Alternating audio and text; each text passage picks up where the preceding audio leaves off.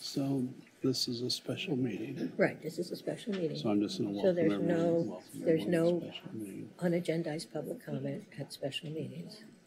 So just, I'm not smiling about it. you're not, you're not sad about that? Yeah, so, yeah, just Okay, call it up, I say, got I'm it. calling to order the special meeting of the Santa Monica City Council. Okay. Thank you.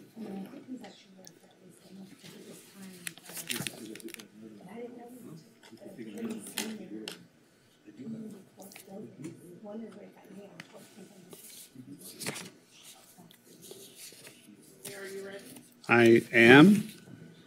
And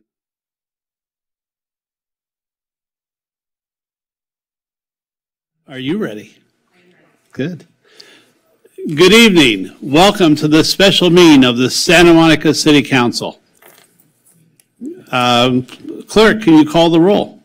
Councilmember Zwick. Here. Councilmember Parra is absent. Councilmember Davis. Here.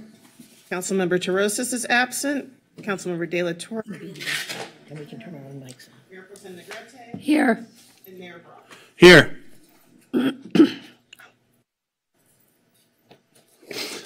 As this is a special city council meeting, public comment is restricted to only items listed on this agenda.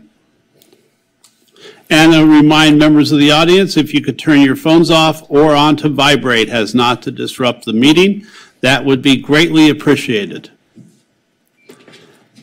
And our first item is the closed session, and if the clerk, Assistant City Clerk, could read the items for us. First, uh, the first item is actually public input on agendized items, which is closed session, and we do not have any public input for that.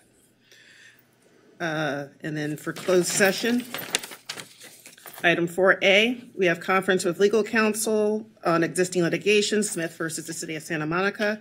Item 4B, conference with legal counsel, existing litigation, Yossi Shimshi versus City of Santa Monica. Item 4C, conference with real estate negotiator, uh, address 1431 Second Street, uh, parking structure 6, city negotiators Jennifer Taylor and David Martin, owner of record, City of Santa Monica, persons to be negotiated with, Jerry Cottle, founder of Rooftop Cinema Club, under negotiation or price and terms of payment.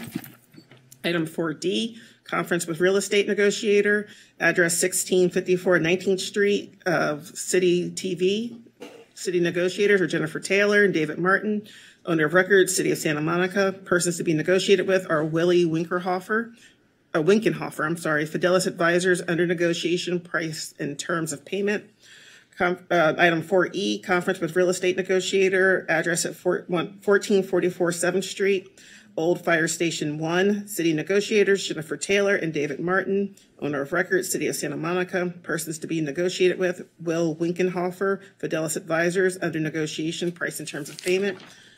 And payment, uh, and item 4F, conference with real estate negotiator, address 1444 7th Street, Old Firehouse Station 1 uh, city negotiator, city negotiator Jennifer Taylor and David Martin, owner of record, City of Santa Monica, persons to be negotiated with, Jesse Slansky, West Hollywood Community Corporation, under negotiation, price and terms of payment.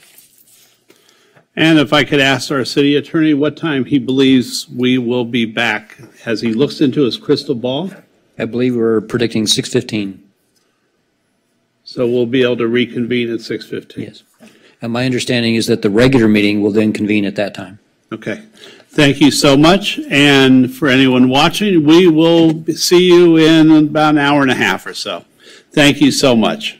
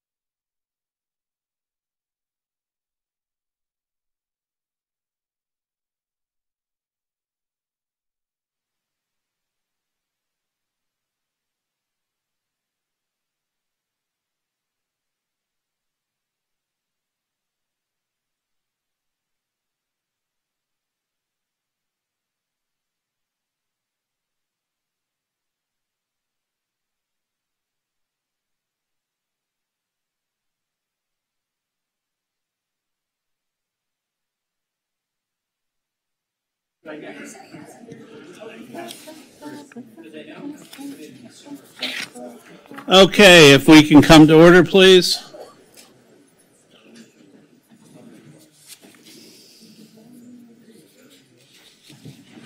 And first, as we finish the special meeting, uh, we need a uh, readout from the city attorney of what has transpired in closed session. All of the matters were heard, and there is nothing to report out. Okay, so that will uh, conclude the special meeting of the Santa Monica City Council that convened at 4:30 today. I want to thank city council members for coming. Hopefully, that will uh, make our remaining burden of our meeting a little shorter and allow the public uh, to stay awake during our meeting. So, uh, let's convene our regular meeting now of the Santa Monica City Council, and we're convening this at um, 6:44 PM. And uh, could we have, um, I'm not going to ask Councilmember Negrete because she's pretty hoarse, but Councilmember Torosis, could you do the Pledge of Allegiance today? Thank you very much. I pledge allegiance to the flag of the United States of America and to the republic for which it stands, one nation, under God, indivisible, with liberty and justice for all. Thank you. Could we have the clerk read the roll call, please? Councilmember Zwick, Here. Councilmember Parra, Here? Councilmember Davis, Here. Councilmember Torosis, Here. Councilmember De La Torre is absent tonight. Mayor Pro Tem Negrete. Here. And Mayor Brock. Here. Thank you very much, clerk. Okay, um, we have public input? Yes. My microphone went off, it came back on. Public input. Public input is permitted only on items not on the agenda that are within the subject matter jurisdiction of the city. State law prohibits the city council from taking any action on items not listed on the agenda, including issues raised under this agenda item. And it looks like we have 12 people on the list. I'm going to call the first five names, and if you could please line up against the wall. Jerry Rubin, Astor One, Jesus Gonzalez, Anya Baroff, and I apologize in advance, Aber, Seifu. You can all please stand and line up against the wall. Hold on one minute, Jerry. Hold on one second. Again, if your name was called, could you please line up on the east side, east wall? Again, Jerry Rubin, Aster One, Jesus Gonzalez, Anya Baroff, and Abaret Safu. Thank you, Mr. Rubin. Well, thank you, uh, Jerry Rubin, Santa Monica resident. Hold on one second. Go ahead, Jerry. Thank you very, very much. No? Mayor Brock, Mayor Pro, or Vice Mayor Lana Negrete, honorable city council members, city manager, city attorney, city clerk, our other dedicated city staff, police officers, and fellow Santa Monicans. Let me just say that I hope 2024 is the very, very best year for each of you and yours and for the city of Santa Monica, and we can make it happen. I do want to say I was very sad to read that a Jewish menorah was destroyed up there on Montana, and I've heard anti-Semitic remarks before, and I've heard other hateful racist remarks against others too. And I know Santa Monica, we're all united against that, but I hope that we can do something about that. And I don't know exactly what, but I just don't, don't ever like the approach of ignoring it. So I don't know what could be done, but it was very, very sad. And again, I just want to be positive and say, uh, let's all work together for win-win solutions to eliminate all this crazy stuff and make Santa Monica even better than the great city it- it has been and continues to be. Thank you. Aster one,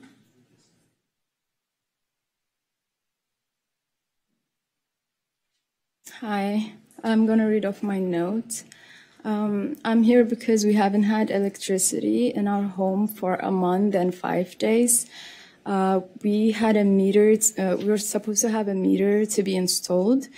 Um, our property manager um, of the affordable housing that we live in made a service request to the city to install the meter for us a month ago and she was she was able to get a service case number. According to Edison, uh, this process shouldn't take more than two weeks, um, and we have been calling at least three times a day to check on the status and leave a voice message, but no one ever gives gives us any response. Um, uh, our property manager also mentioned that she has been calling every day and that she's not able to get a hold of anyone. Uh, she mentioned that uh, this this is unusual. A friend told me to come here and seek help. Uh, not having electricity is very frustrating, especially because um, we are not able to use our refrigerator, our phones, um, computers, um, and um, any other things that require electricity. Um, I hope you can help us this get sorted out soon. Thank you. That's all. Okay, if you could walk over by the clerk stand, I think this assistant city manager would love to talk to you for a minute. Thank you so much. Next we have Jesus Gonzalez.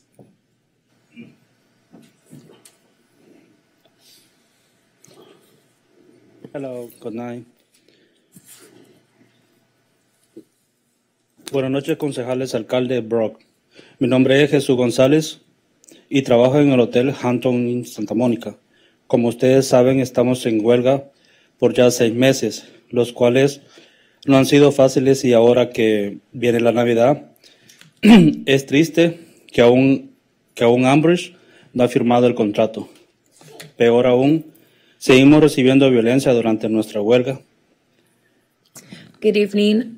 Good evening, um, Consul Brooke. My name is Jesus Gonzalez, and I work at the hotel in Hampton, Santa Monica. As you know, we've been on strike for almost six months, which have not been easy at all. And right now, as this um, Christmas is coming, it's really sad because Ambridge still have not signed the contract. Which is even worse is that we still have been suffering violence uh, during our strike.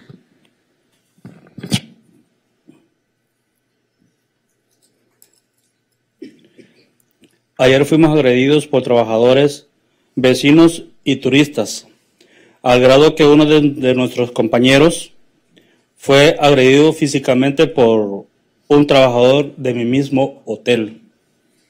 Les pedimos a ustedes que nos apoyen, que los hoteles firmen el contrato y que pongan fin a la violencia. Felices fiestas. Yesterday, unfortunately, we were assaulted by one of the workers at the hotel and even from people that live near the area and from tourists. There was to the point that one of my worker, uh, one of my coworkers was assaulted physically by one of, by another colleague at the hotel. Please, we ask you that you please help us for the hotels to sign the contract and put an end to this violence. Happy, happy holidays. Thank you. Thank you very much. Next is Anya Baroff and Ms. Baroff. Before you speak, I'm going to call five more names. Uh, Jasmina Cruz, Bunny Butt, Ria DeBloot, Anthony Rosello, Sarah Lee, uh, and Christina Santiago. Go ahead. My name is Anya Baroff, and I've lived in Santa Monica for the entirety of my life and have loved growing up here and living here. Um, but lately, I'd like to speak about uh, police misconduct within the community since we rely on the police for keeping our community safe on all capacities. Um, so when members of the community come forward with criminal matters to the police, they should be taken seriously. I've noticed recently that there's been an increase in victim blaming within the system that should be advocating on our behalfs to keep our community safe without any fear of any of us coming forward when going to the police. Um, and I think that more education and advocacy for the police could help enact and keep advocating for the safety of all of us, whether it be because we're women or people with disabilities or anyone um, within our diverse community. And I think adhering to the protection of our constituents here um, without any fear of retaliation or harm for speaking out about injustice within potential police misconduct or within the community is something that we should really take into further consideration because recently I believe that there's been a rise in that, especially for vulnerable um, citizens and representatives that, that come forward. So, and again, no person should be called mentally ill or be discriminated against for standing up for themselves and standing up for police misconduct when they decide to report that. They should be taken seriously and they should be admired for the strength to come forward within those capacities. And I think that accountability for harm and threats to the victims that have come forward is not okay in any capacity, nor is deflecting blame onto anyone who feels that they have been mistreated by the police when reporting a crime. So I would like to end by saying I hope that can change and I hope we can keep our city safe um, in all capacities. Thank you very much. Next is Abrahe Seifu.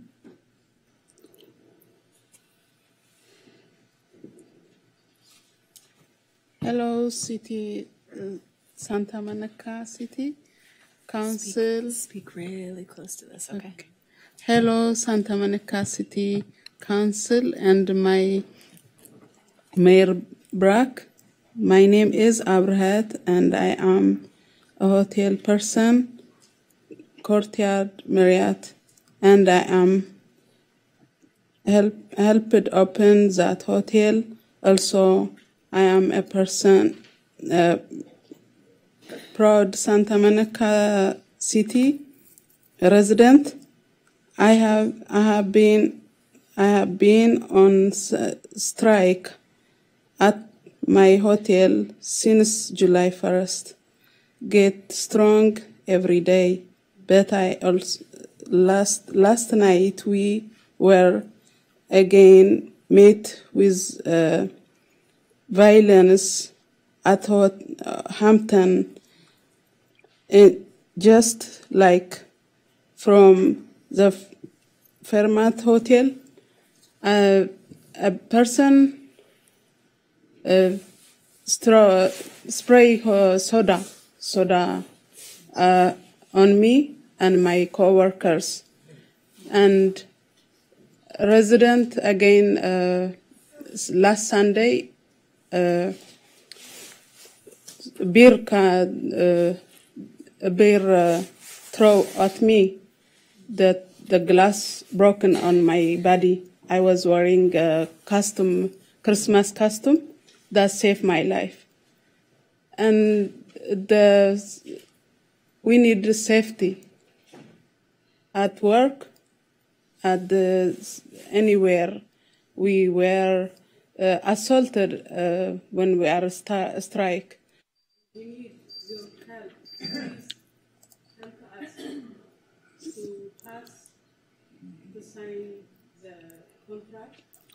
Thank you very much. And thank you. Merry Christmas. Next, we have uh, Jasmina Cruz.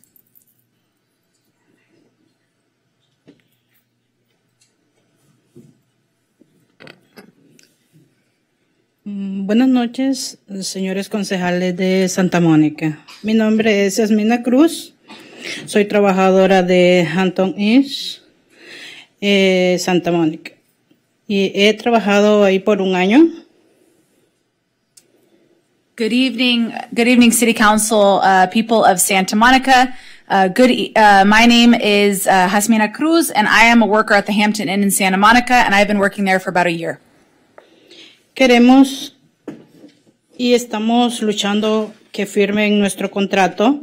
Hemos estado en huelga ya cinco veces. De hecho, ahora estamos en huelga. Uh, so I want and I am fighting uh, to make sure that we get a new contract. Um, and I've been doing that by being on strike now five times and actually I'm on strike right now. An- Anoche mis compañeros y yo pasamos por una violencia por parte de un trabajador del hotel.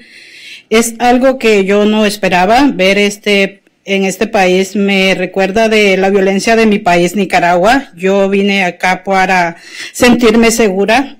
Aquí, pero no puedo con esa agresión en el lugar de trabajo. So last night, my coworkers and myself, uh, we we suffered yet again from violence um, by another uh, worker from the hotel. Um, it's something that I never thought would happen here in this country. Um, it's making me think about my memories and violence in my country of Nicaragua. And I came to this country to feel safe. Um, and I do not want to go through that kind of aggressive behavior again, and especially in my workplace. Eh, les exijo a la ciudad que por favor nos apoyen en parar la violencia en nuestros hoteles. También les pido por favor que las les presionen a los hoteles para que firmen nuestro contrato. Todos merecemos algo justo y digno para nuestra familia. Gracias, Dios los bendiga y felices fiestas. Um, so I'm asking you all in the city of Santa Monica to please continue supporting us and stopping the violence in our workplaces at these hotels. I also ask you to please put pressure on the hotels that they sign our new contract. We all deserve it. Um, something dignified for our families. Thank you. May God bless you and happy holidays. And I want to remind everyone that if you feel you're the victim of an assault or a victim of a crime in Santa Monica, tonight we have our police chief in the rear of the room. So he can talk to you and assign someone to try and help you. Uh, I, I've heard now twice, three times that people are victims in this room. We want to make sure that we take care of you. So please talk to our police officers if you feel like it or ask uh, assistant city manager or someone else for help. Thank you. Next speaker is Bunny Butt.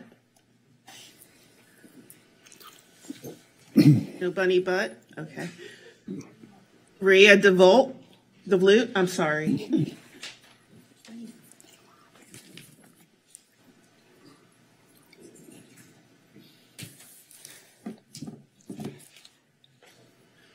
Good afternoon, City Council and Mayor Brock.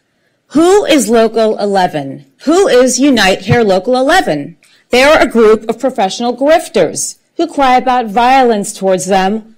Where is the body cam footage from August 5th? Secondly, they've had, they've given us nothing more than over 150 days of urban terrorism created by their megaphones, shoving megaphones in people's faces, stealing people's Amazon packages locally, being nasty to the residents. This was never about a wage increase for people who have zero skills, let alone English skills. What this was about was union dues. This whole time, Local 11, uh, if, I don't know if you guys look at Eyes on 11, this has been about union dues. Where does that money go? It doesn't go towards their health care. It does not go towards their housing. This goes towards political campaigns, political prostitutes who get bought by Local 11 so they could have a firm stronghold in cities like ours and ruin the peaceful living that we've gotten to know in Southern California that we work for. Local 11 needs to stay in their lane. If we're going to make Santa Monica great again and restore the purity of Santa Monica and what it stands for in being a quiet beach city, we can't have them in here with this. A lot of people may not remember right away who is endorsed on here, such as Jesse, Caroline, and Gleam by Local 11. But I will make it a point to know and make them know who is endorsed by them. Who are they to go to people to get them to register to vote? Who are they to be concerned about mobility in bike lanes? That's not what their lane is. They need to stay in their lane. If it's about hotel workers, let it be about that. But do not come into our city. We don't go into your cities trying to ravage things up and, and create all the noise that you've created and destroy people's weddings, birthdays. I mean, the list is endless. So with that said, I'm just asking that we stop letting Local 11 come into our cities and ruin them. Thank you very much. The, next speaker is Anthony Rosello, and Mr. Rosello, before you start, we do have one more speaker, Dora Hernandez. If you could please stand up against the wall. Go ahead, Mr. Rosello. Ready? Yes.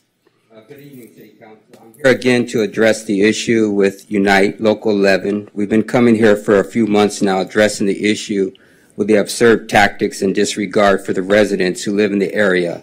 Now, the more I look into the whole situation, the more I start to realize what's going on. The fact that the city would be complicit with the whole situation, the more I realized that the city council was in bed with Unite. And Unite basically owns you.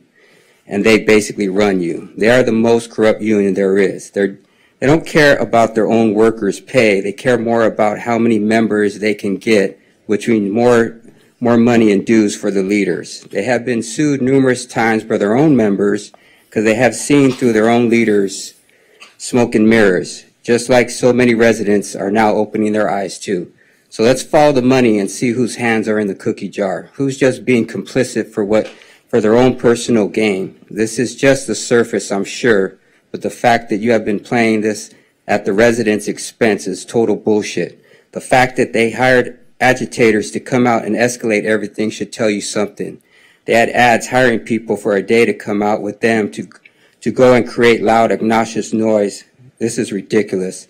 They're not even the union. Everything about it is just wrong. They still go in to work and collect a paycheck, but scream when they come out and protest and make no sense. Again, just ridiculous. Thank you, sir. Sarah Lee. All right. So last week, we've been coming here for three months now.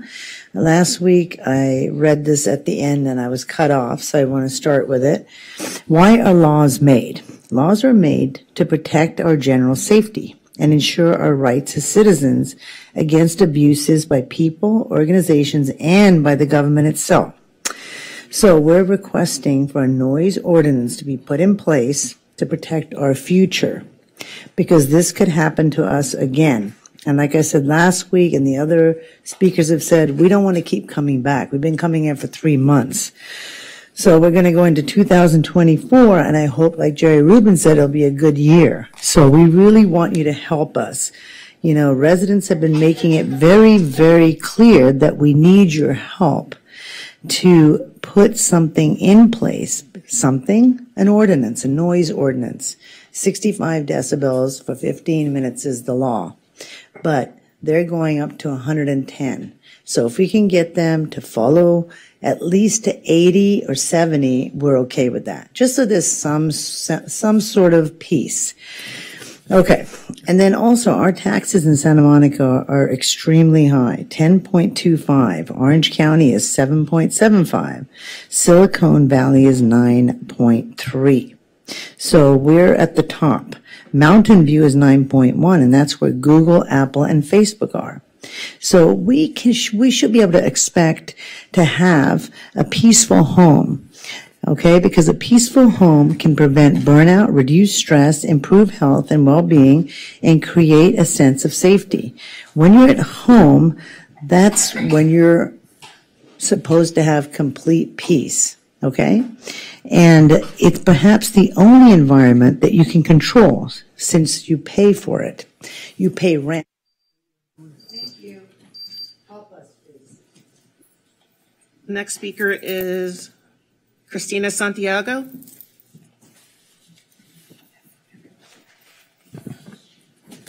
Good evening, everybody. My name is Christina Santiago. Uh, I will tell you um, who Local 11 is. Local 11 fights for the rights of workers, of hardworking people.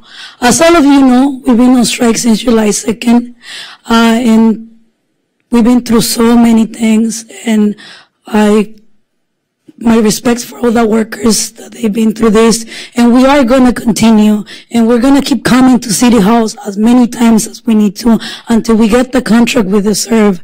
And I urge the um, the city attorney and the chief of police to review every single case we have presented to them, to review in depth all of the videos, and to make sure that we are respected and that the laws are being followed please, and I urge the city councils to talk to the hotels, settle this for once and for all so everybody can have the peace that we deserve. We're not doing anything wrong. We're just fighting for what we deserve. Thank you very much. Happy holidays.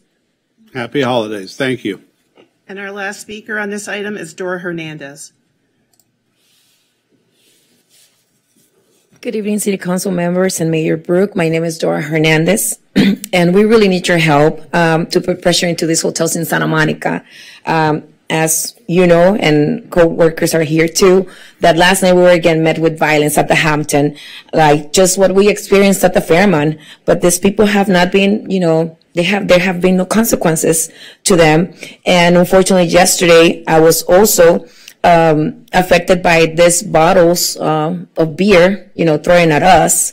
Thank God, you know, we were aware and nothing happened, but still, it is really unfortunate that uh, police comes and, and there's nothing to be done to these people. So we really pray that we get this new contract for Christmas. And please, we ask you that once again, you hold these workplaces responsible for their actions and your support for our fight. Thank you so much. Thank you very much. And that is the end of public speakers on that item. That is correct. So we move on to the public input for agenda items under closed session, special agenda items, or consent calendar. Public input under closed session, special agenda items, and consent calendar only. No public input is permitted on ordinances for second reading and adoption. And we have two speakers for this item. Uh, we have Jonathan Foster and Denise Barton.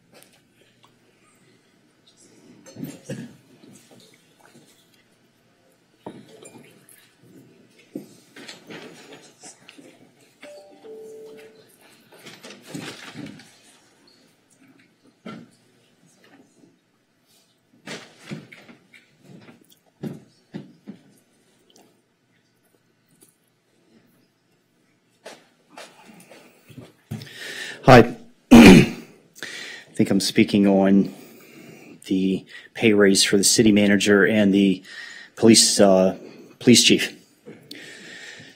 And uh, definitely agree with the police chief raise. I, I haven't personally uh, been that happy with this the city manager. And, and one of the things I wanted to talk about, though, which he doesn't seem like, there's uh, Roy Benavidez, Medal of Honor winner Green Beret, he said that for his 25 years of service, he felt like he's been overpaid for his service to his country. Seems a little bit unlike the city manager and, and even some of the other people that get huge paychecks here.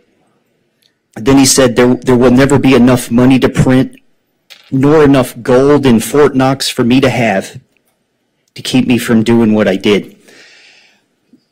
I, I wish we had people like that serving instead of giving these people the hugest paychecks that doesn't seem to equal uh, uh, the, the, the disparity in the low wage workers who don't get paid enough as they assign to these people that the city manager does a more important job than the people moving the trash and my question has always been, how much do, will we have to pay you to move trash and to wipe down bathrooms? And whatever you're getting paid, shouldn't we be paying the people who wipe the bathrooms down and move the trash? Shouldn't we be paying them what we're going to pay the city manager? Shouldn't we be paying the people who wipe the toilets what you pay the city attorney? That's what I think. And I think there, he's getting paid too much. The police chief is not being paid enough. I, I support that. Santa Monica. Thank you, sir. Denise Barton. Good evening. For item 5L, in the case of the city manager, would this be an employee or CEO at a nonprofit benefiting financially above the core mission of the nonprofit? I ask because that's how it looks, considering you keep putting Chief Batista at a disadvantage. For example, not having the number of officers he needs to keep the city safe, and you keep going back to the number in 2019. But since that time, you've invited criminals and the homeless to the city by your actions. For example, your actions in, in the May 2020 riot and looting showed Santa Monica is an easy target which is a contributing factor to the increase in crime and homelessness in the city, but you still expect a lesser number of officers to be able to handle the calls from residents, resident, residents businesses, visitors, criminals, and the homeless. Hopefully you can see you want him to do more with less. For all these reasons, I support Chief Batista's pay increase. But if you look at David White, the city manager, what do you see? How long now have residents come to these meetings telling of horrific experiences with the homeless and the criminal and criminal actions? Yet David White just sits up there like it's okay. Would that mean that that's what you sitting up there want? But I don't personally think it's worth a seven to ten percent pay increase to four hundred and two thousand dollars, which puts which put in comparison to the West Hollywood city manager's pay of $345,000 or the Long Beach city manager's pay of $346,000 for a city with five times the population, makes it look as though the city manager is financially profiting um, from a nonprofit above the core of the nonprofit. Are you trying to lose your tax exempt status? Thank you. Thank you very much. And that concludes concludes public input on that item. Okay, we have a special agenda item, the recognition of outgoing board and commission members. Item 3A, recognition of outgoing board and commission members, and I will be presenting on this item. Good evening, Mayor and Council. Tonight is, it is my pleasure to recognize the following board and commission members for their time and dedicated service to the City of Santa Monica. As you are all aware, serving on a board or commission is a volunteer role, and it is no small feat to recruit members to serve on these advisory bodies. The efforts put forth by each and every member is greatly appreciated and noteworthy. On behalf of the city, the city council, and the city clerk's office, we thank you for your commitment to serving this community. The following members completed their terms of service between 2020 and 2023. I will only be calling the names of those who advised us that they would be able to attend tonight, although I will note that we have received a few cancellations tonight. As I call those names, I will then ask, uh, I'm sorry, after I call those names, I will then ask if there are any other former board or commission members in attendance that did not hear their name called uh, to please stand and state your name for the record. As your name is called, um, if you'll please stand um, and come forward, and Xavier will present you with your certificate and gift. We ask that you please remain standing in the well until the end so that we can take a group photo. For those unable to attend tonight, the city clerk's office will make arrangements to ensure they receive their certificate and gift. And a full list of all outgoing members was posted with this agenda item. First, I, we recognize Cindy Aiken.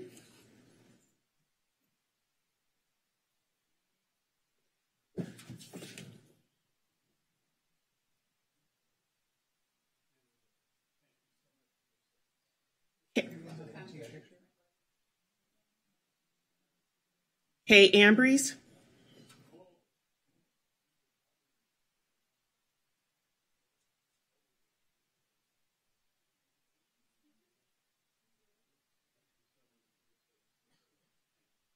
Eve Brashdahan. No, okay. Uh, Joni Byan.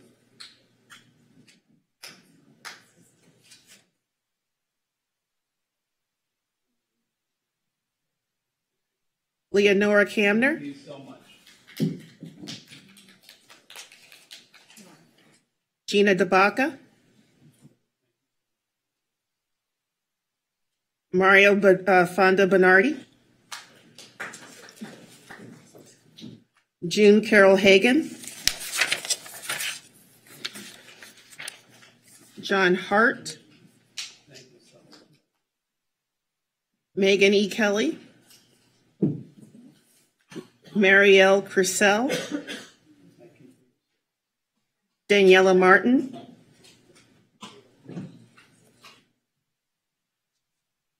Pamela Raymer,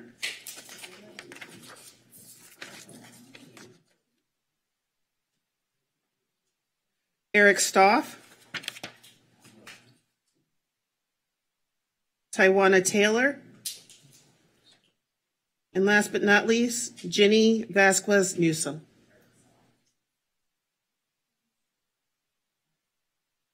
Are there any other former board or commission members who are in attendance tonight that did not hear their name called? Please stand.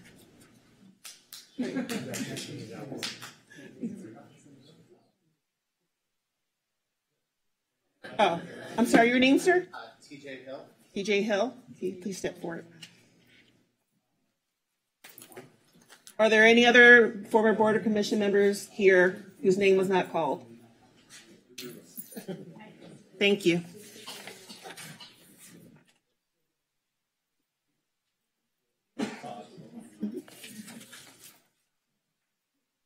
Ah, sorry about that.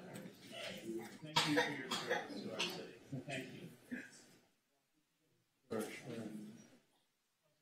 Try that again. I want to feel that handshake. Uh, Oh, I'm sorry, I'm sorry, could you state your name again? TJ Hill. TJ Hill. Thomas John Hill.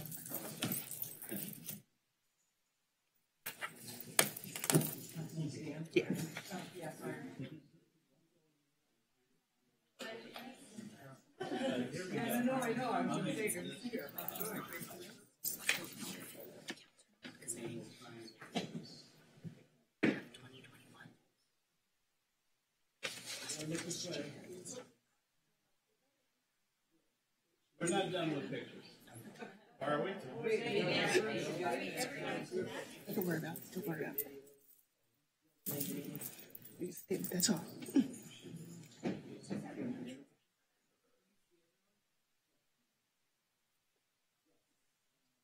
Everyone look this way.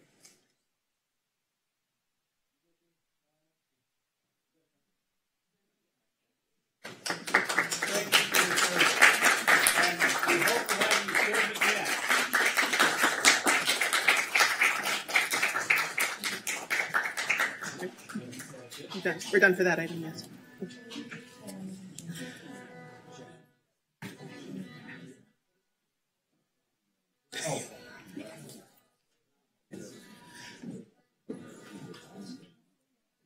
Item 3B, City Manager Report.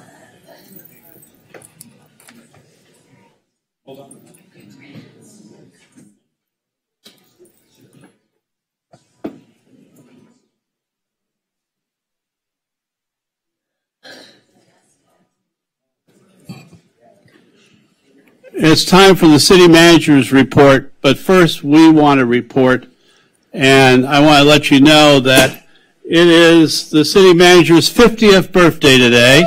David White, can we give him a hand? Now, he has promised for his 50th birthday he will shave his beard in front of us today. Somehow I don't think, I'm, wait a minute, I may have had that message mixed. So happy birthday, David, and your report. Th- th- Thank you very much. Um, We're not shaving the beard. Uh, So a good evening. We'll give you a piece of pie. I'll take it. Uh, Good evening, Mayor, Mayor Pro Tem, and City Council. Um, Obviously, this is our last meeting of 2023, and I can't believe we made it to the end. The year has certainly flown by, and everyone on this dais has been very hard at work. And so I want to thank you uh, deeply from the bottom of my heart for all the work that you've put into the city. It's been so meaningful and so impactful, and it certainly has been the fuel for our recovery this year, and certainly setting the stage for next year's recovery. One of the things that I certainly would like to do, um, and certainly this time of year is important for myself, is to just again reflect the gratitude, Mayor, that you shared for all of our city staff. But I would like to reflect that gratitude to all of our employees that are here, to all of our employees that are working hard day in and day out, serving the city with the utmost care and attention. And I appreciate all of them and know that our collective success would not be without them serving the city so earnestly every single day. And as you know, it's certainly a year full of change. We have a new mayor. Council added two priorities to help guide our work. The Community Services Department became two new departments. We said goodbye to many department heads and staff members who'd spent their careers with the city, and we welcome many new members to our team. We also saw many team members take on new roles and responsibilities within the city, and for that, I'm incredibly grateful. Speaking of which, I do want to introduce two individuals here in the room with us this evening. Uh, first, I want to officially introduce Oscar Santiago, our new Director of Finance, but by no means a new team member. Oscar has worked for the city for more than 32 years in various departments, most recently serving as our budget manager, overseeing the operations, policy development, and implementation of the budget and procurement divisions. There's no better person to fill the big shoes that Gigi leaves behind, and I'm thrilled to see Oscar take on this role. And I can honestly say there is no person more committed to the city than Oscar. He's been with us for so many years, as I mentioned. His daughter attends schools here. He's he's born and raised here. I mean, he's just an absolute true San Monican. So, Oscar, thank you so much for serving. And we have another. And we have another well-known figure taking on a new position in the organization. And after 13 years with the city, including eight as the chief of staff in the city manager's office, Christopher Smith became our new deputy city manager yesterday. Thank you, Christopher. Filling the role left vacant when Anuj Gupta was appointed director of the Department of Transportation. In this role, which is incredibly elevated, Christopher oversees the Human Resources Department, Information Services, and Finance Departments, as well as the Chief of Staff position, 311, and importantly, our Diversity, Equity, Inclusion team. And Christopher has been a leader in that field for many years for the city. Thank you, Christopher. The city has certainly bounced back mightily from the pandemic, and while our economic recovery work continues, I do want to take a moment to celebrate some of our successes. We saw more than 476 new businesses open this year across various industries throughout the city, with more on the way in 2024, and certainly there'll be some exciting openings coming. I encourage everyone to visit santamonica.gov forward slash news and read the two latest blog posts on all the new business activity and the ways that the council and staff have collaborated to make it easier to open and grow a business in Santa Monica. And also, please be sure to check out the annual Tis the Season guide. There's a link to it on our homepage at santamonica.gov, which is bursting with food, shopping, and event information to brighten everyone's holiday season. And lastly, I want to wish everyone a happy Kwanzaa to all who celebrate. May you all have a very Merry Christmas and a Happy New Year, and see you in 2024. And of course, of course, we'll celebrate this Merry Christmas with a big happy birthday to our mayor. Thank, you. Thank you.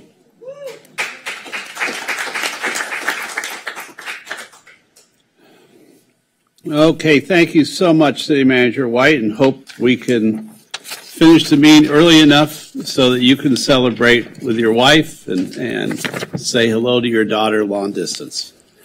Um, Clerk, you have a question I for did. all of us. Yes, I do. Uh, do any of the council members have any reports on travel since our last meeting last week? Seeing none. Consent calendar. All items will be considered and approved in one motion unless removed by a council member for discussion. In accordance with Charter Section 615, the adoption of all ordinances and resolutions shall be by reading of title only unless a council member present dissents. No public discussion is permitted on ordinances for second reading and adoption. And I believe Mayor Brock, you requested to have item 5B pulled from the consent calendar? Yes, I did. Would someone like to move the other items? We have a, a- I will move the remainder of the consent calendar absent 5B. is there a second? Second. Thank you, that, guys, that was well coordinated. Um, Can we have a roll call vote? Councilmember Torosis? Yes. Mayor Pro Tem Negrete? Yes. Councilmember Davis? Yes. Councilmember Carr? Yes. Councilmember Zwick? Yes. Mayor Brock? Yes.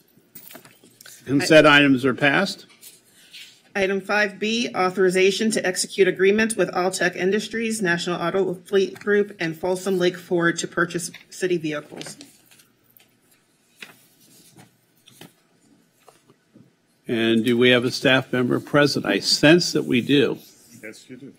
So I, I had, um, I, I see this and I've got some explanation of this, but I had a question about why we're buying our vehicles in Northern California. I know our ex-police chief uh, had been the police chief in Folsom prior, but I'm just concerned about why the purchases are being done 600 miles away from Santa Monica.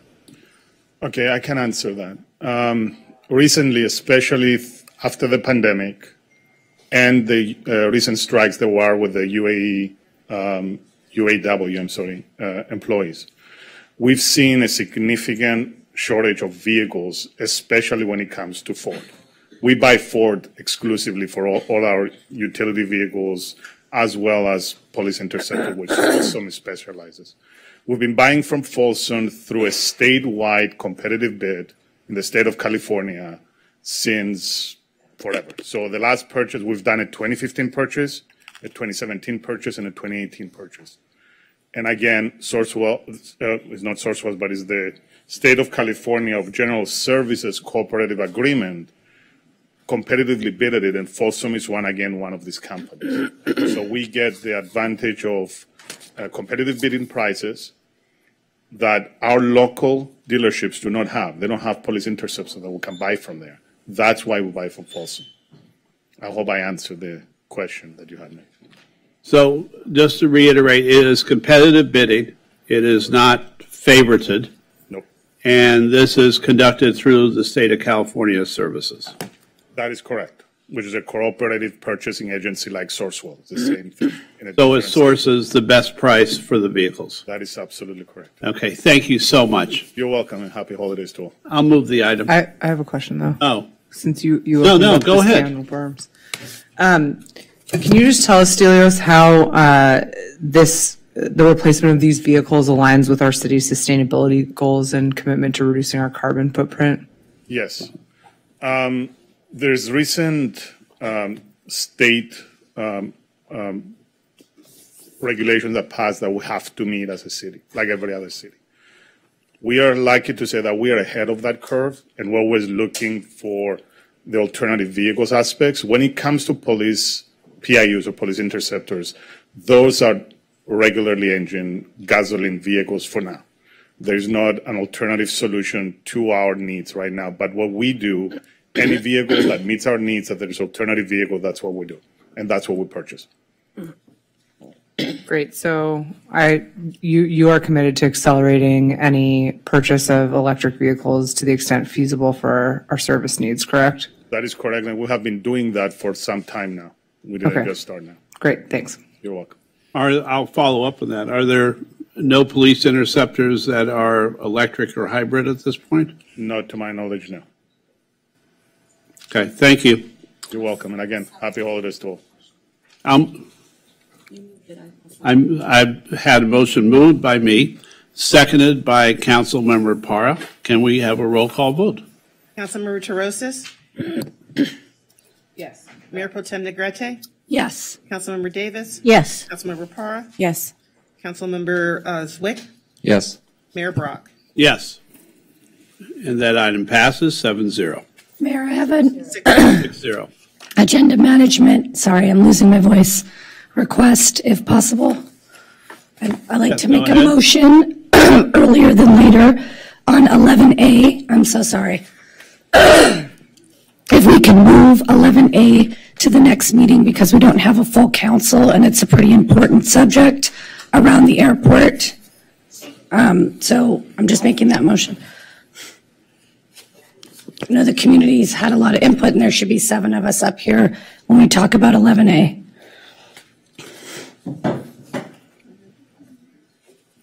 I move, she's seconding it. We have a motion moved and seconded. Is there questions or discussion? I'm sorry, can I, who was the second? Councilmember Parra.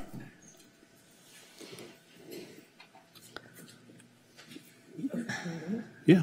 So um, I have, a- I have a question for the city manager. Is there any implication to putting this off? Because we don't have another meeting until late January.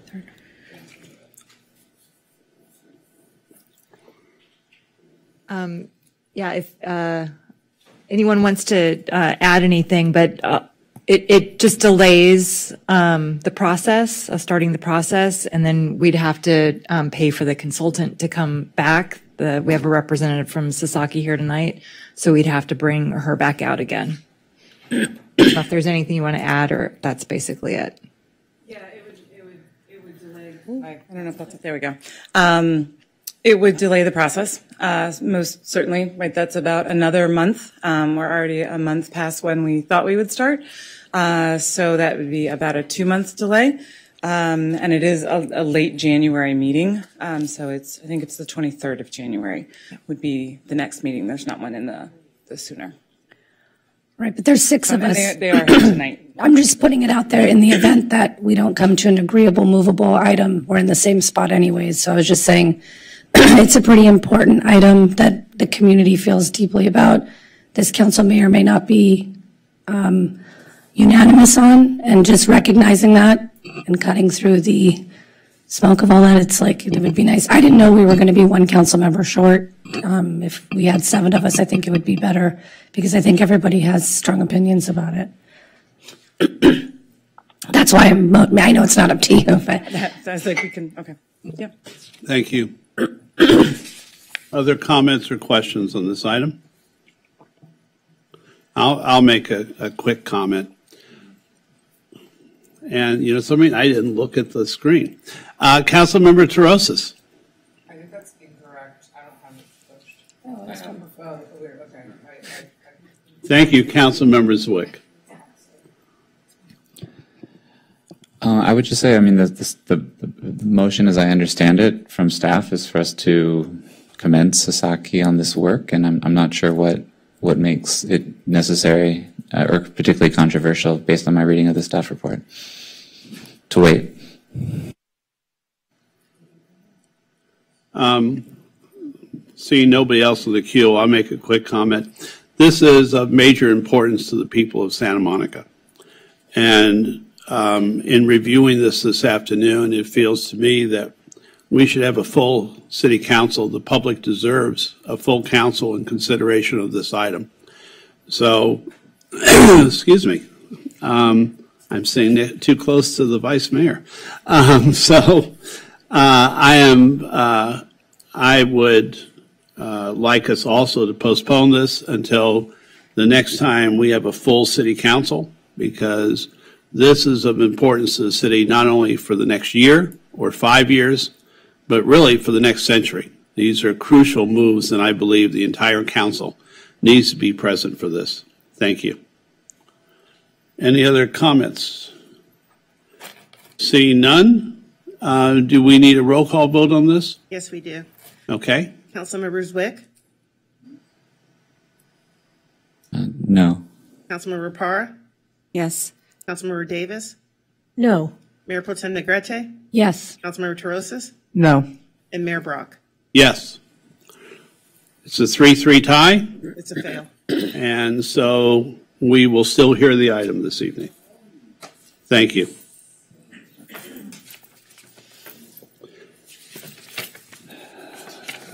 So item six, public input on the remaining agenda items. Sorry. As your name is called by the clerk, can you line up against the east wall? So we have 20 speakers, seven speakers' names on the list.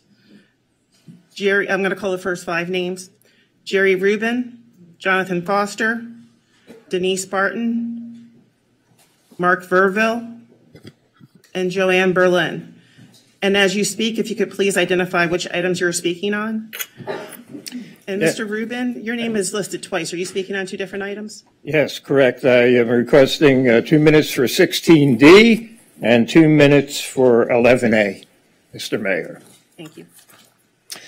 Thank you very, very much. I'm uh, glad to uh, support 16D and thank Council Members Zwick, Davis, and Torosis for uh, putting on a ballot initiative, an advisory initiative that'll increase a little bit of taxes to maximize our traffic safety. We talk about safety, we talk about crime, we talk, traffic safety is part of the concern we have to protect our citizens.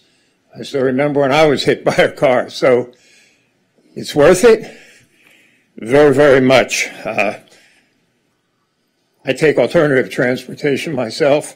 I know people need a car.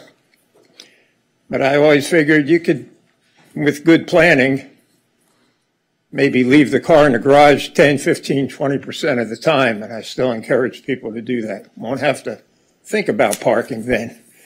But I think it's well worth it, and uh, I hope you support it. I think that's the two minutes for that item, and probably even less for 11A because I think this is an important issue. Of course, like so many people in the city, we think uh, a park there is going to be the best use of that land, and naturally, there'll be other things there, art things, maybe some housing. Why not? It'd be good to have people living with the parks right outside their front door.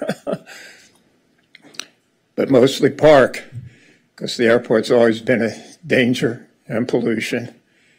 And I think we've already debated it for years and years. It seems to me like a lot of money to pay, but I appreciate the city manager and the choices and the decisions they're making, and it's obviously a good group that's worth the money that's going to be done.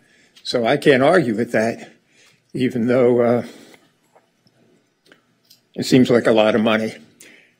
Anyhow, um, I just want to thank you all again, and uh, I know the airport issue is an important issue, but I'm glad it's not being delayed. I mean, a lot of issues are important, and you know we all got to be here. And uh, obviously, uh, even if the council's divided, you know, I would hope that we're all in consensus. If it's that important an issue, it should be at least a 6-0 vote. But if it's not, you know, we're thinking it's not going to be, that's not a good enough reason to delay it. Anyhow, thank you. Thank you, Jerry. Our next speaker is Jonathan Foster. It's the time is still it's not moving. Uh, do you guys remember when it was uh, Mayor McKeown? He was here, and so I was going to play this one for you. Good evening, former Mayor Pam Yeah, thank you. and soon-to-be former Mayor um, Davis, and I already told um, soon-to-be Mayor Brock that um, after the year flies by quickly, he'll be initiated into the former mayor's club.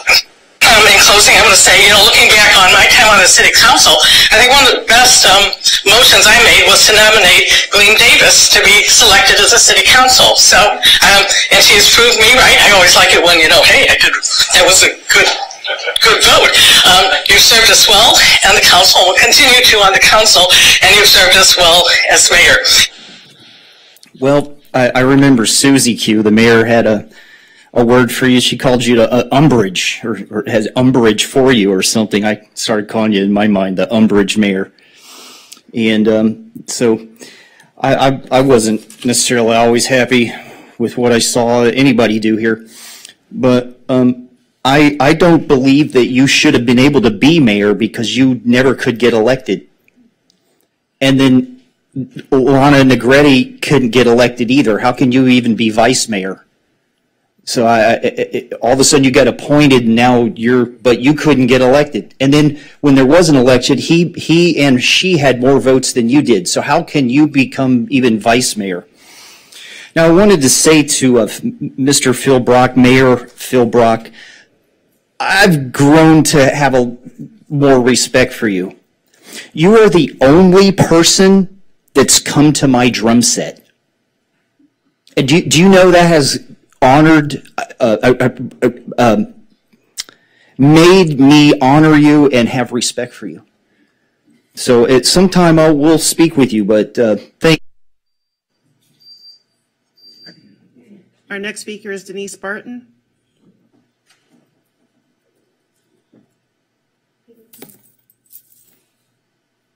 Good evening, and I am 16D. Does anyone else find it interesting that our city took down parking structure three and now wants to see if they can raise parking facilities tax? Would that make up for the losses? Um, and at this point, I would, would anyone vote for something proposed by council members Davis, Torosis, and Zwick, since they do not have the best interests of the city, the residents, or business within it at heart? Other questions I have is how much will this increase parking rates in the structures? Again, I see this as nothing else but you trying to make up the lost parking revenue from parking structure three, which the city council voted to to demolish. And wasn't the safe routes to schools originally done with grant funding? If so, why is the city unable to continue the program with grant funding? And on the enhanced public safety through your actions of not having an ADA person in the city shows you do not care about the disabled or others mentioned. Thank you. Next speaker is Mark Verville.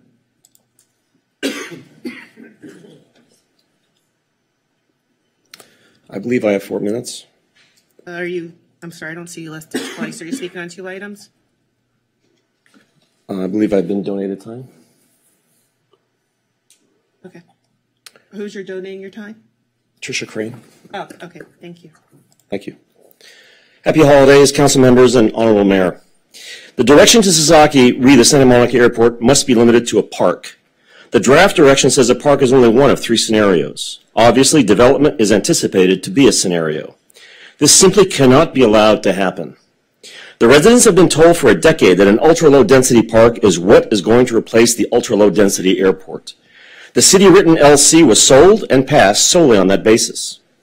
The city has never discussed development at the airport since they knew that the, that was in direct contravention of the park advocates' residents' demands and all the other residents' demands for an ultra-low density land use. In that, the residents and voters were and are unanimous. Converting the airport to a Lincoln Boulevard development nightmare scenario is insane. The city has fully has a fully approved housing element that accommodates the entire unhinged and absurd six-cycle RHNA mandate of 8,895 units, plus a buffer that I think takes it up to 13,000 units. Future housing mandates cannot be more than the sixth cycle, eliminating any risk of additional housing requirements or new sites. And why is that? Since the start of the sixth cycle RHNA, the new state population projections have been released showing LA County's population declining to roughly 1990 levels by the year 2045 and to mid 1980s levels by the year 2060. This is a 2045 decline of 2.6 million people, or 22%, from what was assumed in the six cycle RHNA. And even then, these new projections are overstated. The city will need to audit the draft seven cycle numbers to ensure that they reflect the declining regional population and therefore ensure that Santa Monica is not abused again by the state. And why is that? The six cycle RHNA housing requirement assigned to Santa Monica was completely arbitrary, discretionary, and non-fact based in the extreme. The 2019 council completely failed to do their job and audit these absurd state unit numbers, simply accepting them at face value. They even left unchallenged abundant housing's completely fabricated and false numbers, arguing for even more housing. This is a council failure that must be rectified in the seven cycle RHNA planning process. For all of these reasons, there must be absolutely zero development contemplated in the airport conversion plan.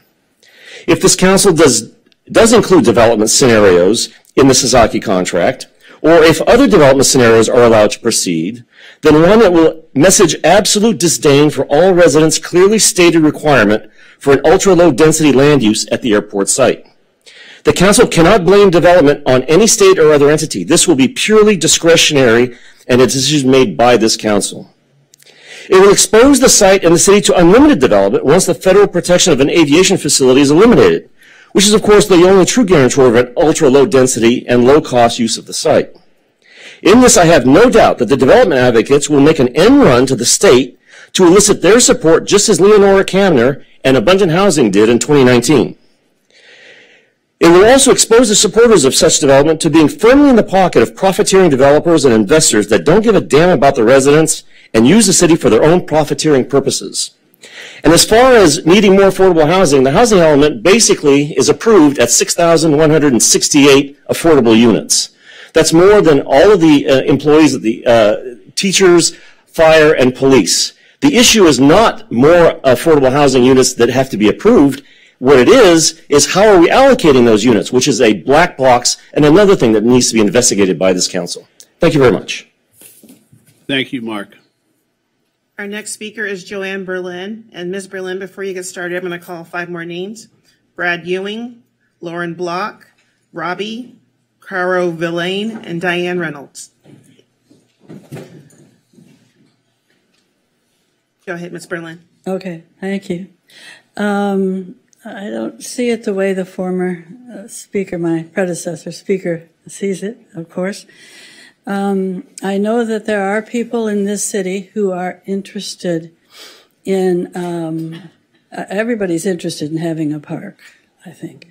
Um, but there are also people interested in seeing if there can be some kind of mixed housing situation included around some periphery areas, perhaps, or whatever. So that's, there are other opinions about what needs to be done in terms of the use of this over 200 acres of land. It's a lot of land. Um, so uh, I, I think that when the um, folks who are going to come in and do um, this work uh, of making a recommendation to the city council, I think they need to really um, listen to all members of the community and all ideas about what could be done with that much land.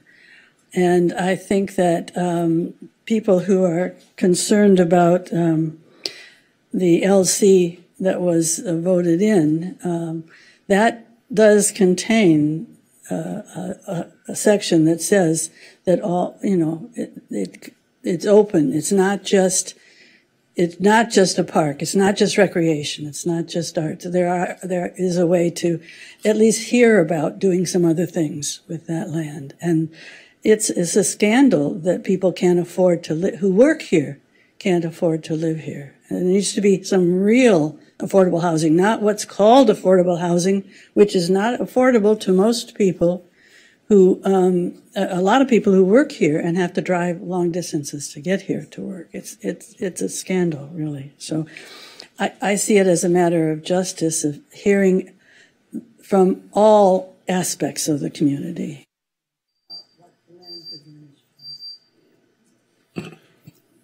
Thank you, Ms. Berlin. Brad Ewing?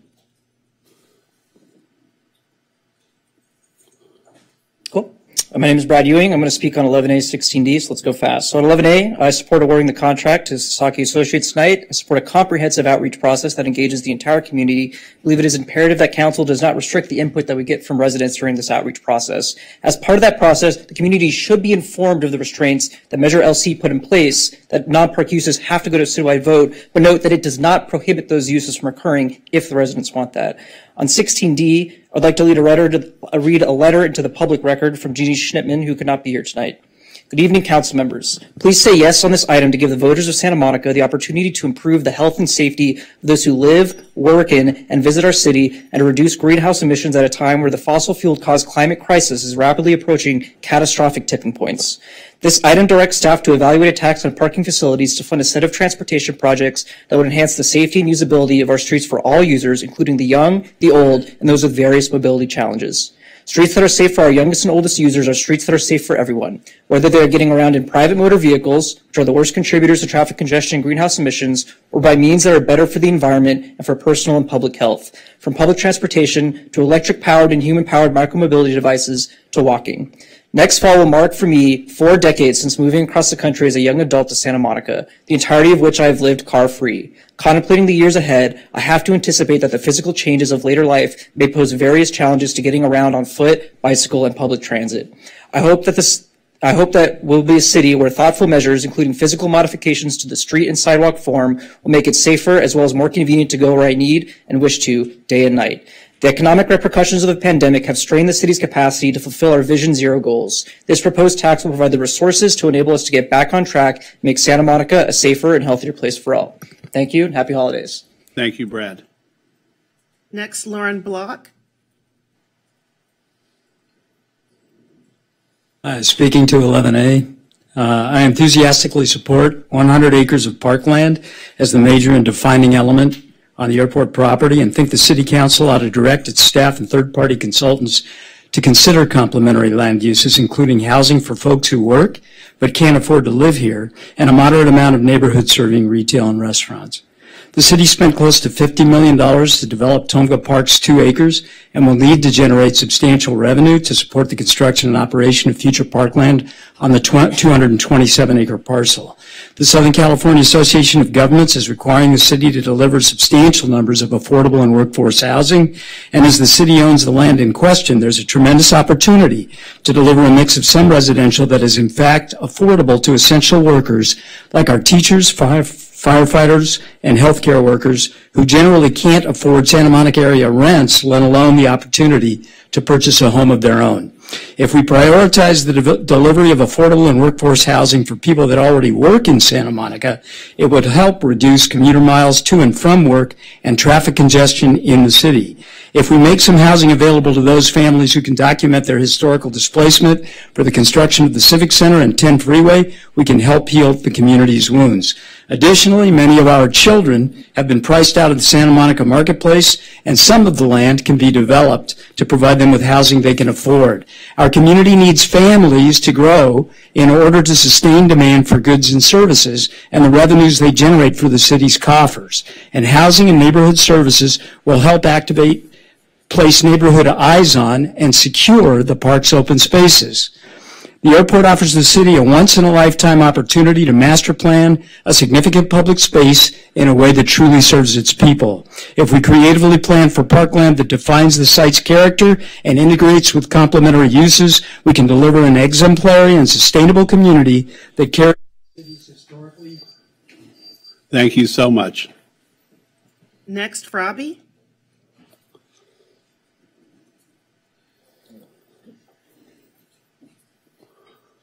Good evening. um, I want to say, first of all, I agree with the letter that was sent to you all by Hazard uh, Sinclair. Um, I mostly agree with, um, you know, letting Sasaki lead us through this uh, with the community outreach. However, I would like to see uh, multiple uses for the land. I would love to see multiple uh, living space for different folks. Um, I think that's very important. I realize we have a lot of development, a lot of housing, but we don't have a lot of low income housing or affordable housing in the city, nor do we have uh, subsidized uh, home ownership, no motivation uh, to help folks get on their feet in the city. Um, we need more of that. Um, I know you guys know that, and you've heard from a lot of folks on a lot of different things. And I just believe that you will do the right thing right. As I always say, that's a big deal that you do the right thing right.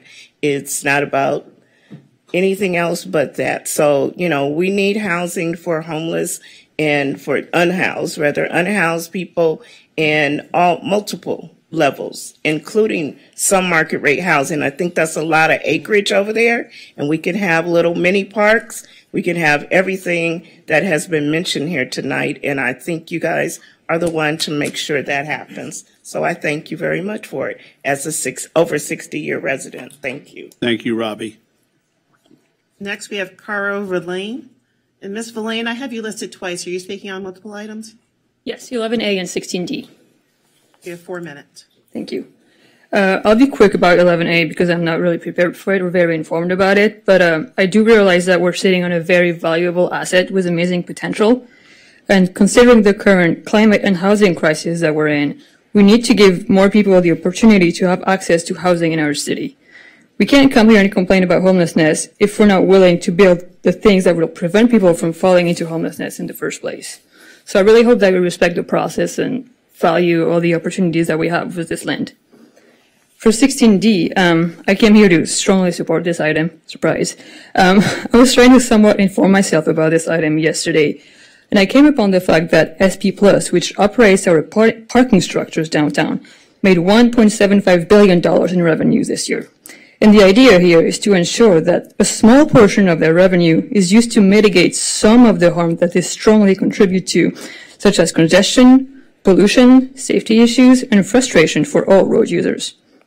I personally don't have the option to drive, and I never will. And even if I did, if I owned a car, I couldn't afford to live in Santa Monica right now. So I ride my bike through the city quite a bit, and I love it. But I also understand why fear is the number one reason why many people choose not to ride a bike. And honestly, some of the scariest encounters I've had while riding my bike here were with drivers trying to park downtown. They often get frustrated, impatient, and therefore oblivious to anyone outside of their living room on wheels. All this item is doing is asking to study the potential of such attacks. So if we're not willing to support it, I think many of us will question what, what our true intentions are here. You've all put a lot of work into being in the positions that you're in today. And I truly hope that you can learn to put some of your differences aside and use your power for the greater good, not just for our communities today, but also for future generations. These decisions are likely to affect them more than they will affect you or me or anyone in this room today. So, considering the traffic violence and climate crisis that we are currently in, I really hope that you strongly support this item and many more that align with this vision in the future. Please don't fail us. Thank you. Thank you very much. Next is Diane Reynolds. And Ms. Reynolds, before you uh, begin, I'm going to call five more names. Andrew Wilder, Joe Pertel, uh, Natalia Zernitskaya, Michael Brodsky, and Gavin SCO4. Let's go. Okay. You may get, begin, Ms. Reynolds. Good evening, Mayor Brock, Mayor Pro Tem Negrete, and council members. I'm Diane Reynolds, Chair of the Airport Commission, and I'm speaking on item 11A on behalf of the Airport Commission. Ms. Reynolds, I'm sorry. Let me pause. You get five minutes. I'm not sure I need that entire time. Thank you. On December 11th, 2023, the Airport Commission unanimously passed 5 to 0 the following motion regarding item 11A on the future of Santa Monica Airport. The Airport Commission recommends that the City Council hire Sasaki for the public outreach process and next steps for conversion of the airport into a great park. We also support the addition of a principal design and planning manager focused full-time on the airport conversion project. Furthermore, we strongly recommend that the City Council direct staff and Sasaki to explore only land uses already approved under Measure LC that would not require a general election vote. Any other uses requiring a vote should only be considered once the airport has been closed on December 31st, 2028. I thank you all for your consideration, and I wish you and your loved ones a restful and joyous holiday season. Thank you, Commissioner, for your service. Thank you. Andrew Wilder. Good evening. Uh, I'm speaking on 11A as well. My name is Andrew Wilder. I'm the Vice Chair of the Airport Commission, and I also voted for that motion you just heard, uh, but I'm speaking personally right now. Um, I've read through the comments, uh, all 182 pages, I think it was, that were submitted for tonight's meeting, and what stood out to me is how unified the community is. It is a rousing chorus that includes the Recreation and Parks Commission, the Commission on Sustainability, Environmental Justice, and the Environment, the Airport Commission, Santa Monica Coalition for Livable City, Northeast Neighbors, Friends of Sunset Park, a petition with over 360 signatures, dozens of individual letters, maybe 100, and of course the Santa Monica Airport to Park Foundation. What we are all saying is nearly the same thing. One, hire Sasaki tonight. Two, authorize a principal design and planning manager for this process to help shepherd it. Three, task Sasaki to come up with three design directions for our great park. And please, number four, for the love of all things holy, direct Sasaki to avoid triggering another ballot measure when doing so. Thank you very much and happy holidays. Thank you, Commissioner. Joe Pertel. Hello, everyone. Uh, my name is Joe Pertel. I'm also a member of the Airport Commission, um, but I'm also speaking here on my own behalf. Um, I strongly support, of course, the recommendation to retain um, Sasaki Associates to convert the Santa Monica Airport back into a great park. And I think that's what's important. Uh, I also support staff's recommendation to hire a principal design uh, and planning manager to focus on, on the restoration of this park. Um, I ask you to please oppose any efforts this evening to trigger any sort of land use consideration prior to the closure of the airport. I strongly feel if you do that, you're going to be playing right into the hands of aviation. They want us to have that ballot measure debate. They want us to be arguing over if you don't if you don't do this, you're going to end up with housing or you're going to end up with Playa Vista. So please don't do that. There there will be a time to consider those other uses, but it should not be at this point if you want to avoid uh, that type of battle. Um, I think tonight this this is one of the most important votes you could po- probably take. This is uh, a vote about the future generations of of our parklands. I, I cannot urge you strongly enough to support um, the retention of Sasaki and the restoration of a great park in our, in our community. Thank you very much. Thank you, Mr. Patel. Natalia. Commissioner, I'm sorry. thank you. No, no. Natalia Zernitskaya.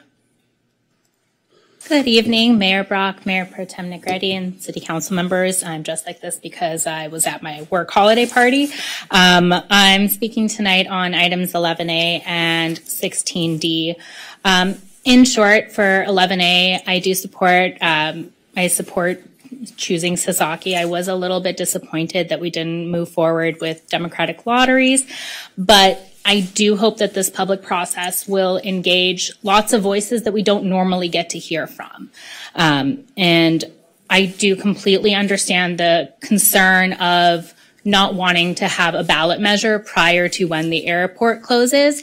But I do think the community who engages in this public process should understand what their options are and should it should be based in what the measure, the language of LC is. Additionally, I do appreciate that the staff report for 11A calls out that an additional staff person will be needed to help implement this community vision for a great park and cultural uses and arts and educational uses. And if there's something else that the community feels very strongly about, um, it will be costly to create this great park um, on the land. So we should consider how it can be self-sustaining. What uses can we put there that are both within um, Measure LC and potentially desired by the community that could bring in funds that can help pay for the park. On um, item 16D, I support it, but as I mentioned in my uh, email this afternoon, I do hope that the um, that the research by the city manager and the city attorney will include more than just a general tax measure and we'll look at how else we could raise funds to pay for safety and improvements across the city. Thank you very much and happy holidays and happy birthday. Thank you, Natalia. Uh, Michael Brodsky. And Mr. Brodsky, I have you listed twice. Are you speaking on two items? Two items. Okay, then you have four minutes. Great. Um, thank you very much. I'm Michael Brodsky. I'm on the board of the Santa Monica Airport to Park Foundation, and I'm speaking on 11A. And this is exciting to be here because we are now moving into the real process of creating a space for the future of residents of Santa Monica and the neighboring areas for generations and generations and generations and generations to come. And that those generations will require a great park. And so we support um, Sasaki's uh, selection of Sazaki uh, Design Associates. I've seen what they, we've seen what they've done in uh, places like uh, Baton Rouge and all around the world, and uh, I think they can help lead the public outreach and the design process. We support the need for a, a staff member uh, to help run this process, and we, above all, support um, Measure LC and the creation of a great park that will provide for open space, recreation use, and park use uh, within the means of Measure LC. So uh, we're looking forward to that. Uh, changing hats here to myself as just an individual, um, speaking on Measure 16D, um, street safety is a paramount importance to me. I lost my grandfather on Wilshire and 10th. And so I really support any process that will provide funds to create safe routes to schools, to create safe routes to parks, and to allow uh, people from 8 to 80 to navigate our streets so kids can go from their home to school to the playground safely, and seniors like myself can go from home to city council safely. So thank you for considering both of these uh, issues. I appreciate it. Bye-bye. Thank you so much, Michael. Gavin Scoff. And Mr. Uh, Scoff, before you start, I'm going to name a uh, call for a few more names. Zena Josephs, Kathy Knight, Austin Washington, Alan Levinson, and John C. Smith. Uh, first of all, councillors, I have to express my distress, and I think the distress that many will feel that you are considering 11A, the uh, future of the airport to park land. without a full council. It seems to me profoundly undemocratic that one member should not be allowed to vote for technical reasons that none of the public properly understand. So I, I'm sorry to introduce that dark note into the proceedings, but it is, I believe, a shocking decision, especially in the context of the fact that what the proposal is at present to us, Sasaki, to look at the future of this land without taking into account the fact that the vast majority of the people of Santa Monica less than 10 years ago said that the airport, when it closes, should become a park, Measure LC. The only fair thing to do to honor that democratic decision that the people of this city made is to ask Sasaki to conduct their activities in the light of that decision, Measure LC, which is that this land should be a park. It was bought as a park. We lent it to the federal government. We have finally got it back. We made the decision that it should return to the park from which we bought it. We should stick to that. It is a green oasis. It has the potential, after 80 years of being covered in asphalt and concrete, to return to what it was bought as, what we will increasingly need, and what generations to come. Think of it generations to come, you will never get this potential for green open space back. Do not rob the children of this city and the children around this city of the possibility of having a park. The promises of affordable housing, if you let developers in, are false promises. There is too much money to be made. People are greedy. We all know that the promised affordable housing doesn't happen. Please go for the park. Thank you very much, Gavin. Thank you. Nina Josephs?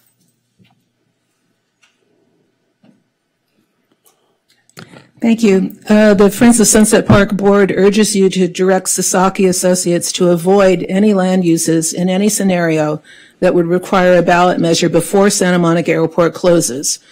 Ballot measure LC said if the airport land is permanently closed to aviation, no new development of the land shall be allowed until the voters have approved limits on uses and development. However, this does not prohibit the City Council from approving parks, public open spaces, public recreational facilities, and the maintenance and replacement of existing cultural, arts, and education uses.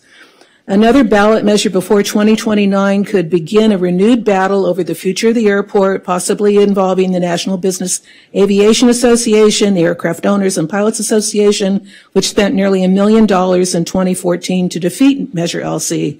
It could push the closure and conversion timeline beyond January 2029 and further delay public access to parkland that the city purchased with a park bond. Uses that are not allowed by Measure LC could be explored later on after the airport closes and after a basic park plan is in place. We also support hiring a principal design and planning manager focused on a great park. Santa Monica had a great park on what is now the airport land from 1927 to 1941. It included playgrounds, tennis courts, playing fields, horseshoes, lawn bowling, an archery range, a shooting range, a recreation center, an 18-hole golf course, and picnic grounds. So our goal is to bring back our park. My husband grew up in New York City neighborhood in Queens with 20,000 residents and a 500-acre park. So a 200-acre park for 90,000 residents is certainly not unreasonable. Thank you. Thank you, Zena. Next, we have Kathy Knight. And Ms. Knight, I have you listed twice. Are you speaking on two items? No, just one. You have two minutes. Uh, just 11A. Um, yes, good evening, um, Mayor Brock and City Council members. Um, I'm asking that you make sure that Sasaki Associates knows that we want them to focus on the park and there should be um, no housing development on this rare and precious park space. What we need are natural areas where people, especially children, can get out and enjoy walking and connecting to nature there. Areas like this help people to relax and feel good and provide habitat for local wildlife. Measure LC, as you've heard, approved in 2014 by 60% of the Santa Monica voters, prohibits new development of airport land after all or part of the airport is permanently closed until the voters have approved limits on the uses and development that may occur on the land. Um, and after putting up for decades with both the noise and pollution of daily flights out of the airport and with unleaded fuel, residents close to the airport deserve the nurture of nature in a park and for future generations in their neighborhood. And we can also plant a lot of trees there. That would be good. Um, please help us make sure that Sasaki Associates pays strong attention to public input and is totally transparent in their work on this issue. Thank you for your attention to this very important issue. Thank you. Thank you, Kathy. Austin, Washington.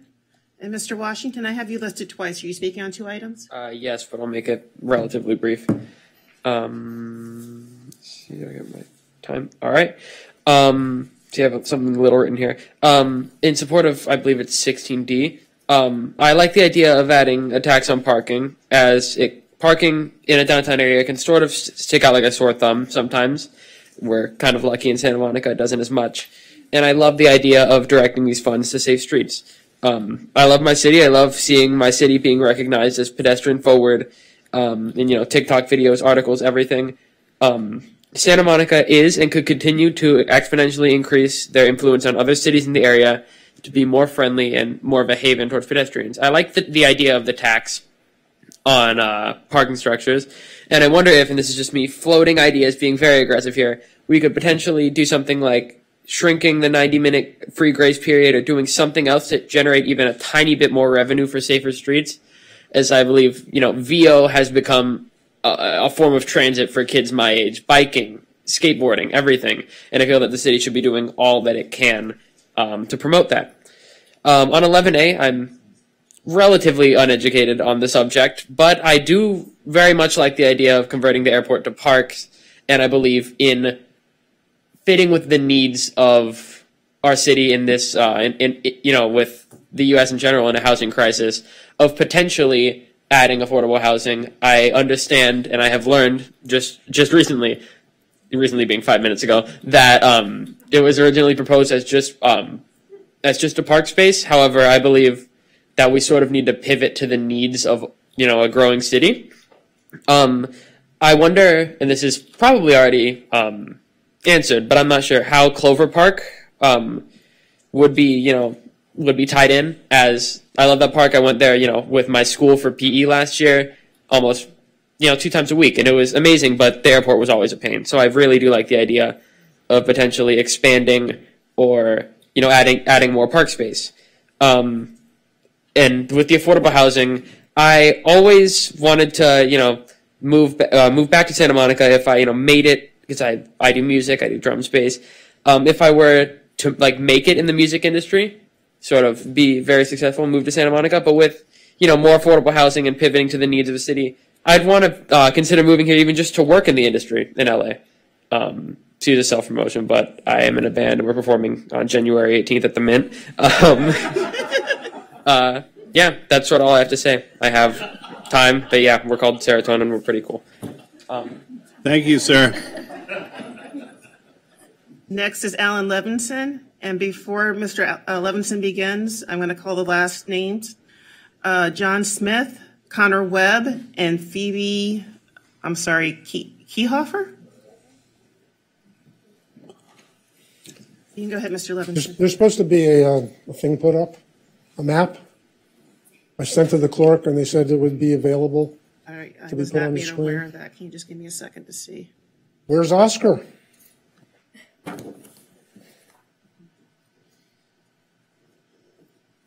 While I'm here, I'd like to say again, where's Oscar? He wanted to be here tonight and he was kicked off. I see a three and three people. Has my time started? Oh, the map's up. Thank you. That's uh, Alan Levinson. That's the map of Santa Monica Airport with all the different pieces of land. Everyone talks about 200 acres. The, the runway itself is about 60 acres. Surrounding the runway are a bunch of buildings. Sasaki is a great design firm. They could repurpose those buildings into other things very cheaply. Yes, we need housing for, for people that don't have a lot of money in Santa Monica. My kids can't live here. I understand that. But this is the only big piece of land that we have in Santa Monica. Don't mess with it. Please don't mess with it. I see a stalemate coming. Right here, we're told we're NIMBYs. We're a small group. We're an annoying little group of people. 5,368 people, 1926 voted for a park. 15,434 people, 2014 a park. 370 residents sent items for you guys to read. I'm sure nobody read them. 370 here. Written comments, as, as was said before, predominantly for a park. Yes, nobody's ever going to agree on what we should do with that land, but that's the only parkland we have. You guys have an opportunity to mess with it, and once you start, it's over. Please direct Sasaki to build the park, not a little bit of this and a little bit of that and put houses here. There's land to put houses. You don't need acres and acres to put low-income housing. You've had years and years to build low-income housing. We have. Please, don't blow it tonight. Please don't blow it tonight. Everyone's walking, watching, and where's Oscar? Thank you. Thank you, Alan. John Smith? And Mr. Smith, I have a note that you're speaking on behalf of the Recreation and Parks Commission. That's correct. Uh, three minutes for the, on behalf of the commission, and then I asked for two minutes for myself. So you get five minutes. All right. Let me know. Go ahead. Good evening, council, mayor, Brock, councilors, Mr. White, everyone. Um, I'm John C. Smith, a nine-year member of the Santa Monica Recreation and Parks Commission. Um, I have two things to say tonight. Um, one, I want to summarize quickly this letter from the, the Recreation Parks Commission to you, dated from October, about our recommendations about this process. And then uh, I want to give you my two cents. So, first off, the letter, there's several points. I hope that you guys have seen it, you've read it, you've looked at it. Um, bottom line is, we decided we wanted to, you know, the commission voted unanimously to thank you. The 4 3 vote back in October that rejected that so called healthy democracy process. A little bit more on that in a minute. We also appreciate the council asking staff to work with Sasaki to come up with a good community involved process that involves all the partners and stakeholders and residents.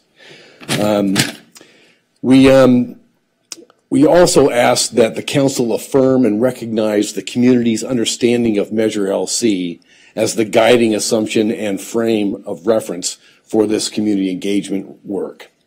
We also ask that uh, a member of the Recreation and Parks serve on any advisory board that you decide to create. And finally, that um, you give us a chance, the Recreation and Parks Commission, give us a chance to vet some of these proposals before they go to you. That's why we're here. We're here to help. And if you want good recommendations, it's got to come to us first. It doesn't always happen that way. So, thank you. Now I want just two minutes on myself. You guys, the people that say there should be housing at the airport, that somehow it's going to be a miracle and all this affordable housing is going to help, you know, solve our homelessness problem are being disingenuous.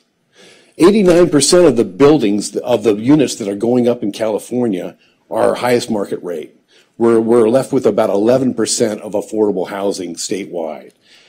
Um, I was one of the people that was here until 3, 3.30 a.m. the night you guys, four of you, uh, the mayor, the now mayor, Ms. Ms. Parra, Ms. Negrete, and uh, Oscar voted down that proposal. And it was a good thing because that proposal was neither healthy nor was it democracy. It was kind of a veiled attempt to, to sort of circumvent this whole process. We saw through it. And thank God four of you did as well. And I really, you know, that's why I, I thank you. In closing, look at no more charades. Three of you tonight voted not to delay this process. But imagine what a whole new ballot measure would do, how much delay that would cause. Um, no more games. Let LC be our guide, and let's get to work on an airport to park. Thank you. Thank you, Commissioner Smith. Next is Connor Webb.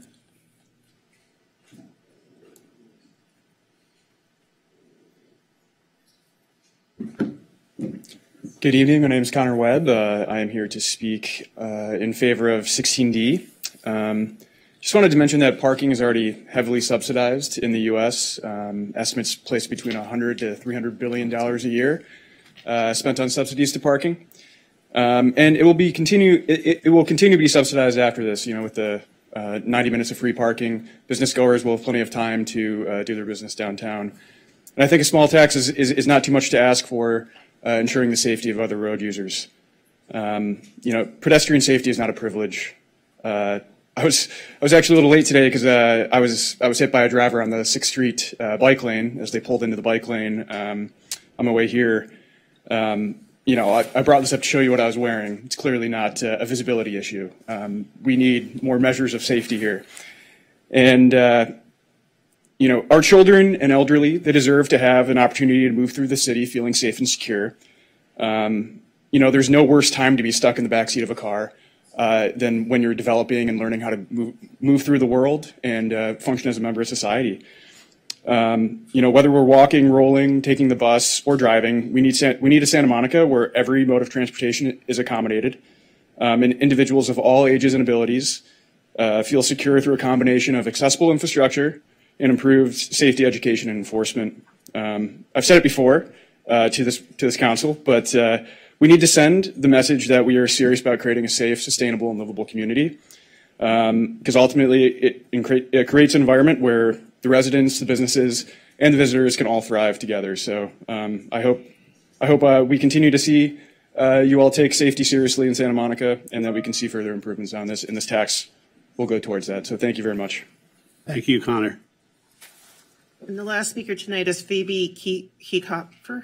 Sorry. Yeah, you said it right. Thank you. Hello. Um, thank you all for having me tonight and for um, giving me the chance to speak. Um, I'm here in favor of item 16D. I'm a I'm Santa Monica born and raised. I'm a proud alum of Franklin Elementary, Lincoln Middle, and Santa Monica High School.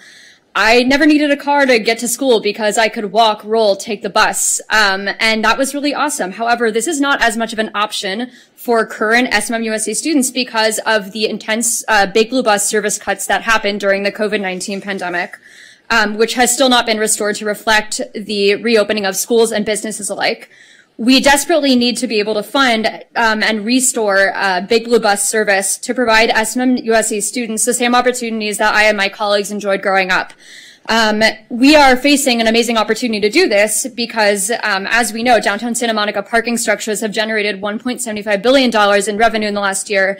And we have an amazing opportunity to use these funds to make Santa Monica streets safer and more enjoyable for everyone. One such example being fully funding and restoring uh, Big Blue Bus service. Given our epidemic of vehicular violence, the fact that so many Santa Monica residents still don't feel that it's a viable option to get around without a car, and our impending climate crisis, we are in a desperate position to make alternative transportation um, a reliable, abundant, and efficient choice for Santa Monica residents, especially our SMMUSD youth. Um, our youth deserve the ability to get to school safely and reliably, without a car. We still have not reflected this in our local transit um, to reflect what the community desperately needs. I sincerely hope you move forward with this opportunity to fund and promote alter alternative transportation options. Santa Monica cannot leave car dependency behind and fully have safe streets without vigorously investing in alternative transportation methods and taxing our parking facilities is the perfect opportunity to invest, to invest in the safety of our city. Please do not fail us here. Please do not fail the youth of Santa Monica. Thank you. Thank you, Phoebe. And that is the last speaker tonight. Thank you very much, Clerk. Um, so let's move on to ordinances. And our first ordinance? Ordinances. Public comment is permitted on ordinances for introduction and first reading. No public discussion is permitted on ordinances for second reading and adoption. In accordance with Charter Section 615, the adoption of all ordinances and resolutions shall be by reading of the title only unless a council member present dissents. Item 10A, introduction and adoption of emergency interim zoning ordinance authorizing establishment by resolution of objective design standards for qualifying housing projects that elect to use the streamlined ministerial approval process established by Senate Bill 35 and adoption of resolution establishing objective design standards for qualifying housing projects that elect to use the streamlined ministerial approval process established by Senate Bill 35.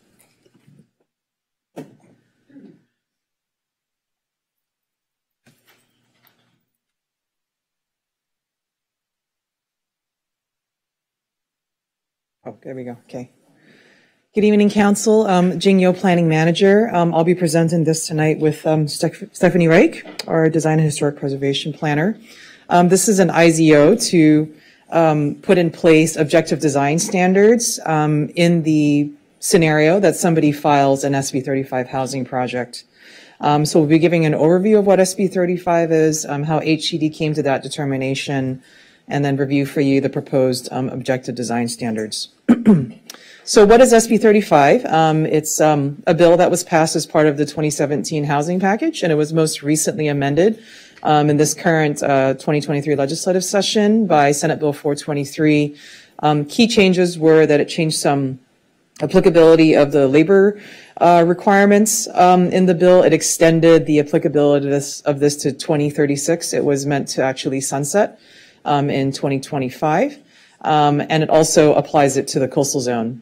Um, so what it is, is it creates a ministerial approval process. So that means no public hearing um, for qualifying housing projects in cities that don't meet their state mandates for housing production. So um, if you recall during the housing element uh, discussions, you know, we said this is um, the one state law that actually uh, creates a penalty if a city does not actually build housing. A housing element doesn't actually require us to build, it just requires us to plan. But this bill is actually the one penalty that um, creates uh, for, for, cities that don't issue enough building permits for housing. Uh, I want to note that it is a process that is not automatic. Applicants must opt into it. Um, and it also says design review must be only done through objective design standards. So that's why we're here today. Um, how do you get on this list uh, to be subject to SB 35? It is a determination by the Department of Housing and Community Development um, every year. And it applies to cities that don't meet their um, housing mandates or their RHNA goals for above moderate and lower income housing. So it's just those two categories. It's just above moderate, so basically market rate housing, and lower income housing. So that counts very low and low income um, building permits. It also applies to cities that don't have a compliant housing element or if you fail to submit what's called your annual progress report. So for this year, on June 30th, HCD determined that Santa Monica, we met our market rate um, production, but we fell short on the affordable unit production. And therefore, Santa Monica is currently subject to SB 35 for housing projects that, in, that include at least 50% affordable units. That means that if an applicant pro, uh, proposes a project with at least 50% affordable units, they could opt in to this um, SB 35 ministerial approval process. Um, this is just more detail as to how HCD came to that determination. So it's it's a little wonky, but we'll try and simplify this here. Is that determination is, is actually based at two points in time. They look at halfway through your housing element cycle, and then they look at the end of it. So it's called the prorated RHNA, which is the halfway point, or the RHNA, which is the end of it. So the current determination is actually based on the end of the fifth cycle, the prior housing element cycle. So they base it on two factors, whether your annual progress report has been submitted. This is the statewide requirement for every city, every April 1 to have submitted your annual progress report. That's the report on many, many things, including how many building permits did you issue for housing projects at all income categories. And then the second question is, you know, did you make sufficient progress towards your RHNA? So this determination that's been made now, it will not change until the midpoint of the six cycle RHNA, which is 2025. You can see this graphic is from the HCD website here. It shows um, how we did um, on the prior cycle um, again, which is going to carry through the midpoint um, of the six cycle RHNA. So you can see there that, you know, we didn't quite make 100% or more than that for um, our very low and low income, but you can see for above moderate income, 1,753 um, permits issued compared to, you know, 700 that were allocated for that category. Um, this is just to show a comparison between uh, Santa Monica's uh, approval process for housing um, that involves no public hearing and SB 35. Um, this table just, you know, it, it's they, are fairly similar um, in terms of the process. I think the cities, uh, uh, the, the, the big difference is that the city doesn't have sort of um, some preconditions that SB 35 has. So you can see some differences there in terms of the allowance of commercial. SB 35 allows, you know, 33% commercial. Santa Monica's streamlined process requires that no more than the project include 25% commercial. We require the 15% on site per our inclusionary housing program, uh, and it has to be consistent with the zoning ordinance. As I indicated, this SB 35 process is only available to projects that include at least 50% low income um, uh, uh, affordable housing on, in their projects. SB 35 has no limit on the size of the site um, that uh, it could apply to a project. Um, Santa Monica's local streamline process has that threshold of one acre, um, you know, before a public hearing is required. Um, you can see on the left there sort of these environmental site limitations. Uh, many of them don't really apply um, to Santa Monica. Um, you know, we do not have wetlands or farmland, for example. Neither of them can demolish a historic structure. And then this is really, I think, the biggest one that we've heard from housing providers that sort of has um, made SB 35, you know, maybe not viable for them to pursue is these um, prevailing wage and labor requirements. Um, you can see there that, you know, for projects that are both 11 units and on public work, there's a prevailing wage requirement.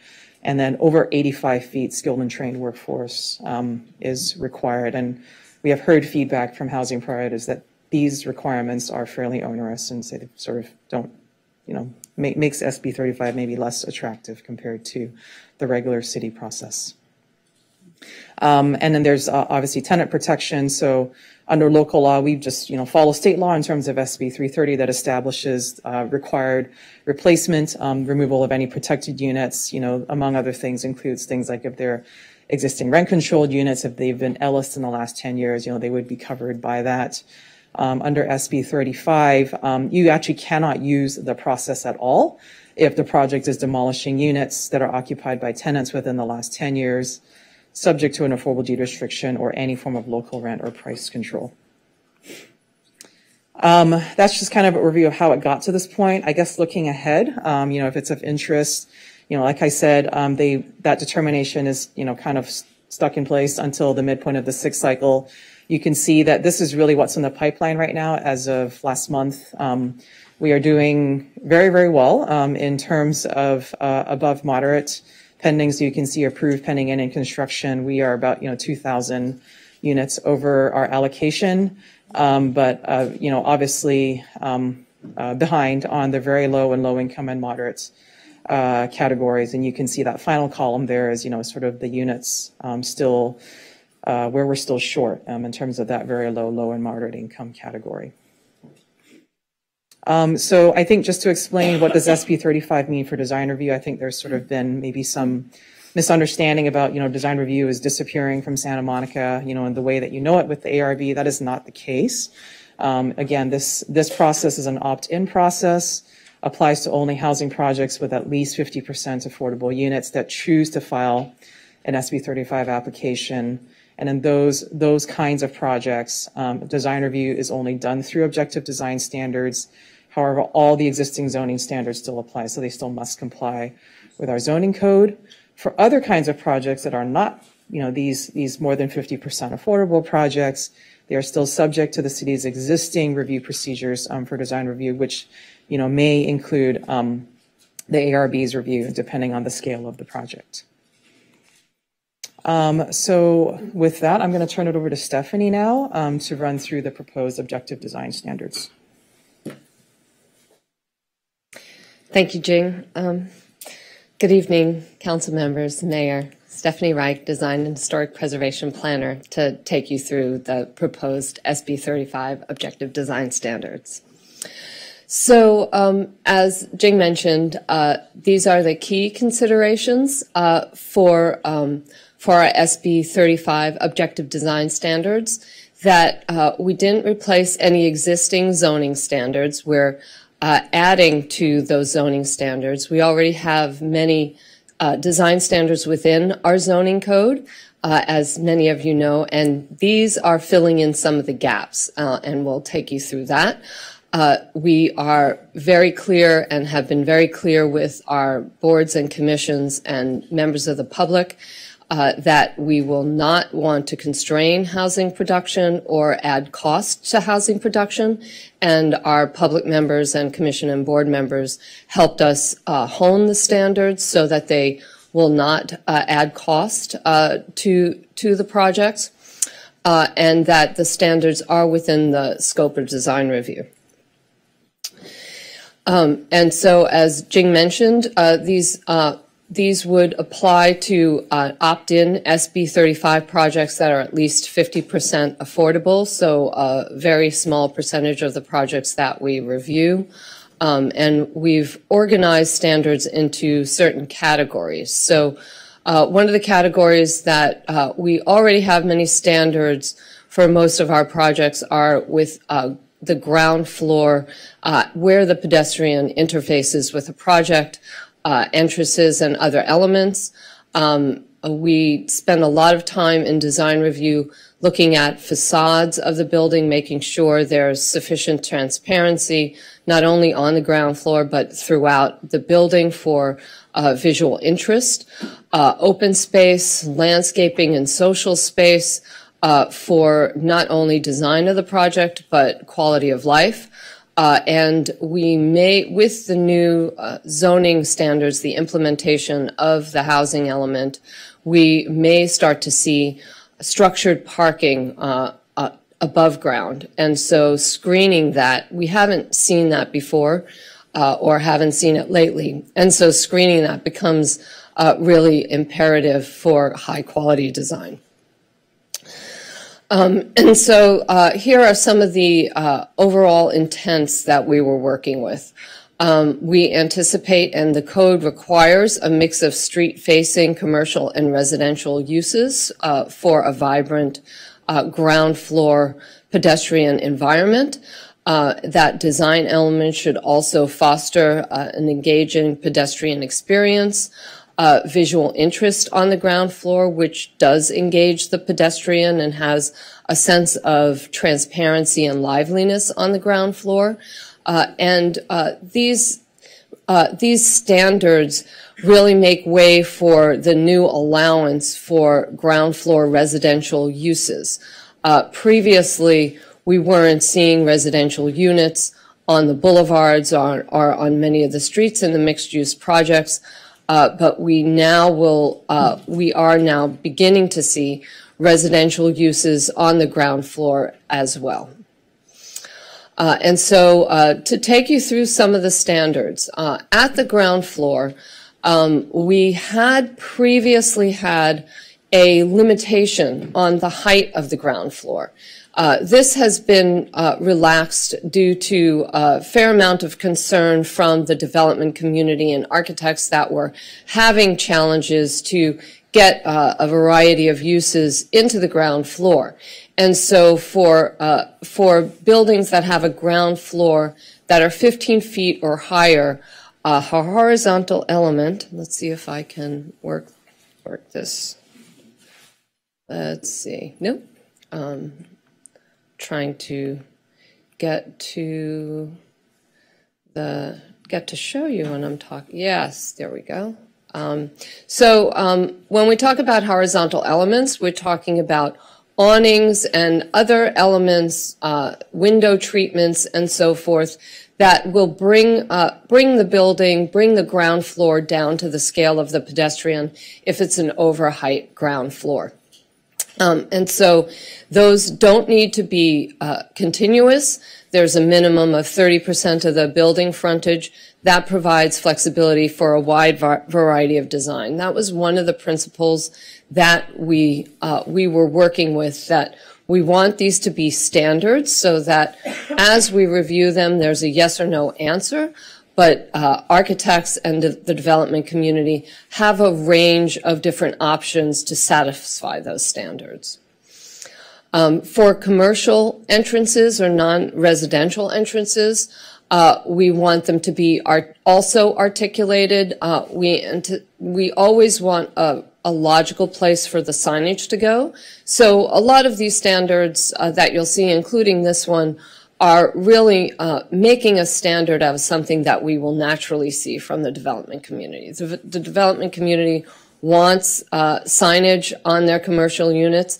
This uh, provides a standard that would make a place for that and also highlight entries and provide that pedestrian-oriented ex experience. Um, for residential unit entries, as I mentioned, the new standards uh, that implement the housing element allow residential uses in places where we hadn't previously seen residential on the ground floor. Therefore, the zoning code doesn't have uh, design standards embedded within it already for residential units on the on the boulevards. And so here are some standards for design elements that will make that a lively experience for the pedestrian. So uh, minimum three foot covered landing area so that you articulate the entry as well as provide protection for unique days like we have today where there is precipitation falling from the sky. What a unique idea. Um, and include three of the list of uh, the following. So not all of them, but uh, three of them, recessed entry, overhead projection, side light windows, up or down stair, or differentiated paving. Um, uh, we, uh, we talked at great length with our members of the public and boards and commission members, particularly about the stair. That is not a requirement.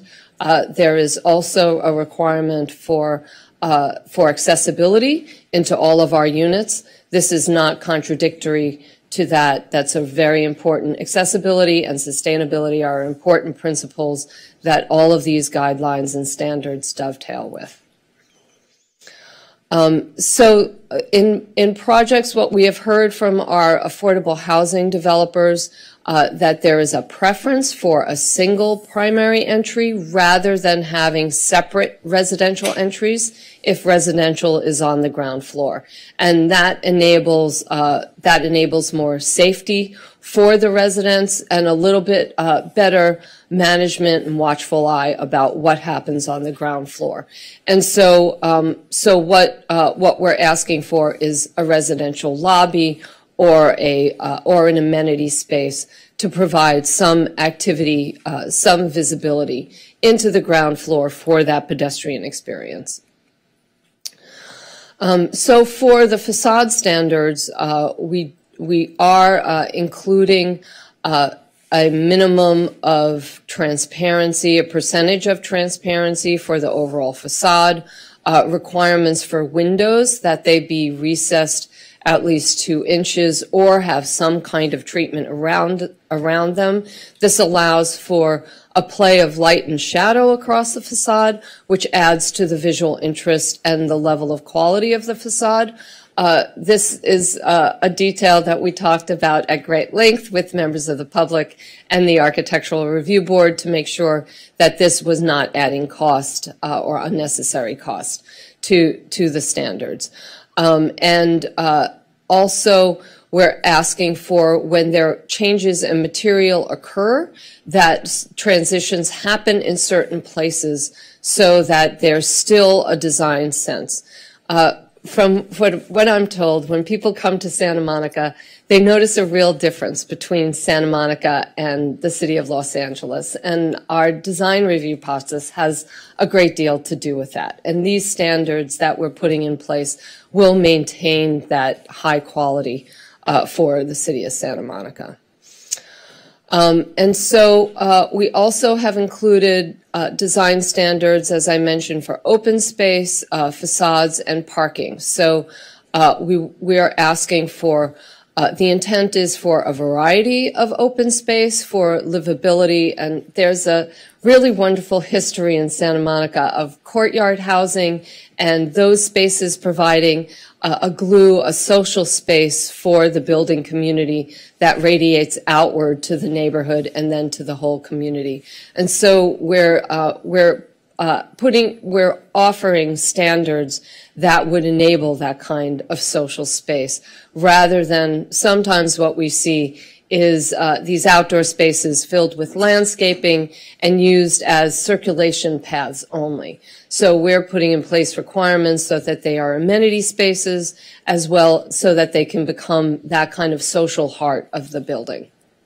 Um, uh, so facades to uh, to ensure that there's uh, a number of architectural elements, materials, and features, and uh, to screen uh, parking so that is is well integrated into the building, so that if we have parking on certain floors of the building, uh, it looks like a single holistic design.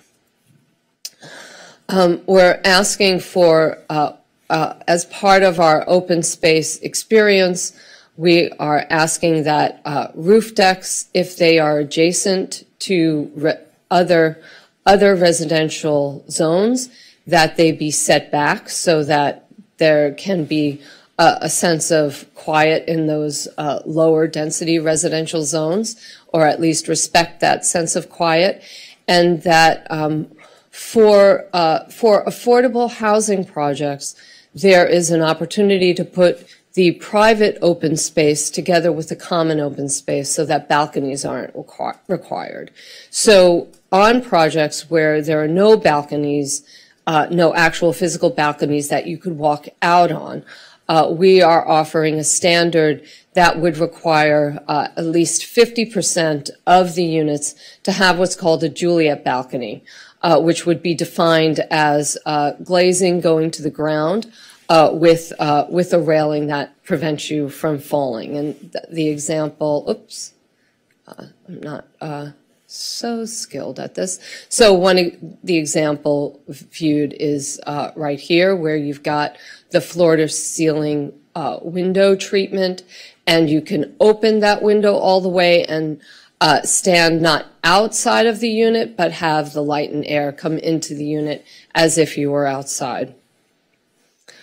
Um, so for common space, common open space, um, as uh, as I mentioned, uh, we're uh, introducing some standards that are a little bit finer grained to ensure that these can become the social heart of the building, um, so that we would have a minimum of landscaping. Uh, that there would be a minimum of, a, of one tree per 500 square feet. That softens the experience to provide some shade uh, that there would be a requirement for seating and one of a variety of amenities, water features, play space, furniture, etc., and a, uh, a minimum amount of seating so that uh, it it enables people to actually go into the social space and uh, and have have that kind of interaction with one another. Um, and so uh, we, we're asking for a minimum of one social space uh, for, e- for every 25 units with a minimum dimension. So if you imagine uh, an outdoor room that's a minimum of 10 feet wide by 10 feet wide, which is the size of a small bedroom, um, or maybe my bedroom for most of my life. Um, uh, that would be provided for uh, every 25 units, and that each of those spo- social spaces would have one of uh, that uh, variety of of uh, amenities: cooking facilities, edible gardens, a pool or a spa, a water feature, exercise equipment, uh, play space or play, play equipment. We find particularly for affordable housing providers, uh, play space, play equipment is one of the requirements for their funding. So we, we will see a lot of these amenities naturally, uh, and we have seen them, uh, many of them, uh, without asking for them. This puts them in the code. We don't believe they add cost to the development. Um, for parking uh, and uh, the entrances to the parking and screening of parking as part of the building, uh, on the lower left, you see where there are no requirements, uh, what that might look like. And on the right, uh, on the lower right, that's an entrance that has uh, a materiality that works well with the building and full, and wraps the corner so that uh, as you enter as you enter into your parking structure, which is for many of us the way we enter into our buildings, it, it is still a nice experience. It's a nice experience for members of the public looking at it, and it's a good experience for the residents. Uh, the photo up above is uh, in Culver City. That's uh, ground floor commercial with parking above, and that that is an example of a fully integrated design with parking that's well screened. And that's the kind of thing we're going for. We anticipate the standards that we've written will develop into this kind of example. Uh, and so um, we uh, ask that you make a recommendation of no significant impact according to CEQA, uh, introduce and adopt the emergency interim zoning ordinance, and adopt the resolution establishing objective design standards for qualifying SB 35 housing projects. And of course, we're here for any questions. Thank you so much. We are open for questions, and I see Councilmember Davis in the queue as number one. All right, thank you, Ms. Reich and Missy. Yeah, um, so I, I have one question. Do we have to even allow above-ground parking? Uh, the answer to that is yes. Um, and it's not a bad thing uh, if it's properly screened. Um, I have, I mean, just personally, I've yet to see any above-ground parking that I look at and go, boy, that's well-screened parking, that looks good. I mean, I, I, it- it's, I mean, that's my question, is if we're required to do it, then yes, it should be well-screened, but I guess under SB 35, are we required to allow above-ground parking, and how much? Um, that's not triggered by SB 35. It is really a function of uh, the current, what we're, what we're currently seeing uh, as a function of the current zoning standards. Um, so the, the, the, the FAR that's being allowed, the heights that, that are being allowed enable for the, for the first time in some time, enable the parking to be above ground and still pencil out. Because previously, uh, previously developers were using all of that territory for residential units and putting any parking below ground. Below ground parking is very expensive. And if they don't need to use all that, all that area for units, they will put some parking there. Yes, sorry. Um, I, I also want to clarify that if it is an SB 35 project, you, they are only required to comply with the city's zoning ordinance, like any objective standards. The city's standards, we, we don't prohibit above ground parking. It is unusual, um, you know, simply for the fact that, um, if you do above ground parking, it's considered floor area, you know, per the city zoning ordinance. However, through the use of state density bonus law and the like, right, it's sort of allowed, um, you know, mo- modifications of standards, if you will, that sort of make it a reality um, to have above ground parking.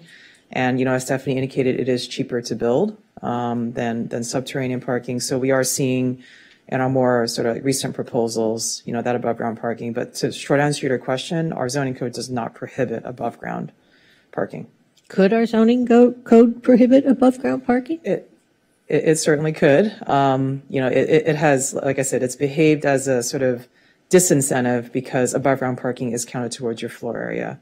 But with state density bonus law, like I said, it's made it, um, you know, a possibility to do it above ground. Well, right, and I understand above-ground parking is less expensive than below-ground parking, but no parking is cheaper than all of them. Yeah, and. So, I mean, I, I'm, I'm just sort of curious, because I'm, I'm just a little concerned that with having design standards, people are going to take that as sort of permission to build, but maybe there's nothing we can do about that. I mean, think- obviously, tonight, we can't do anything about it, but. Yeah, I, I mean, I, I think it's something that we're seeing and we are responding to it. Um, you know, there, there are examples, good examples, I think, you know, around the country and, and, and in the state of, you know, screened above ground parking. It can be made to integrate uh, with the design if done well, but it's, it's certainly something new that we're seeing and we're needing to respond to it. Okay, thank you. Councilmember Zwick.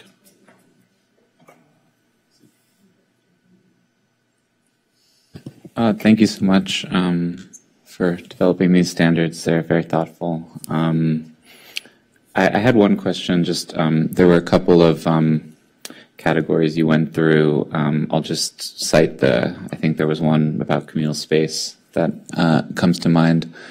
where I know we're trying to create general standards so that, you know, there's uniformity, but also a lot of leeway for, for people to propose different things. And I'm just wondering, by way of example, you know, that picture um, in the bottom right looks like a lovely communal space. I don't really see which one of those, you know, categories it falls into per se. And I'm, I'm just wondering, like, you know, as novel spaces or you know, um, designs or other things are being invented if we're being overly prescriptive by not allowing some other category under these under these various uh, some other item under these various categories that essentially says some other version of this that meets the the spirit herein in, in some way, whether it's in this or the same. Similarly, when it comes to entryways or a number of the other categories that you enumerated. Uh, you know, that is really a great question. Um, we anticipate these standards uh, as uh, we've as, as we mentioned, we've done a fair amount of outreach in a very short time. So we've talked to the Planning Commission, the Architectural Review, Board, and uh, housing developers, members of the public have all provided their input. Um, so we've taken our best shot. Um, we, uh, we think that these are the best that we can do now, but it's also a work in progress. So as we, as we see those other solutions, uh, we can add to them. Uh, what what you just identified is actually one of the biggest challenges that we've had as we've been developing the standards because uh, the the provision of them being objective design standards um, typically we would have a a phrase uh, in the code that would say uh, or equal right uh, because these are objective design standards, we're not able to include something that would have that sense of judgment.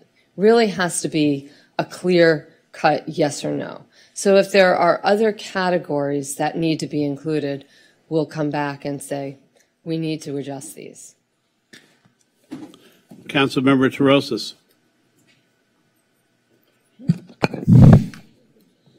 Oh, Oh, Jesse, were you not finished? Keep yeah, going. I mean, I, Hold I, on, I, I I, could. I decided I could be, but um, my You can always come back again. I Yeah. apologize. Uh, my only uh, just response, and, and you know the, the law in, in this much better than I, is just uh, if theoretically there were a set of objective criteria, but not a short list of examples, I assume one could still satisfy a set of objective criteria without enumerating each example that is allowed. Well, um, unfortunately, that what you described is more of a guideline than a standard. Um, and so, you know, I've been writing guidelines, you know, kind of uh, for a long time in my adult uh, career, but this is diff- this is categorically different. Got it. Okay. Well, I just as long as we kind of uh, commit to maintaining flexibility, that sounds great. Thank you. Thank you. Councilmember Torosis. Great. Sorry, Councilmember. yeah, no, no, really appreciate the, the presentation. I would just say, um, and I'm getting to my question, but I'm concerned that we're behind on affordable, uh, yet far ahead on market rate. That's always been a concern of mine before I came to the council. So with that in mind, um, have there been any kind of discussions or considerations of the unintended burdens that these design standards might place on affordable housing development, which could deter the construction of that really needed affordable housing? Absolutely. I mean, that was a concern as we were developing the standards. Uh, one of the primary intents is to not add, uh, not make an undue burden on our affordable housing developers. What we've found in Santa Monica and can continue to find is that the affordable housing that we see developed here is actually uh, often the best designed housing that we see in the city. Um, so uh, these standards are a minimum. We typically see in our affordable housing, we typically see a lot more than we're requiring. Um, so we don't believe that this will be any added burden. Got it. And I think when I when I consider burden, I also consider timeline, right? Because these projects operate on very thin margins. Um, and I think the faster you can expedite the affordable projects, I mean, any project really, the, the better. So have we taken steps to minimize any of the unnecessary bureaucratic obstacles um, That's, these that is the purpose of the objective design standards. So once we put these out to the public, to the, to the affordable housing community, they know exactly what's expected of them. And are we planning on then um, kind of keeping stock of the timeline, you know, pre-design standards, post-design standards that it takes to approve these projects, just so that we can actually measure what success looks like here? Yeah, so I, I think to clarify, um, again, if you're an affordable housing provider, you would need to opt in to this Correct. process. Yeah. You know, so certainly if they went down this road, like we could track that, right? Um, what the feedback that we've received from our affordable housing providers is they are very happy with Santa Monica's process. We we have processed affordable housing projects in as quick as six weeks. Um, that's not the norm. It was like kind of an emergency, and you know they we were like doing he- heaven and earth to kind of catch up on funding deadlines and what have you that were not communicated to us in time. But you know, if we know there's timelines, um, we absolutely prioritize affordable housing, and we can get it through a process very, very quickly. Um, you know, in terms of the entitlement process and ensuring across the board that all reviewing departments are on the same page. Yeah, I would just um, state that, appreciate that. I think it should, that should be the norm, not the exception to expedite. I, I, I think it is.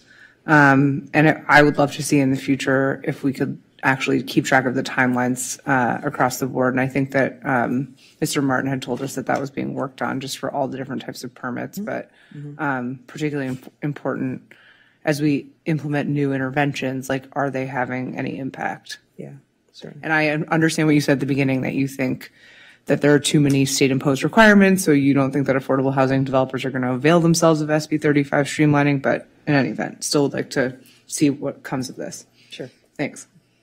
Councilmember Parra.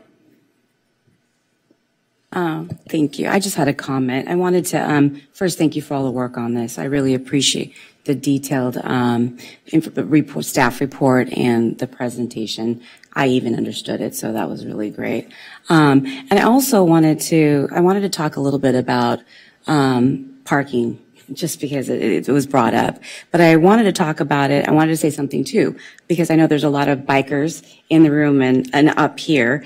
And I wanted to say that I have children and I have children that are on biking teams for their school. So I'm 110% in support of it. But one of the things that I, I, I wanted to bring up, especially around like being inclusive and equitable, and I've brought this up many times around like affordability, um, especially as we're dealing, and we've been on and I've been dealing with aging parents, you know, um, the last thing that they want to do is give up their cars.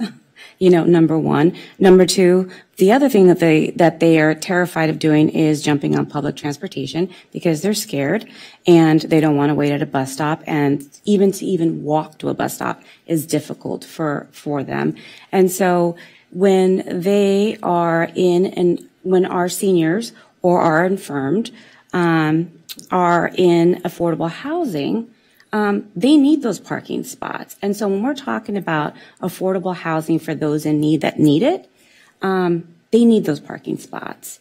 And so please, when we're talking about um, affordable housing, we have to look at it from a lens for our entire community because it could be that college student, it could be that mother with those three kids, it could be that grandmother, it could be a variety of people. They could be able-bodied people, it could be people that are not able-bodied. And so I really need us to really think about who is going to be living in those units. It could be somebody that can ride a bike. It could be somebody that needs to live on the first floor. It could be somebody that can live on the, on the top floor.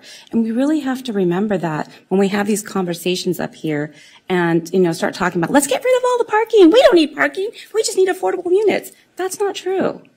We need parking. There's people that need parking. There's people that, that if they can still drive, but they not, may not be able to walk to the corner. They may not be able to walk the corner, but they may still be able to drive. And we need to think about that. I know you know that, We- but we I think we need to make this comment because this happens all the time. Oh, we don't need parking. Let's get rid of it. We, we agree. I mean, um, my 94, five-year-old mother uh, is still driving car. I mean, we so- just passed, and there's legislation, I mean, there's, you know, there So was we- legislation. You know, we was totally, totally get that. I mean, I Um, and what we've found is that the, uh, the state, uh, does not allow us to, in, in certain areas of the city, does not allow us to have minimum parking requirements. What we see is our affordable, uh, housing developers and our market rate developers understanding what the populations in their buildings need and providing parking that's, that is, will be there for their residents, whether or not it's required by the city. No, and I recognize that there's, you know, they'll do like half of the parking, you know, but I, I think it's a really important conversation because people come for us all the time when I start talking about cars. Oh, everybody ride a bike. Uh, you know, some people can't ride a bike, you know, and, and that's, that it is what it is. You know, again, I have a household of bike riders in my house. I've got 10 bikes in my house. I get it. But what, but what I'm trying to say is like, I want to be inclusive and equitable and really speak and talk about everybody in our community. And that's, that's what we need to do, you know? And so I just, I felt the need to say that. So thank you. Thank you. Councilmember Torosis and Parra, can you remove yourselves from the queue? Yes. Are you back in the queue? That's okay. You can clear it. I just cleared it. I just learned that. My education goes on. I have a couple of questions, Stephanie, and, and let's stay with that slide for a minute. So you're saying that if you have 100 units, you have to have 400 square feet of open space for 100 units? Um, Is that, There- I'm looking at 10 by 10. Okay, so I'm, this. I'm confused because, yeah, that's This not is very not, much. This is not the standard for the amount of space required. This is a standard that identifies the type of space for each 25 units. That there is a different requirement that is already embedded in the zoning code that requires uh, 60 square feet of common open space, uh, sorry, 60 square feet of private open space per unit, 40 square feet per unit of common open space. So, um, so this is a different standard that helps shape the open space that is otherwise required. So in this particular building, you're saying, I, I'm sure I'm wrong on this. You're saying every unit has 60 feet of open space plus there's 100 square feet per 25 units? Um, Or is that an So- either or? Okay, so there is in the zoning code already that was uh, with the first cycle of implementation are standards for open space, standard requirements for open space. And I'm not looking at the zoning code right now, but as I recall, it's 100 square feet per, per unit divided into 60 feet of private open space, 40 feet of common open space. That can be combined, if you're an affordable housing developer, all of that can be common open space. So that would be 100 square feet per unit, and for 25 units, that means 2,500 square feet of open space. This simply shapes, So this is an additional, it's not an additional square footage. it's part of It's it. how to distribute that required square footage. Is that a maximum through state law? This is a minimum that we are creating that is not required by state law. And you're, you already know my next question. Can we go larger? Because for many people in various neighborhoods, we don't have a park within a quarter mile of them. So you mentioned the historic standards on San Vicente, for instance, courtyard and garden apartments, where many of those apartment houses had somewhat of their own park outside their front door. Right. So my question is, I think, and it's the same question, is are we, is a developer going to look at that and say, well, that's the maximum because I can keep building more units um, with that standard, or is that a minimum and can we increase that standard? Could we Okay. go to uh, 10 by 15, Oh, for well, instance, sure. every 25 units? Sure, we can, again, this, this standard that you're seeing it is an attempt to shape the open space that is already required in the zoning code. That's a zoning code requirement that we are not changing with these uh, design requirements. So you're trying to create a, uh, those specific uh, barbecue outdoors, a garden. We're, we're want, wanting to, uh, we're wanting to make sure that the space, that the common open space that's required, already required in the zoning code is shaped in order to be social space. It has a minimum size, it has some amenities, a minimum amount of landscaping. And I, and so the zoning code only requires the 10 by 10. The zoning code requires more than the 10 by 10. So it's the 10 by 10 plus the 60 per unit. It's a way to distribute it throughout. They're, they are not additive, they're, co- they're separate standards that uh, are ta- Hopefully speaking give to different people a chance to be outside. That's, that's the goal. And the tree code was one every 500 feet? Uh, That's on a that different page. I- Uh, one tree per 500 square feet of common outdoor area. And, and if you were doing 25 units, how many approximate square feet would you have? Would you have enough room to have a tree outside? Uh, if you have 25 units, there's 2,500 square feet of open space that's distributed around the building.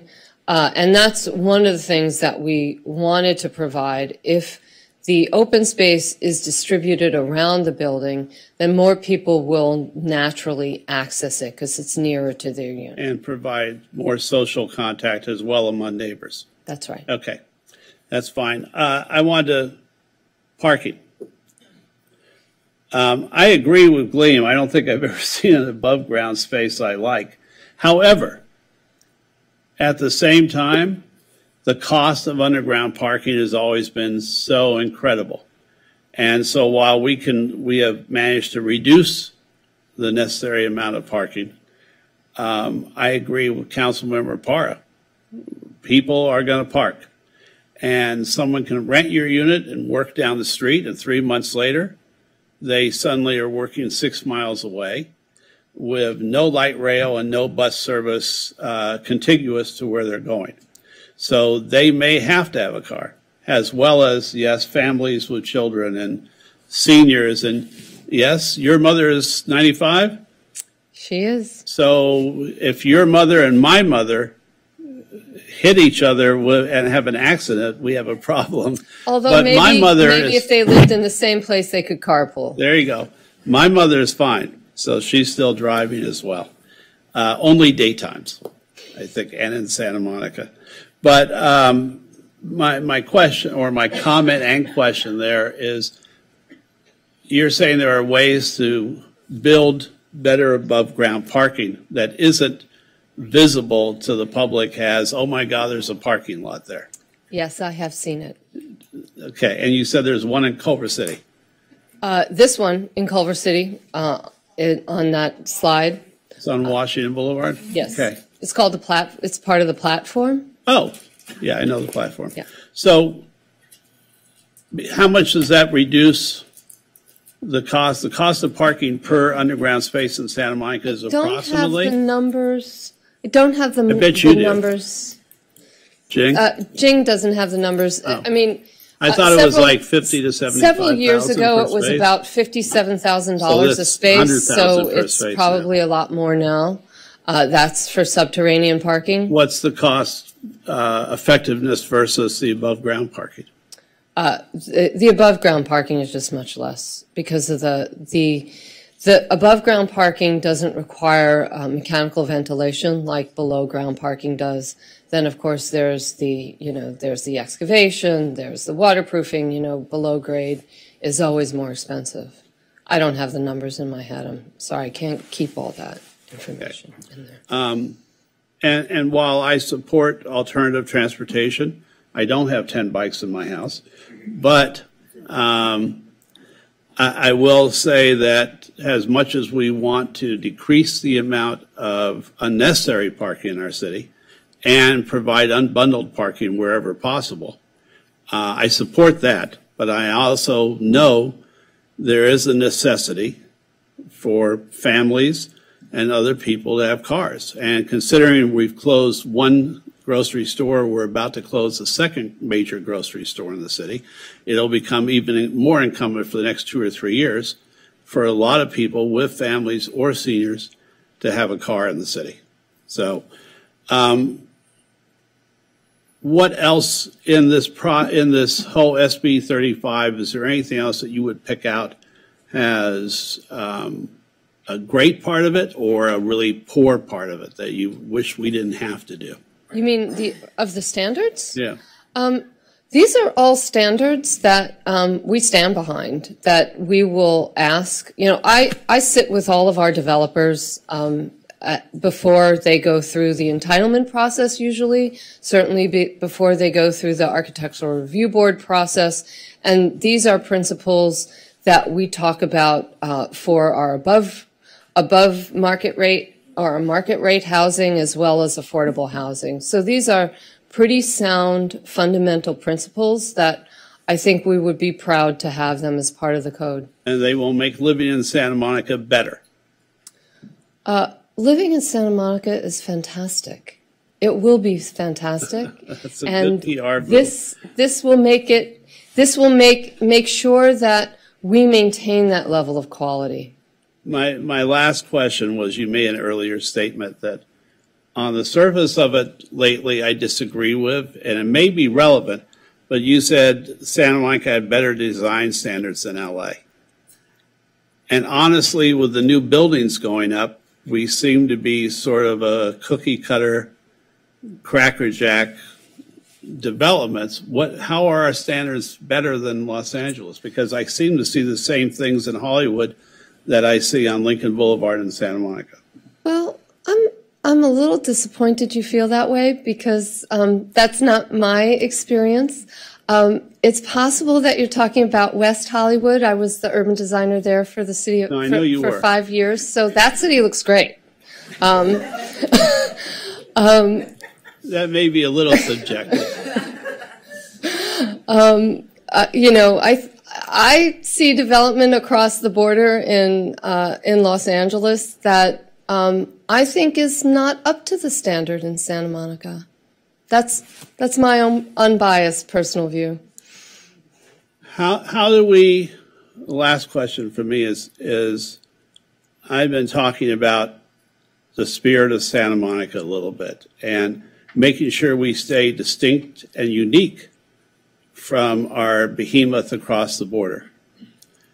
Are these standards going to help us be distinct and unique from LA or do we continue to blend in? A- absolutely. Um, the, these standards don't exist in the city of Los Angeles. So, um, so I think that these will, these will certainly help ensure that we continue to maintain the quality that we have here. Is, well, there's one more question. Is there anything else we can do as a city to make the standards more unique or distinct from LA? Uh, As, a, as an architectural basis rather than just the same looking slab buildings? Um, I really think this is a great set of standards. And as we, you know, as, as Jing mentioned, we're, we're not sure we're going to see a lot of people rushing in to use these standards. Um, but as we do use them, as we consider them, as we continue to develop the standards for the Bergamot area plan, we'll continue to learn and develop and we'll always get better. We always do. Thank you very much. I, I love the boosterism for Santa Monica. Thank you. Uh, Councilmember Zwick. I uh, make a motion to move the item. We have, we have, we have three items. So I think, no, I think we have to be specific All right. to each of the three items. We have, the first one, I believe, is CEQA, and it's calling for a motion to adopt a find of no possibility. No, I'm not. We can do all three together? Okay. Councilmember Zwick, would you like to make that motion? I would move that we adopt all three, the CEQA exemption, the ordinance, uh, and the resolution. Thank you. We have a second by, by Mayor Pro Tem Negrete. Is there any other discussion? Seeing none, can we have a roll call vote? Councilmember Zwick, Yes. Councilmember Parr, Yes. Councilmember Davis, Yes. Mayor Pro Tem Negrete. Yes. Councilmember Torosis. Yes. And Mayor Brock. Yes. And that item passes six zero. Item 10B, introduction and first reading of an ordinance to amend municipal court, I'm sorry, municipal code 4.68.160 athletic events. Was that yours? I was wondering why I had two.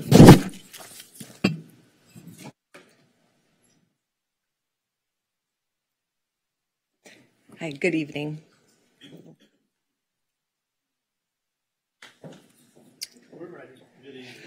Good evening. Sorry, I was waiting for the, um, to give Nikki just one Ah. minute to pull up the PowerPoint. Working fast.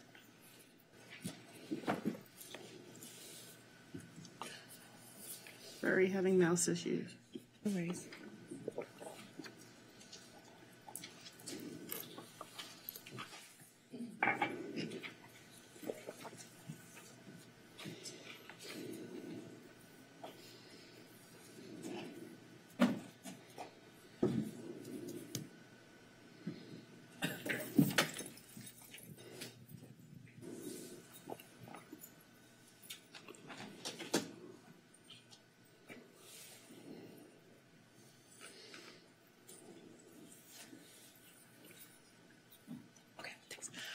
Hi, good evening, Mayor, Mayor Pro Tem Council, Jeanette Gant, Community Recreation Manager.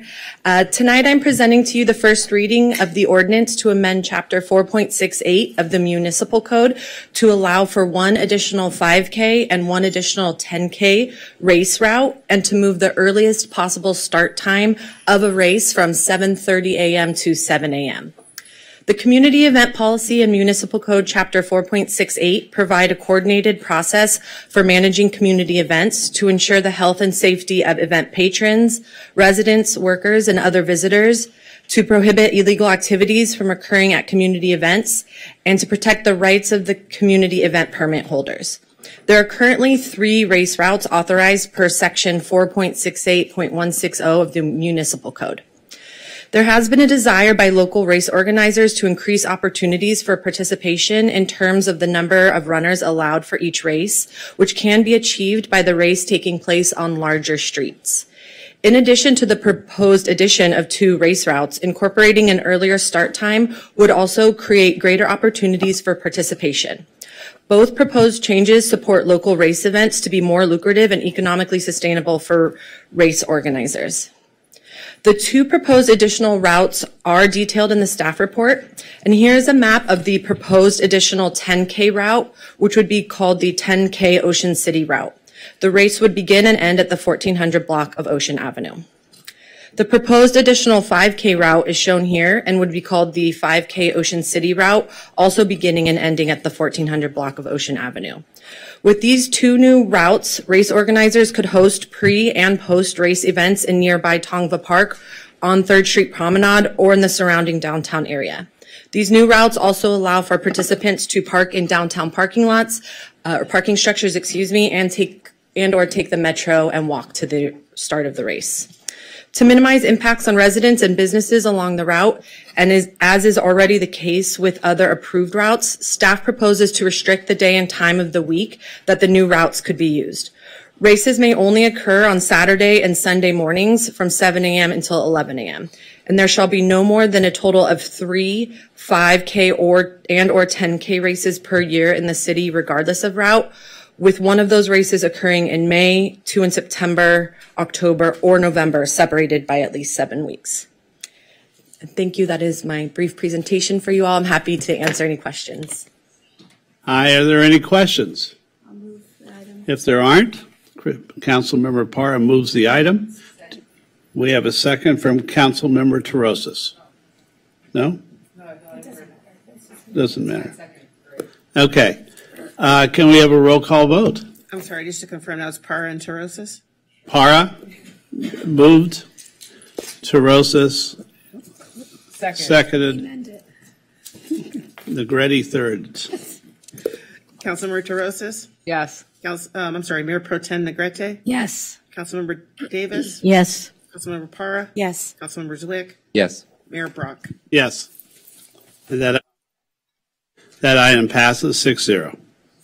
Item 11A, award request for proposal and enter into agreement with Sasaki Associates Incorporated for a community outreach process, visioning services, and concept design for the airport conversion project.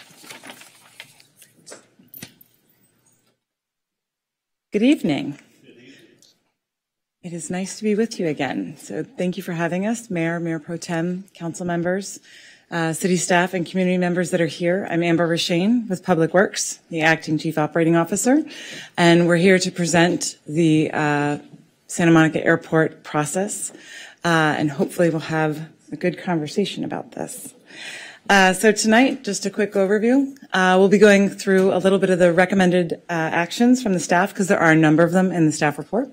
The RFQ and RFP process, the recommended consultant team, who we also have a representative here from, so you'll get to meet uh, Sasaki and ask questions. Um, talk about the proposed process and timeline, and then staffing and funding. So there are seven, six recommended actions. Uh, the first one is about CEQA. The next three, so number two, three, and four, are about Sasaki, awarding the RFP, providing direction on the process, authorizing the contract negotiation. Number five is about the staffing uh, position. And then number six is to enact the financial budget impacts. So there are a lot of them, but they kind of break down into some categories. So hopefully that helps keep them straight. So we wanted to go and just remind everyone, right, that in January we came before you, so almost a year ago, and we were excited to start. These were the goals that we um, said we wanted to use and that you guys approved for us to move forward with. These are the frame that we used for the RFQ and the RFP. Uh, the first one is the council priorities for 23-25 uh, up there. So those are our overarching goals for the whole community. So uh, making sure that we're accountable then going into the Great Park goals that came out of the um, uh, airport conversion report, um, remembering to use those as well as a, a frame for this uh, project. And then the Living Community Challenge, uh, using sustainability and regener- regeneration, resiliency, and using the idea that this park should go on for many, many generations. We heard a lot of people talk about that tonight. So it's really exciting to, to, to, to hear that and to um, continue to use these as a frame.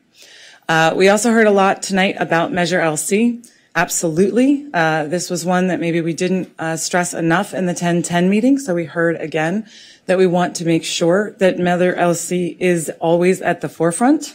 Um, and hopefully you noticed in the staff report that we said Great Park many, many times. We said consistent with Measure LC many, many times. Um, and a lot of the recommendations that staff is making focuses us on a great park. So that is one thing that we wanted to make abundantly clear tonight is that the project is focused on one, closing the airport and two, around a great park. So I've heard a lot of consensus around that tonight and that's very exciting. so just quickly, uh, we, as I mentioned, we're here in January. We did an RFQ process, request for qualifications, that was released in early spring. It closed with 27 teams. Uh, we shortlisted eight of those. Um, then the RFP or request for proposal went out to those eight shortlisted uh, teams. They all responded, which was great. Uh, we shortlisted five teams and had them interview in July. And then the evaluation committee made their notice of recommendation in August. And so we're here before you tonight with staff's recommendation of Sasaki. And who better to tell you about themselves than uh, I'd like to introduce Anna uh, from Sasaki. Here's Anna. Thank you. Thank you. Um, thank you all for the opportunity to present tonight. I'm Anna Cawrse. I'm a landscape architect principal at Sasaki, and I'm the principal in charge for this project. As Amber mentioned, we have started this process back in February, so I also wanted to pause before I dove in tonight to talk about the long history and the many conversations that have led us to where we are today and how we can talk about now the future of the airport. When Sasaki first saw this RFQ back in February, we were really blown away by the opportunity. It's, it's amazing. It's immense. It's really a once in a generation opportunity. When we saw the RFP, we really started to get excited around these ideas of what the future of the airport could be. Could it be an ecosystem restoration on a mega scale? Could it be a beacon of sustainability that was around reusing and repurposing materials? Could it balance community needs while constantly thinking about implementation, and how can we have quick wins that help us move this project forward? This is a legacy project, and I come from a legacy firm. Hideo Sasaki founded this firm over 70 years ago. He was actually born in California. He was a landscape architect, and he was a pioneer in thinking about an integrated practice. He believed we needed to come together to really tackle some of the biggest challenges we are facing in our world. Contribution is the only value. That was the ethos of our firm, and that is the DNA that we have in our firm today. We are now over 350 professionals in this integrated practice of landscape architects, ecologists, civil engineers, planners, urban designers, architects, interior designers. And we work together across the globe with five offices, four in the United States. And our employees come from over 30 countries and speak over 45 languages. We ask people to come to these projects, bring their full, authentic selves, so that we can work on, plan, and create some of the most iconic spaces in this country. We do this by thinking about implementation. So when we start planning, we're constantly thinking about the end. How do we move this forward? How do we think beyond just this planning document? For us, it's about creating partnerships, being partners with you all, the city, being partners with the community. This is example of four projects over the past year where we've partnered with our cities to help think about dollars from state, federal, and philanthropic dollars to really help us move into a first phase. And we don't want to start and stop at a first phase. We want to think about the holistic entirety of a project. So we'll think about governance structures and how can we look at both the operations and costs of a park and how can we offset that with revenue. This is something we do across the country in thinking about these great parks. For every project, we craft every team. I think uh, Sasaki is quite unique in the fact that we have a lot of airport conversion projects. In fact, my grad school project was on converting an airport. Ironically, didn't realize I would be here doing this again. Um, we have a team that has experience on four of these airport conversion projects, and I have been the design principal for the past three years on Ellinikon Metropolitan Park, which is converting Athens International Airport into Europe's largest urban park. My practice is around creating great parks, amazing civic spaces, people that come to these places and creating memories for them. I love talking to community members. I want to understand where the passion, where the challenges, where the pain points are, and converting those ideas into a concept, into a vision that can tackle some of the biggest challenges, like this site that was once an old brownfield, a rail yard, where we took 300,000 cubic yards of arsenic and created landform that became an iconic part of the project. But it's all about those connections and making connections for the community members, making connections to those spaces that keep them coming back for generation after generation. My team is a fully interdisciplinary team. As I said, I'm a landscape architect. I'll be the principal in charge, but we have experts in sustainability, planning, ecology, um, and other landscape architects with this specific experience on converting airports. Our team is supported by national and local consultants. We have the Robert Group to help us with community engagement. They were on our team from the RFQ, also in the RFP, and will be on our team now. We're very excited to be working with them. We'll also be doing market and economic analysis. We'll be doing um, soil remediation and really getting into the details of sustainability early on, especially when we start doing our due diligence phase. So engagement. For us, it's not a phase. This is a holistic conversation that needs to be woven into the entire process. We do this by believing that there is no best practice. Every community is different. So what we did in Baton Rouge might not work here. So we want to understand engagement through the foundations. So we believe in building community ownership. We want to connect people to grow empathy between neighbors. We want to honor the lived experience. While we have experience in creating great parks, You all live and breathe Santa Monica, and I've heard a lot from amazing, passionate community members tonight. We want to listen first. And then we want to understand who did we miss? And we want to adapt our engagement approach to go out and reach those people to make sure their voices are heard. We want to use um, a variety of tools, whether it's high-tech surveys online or whether it's low-tech walk and talks. We want to ensure that engagement is approachable and reachable for all community members. And we want to go beyond the non-traditional, we want to go beyond the traditional outreach and think about pop-ups and opportunities to go to the community to get that feedback, to talk to kids, because kids have the best ideas about parks, I have to say. And then finally, engagement is tied to the design. No matter where you direct us to go tonight, we know that engagement will help inform our design. So one thing we'll start with is having a website, both in English and Spanish, that becomes a place where everyone knows the information is. Any updates, if they want to give us feedback, they can always come to this website.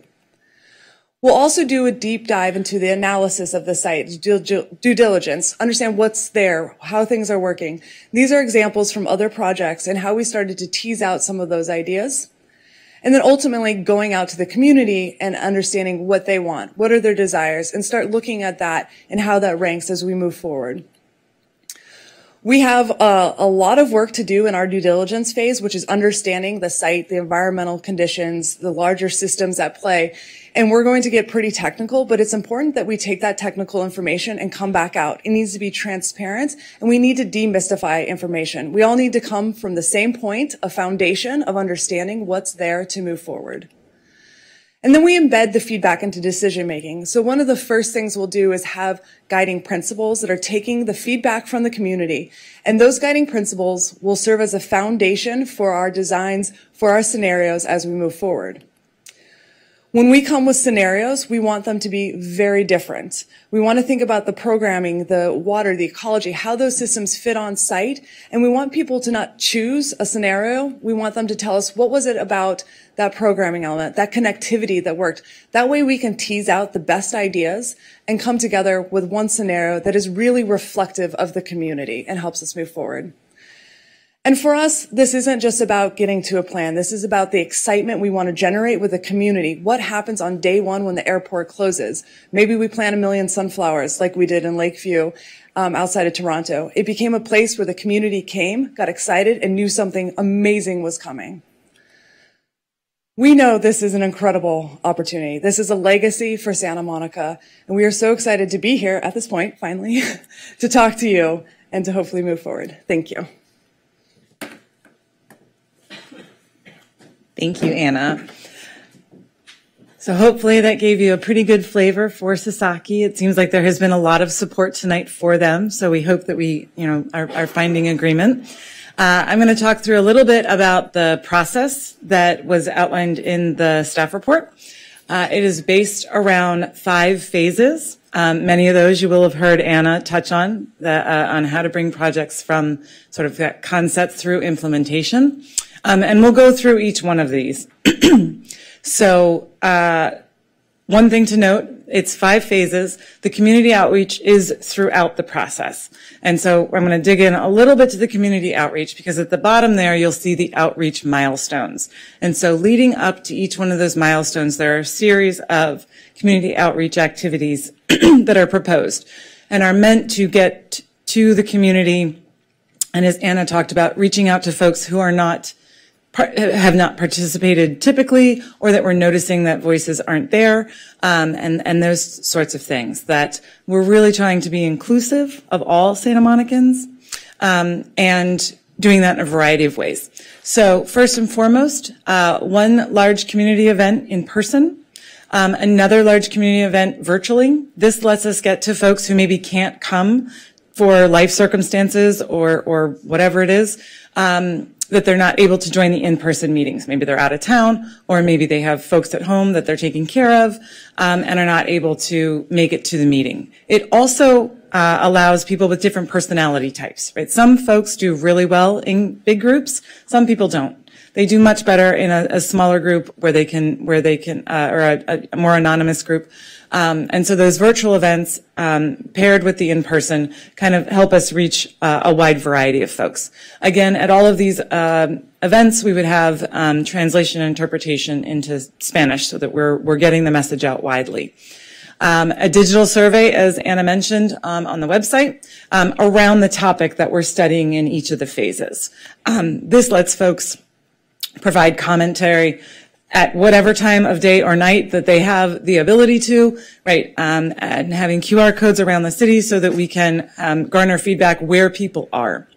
Um, to further that, having uh, pop-up events, um, as Anna talked about, right? Going to PTA meetings, going to farmers markets, going to other community events, and maybe some of the races that Jeanette was talking about, right? To actually meet our, our community members where they are and engage them in conversation around the, the, the goals of each of the phases.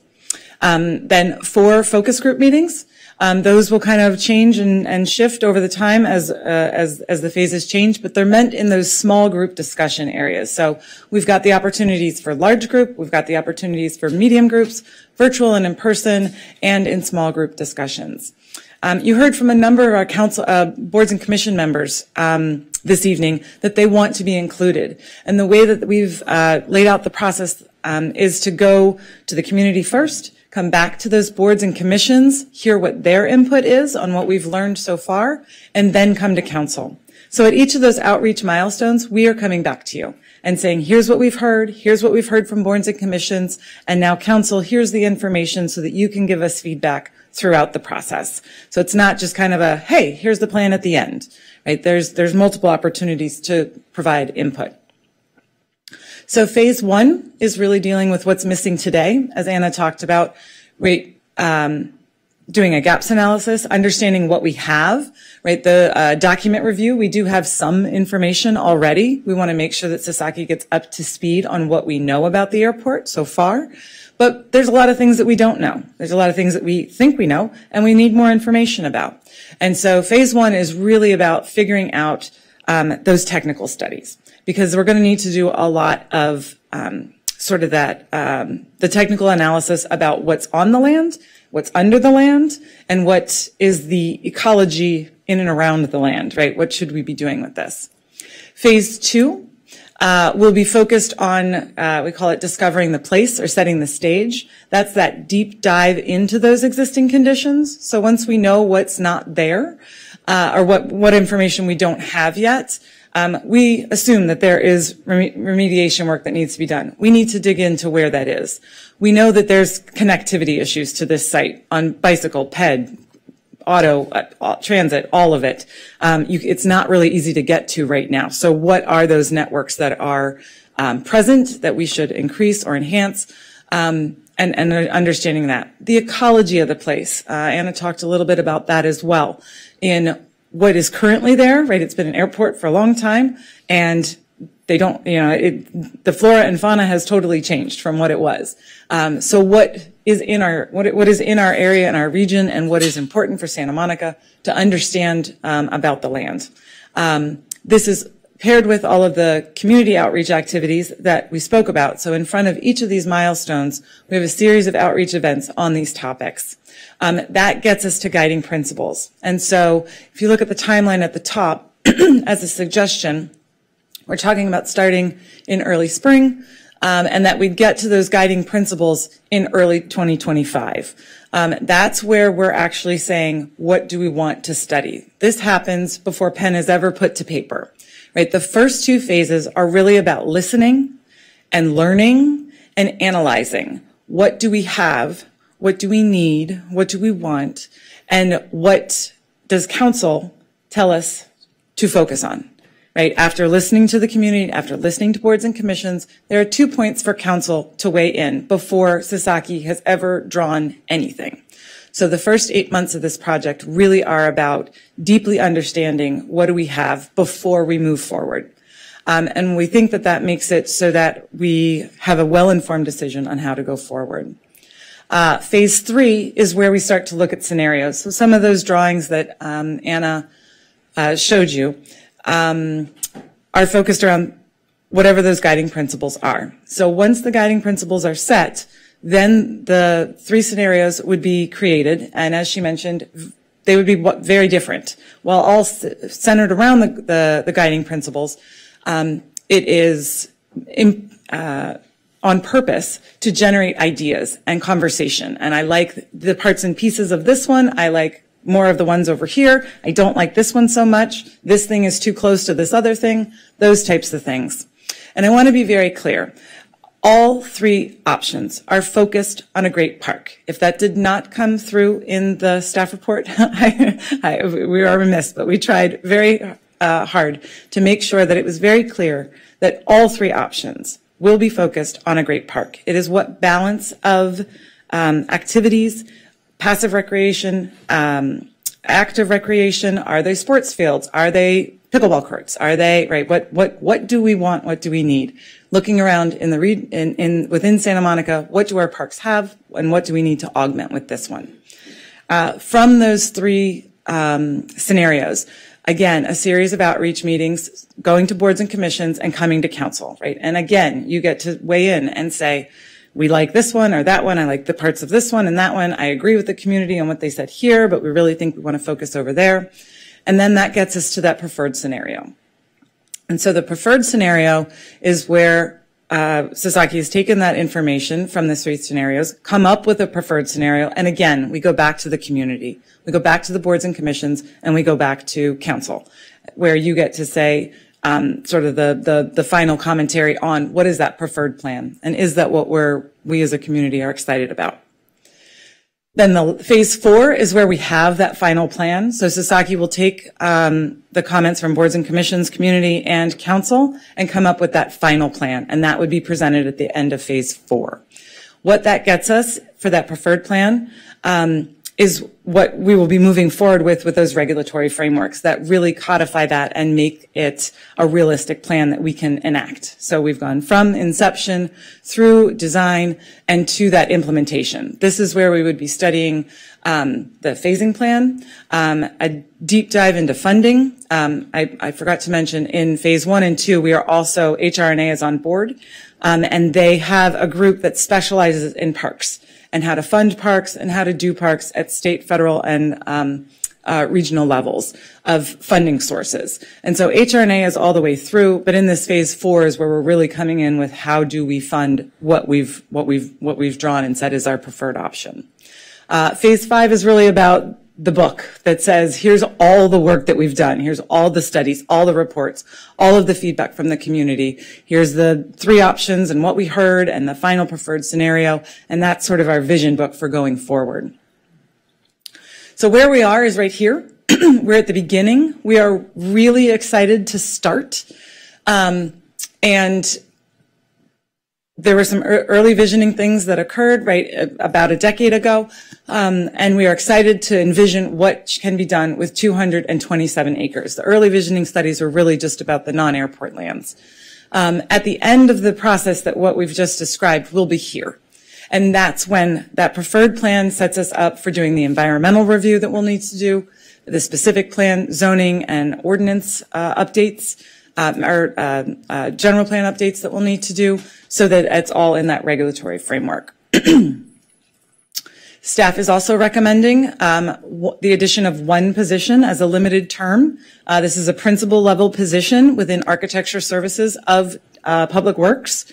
Um, this is, and we're recommending to use park and recreation development impact funds to fund the Sasaki work as well as the staffing position.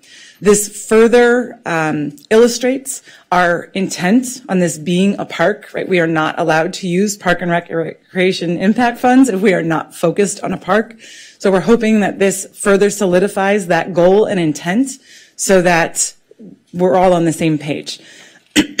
um, okay. And then, all right, back to recommended actions. So this is what we're asking tonight. Um, we do recognize that one council member is not here.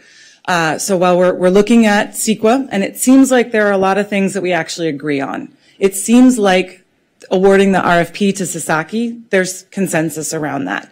It seems like uh, the authorization of the contract, there's consensus around that. It, from what I've heard from public comment and from what our boards and commissions um, have shared, there's consensus around funding for the staffing position.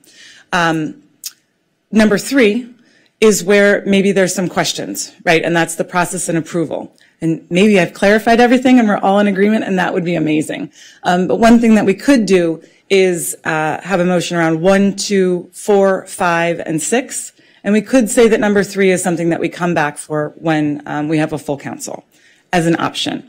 We can also vote on all six. It's up to you all. But we look forward to your questions. Um, hopefully, we've answered a lot of them already. Um, but thank you for your time, and um, back to you.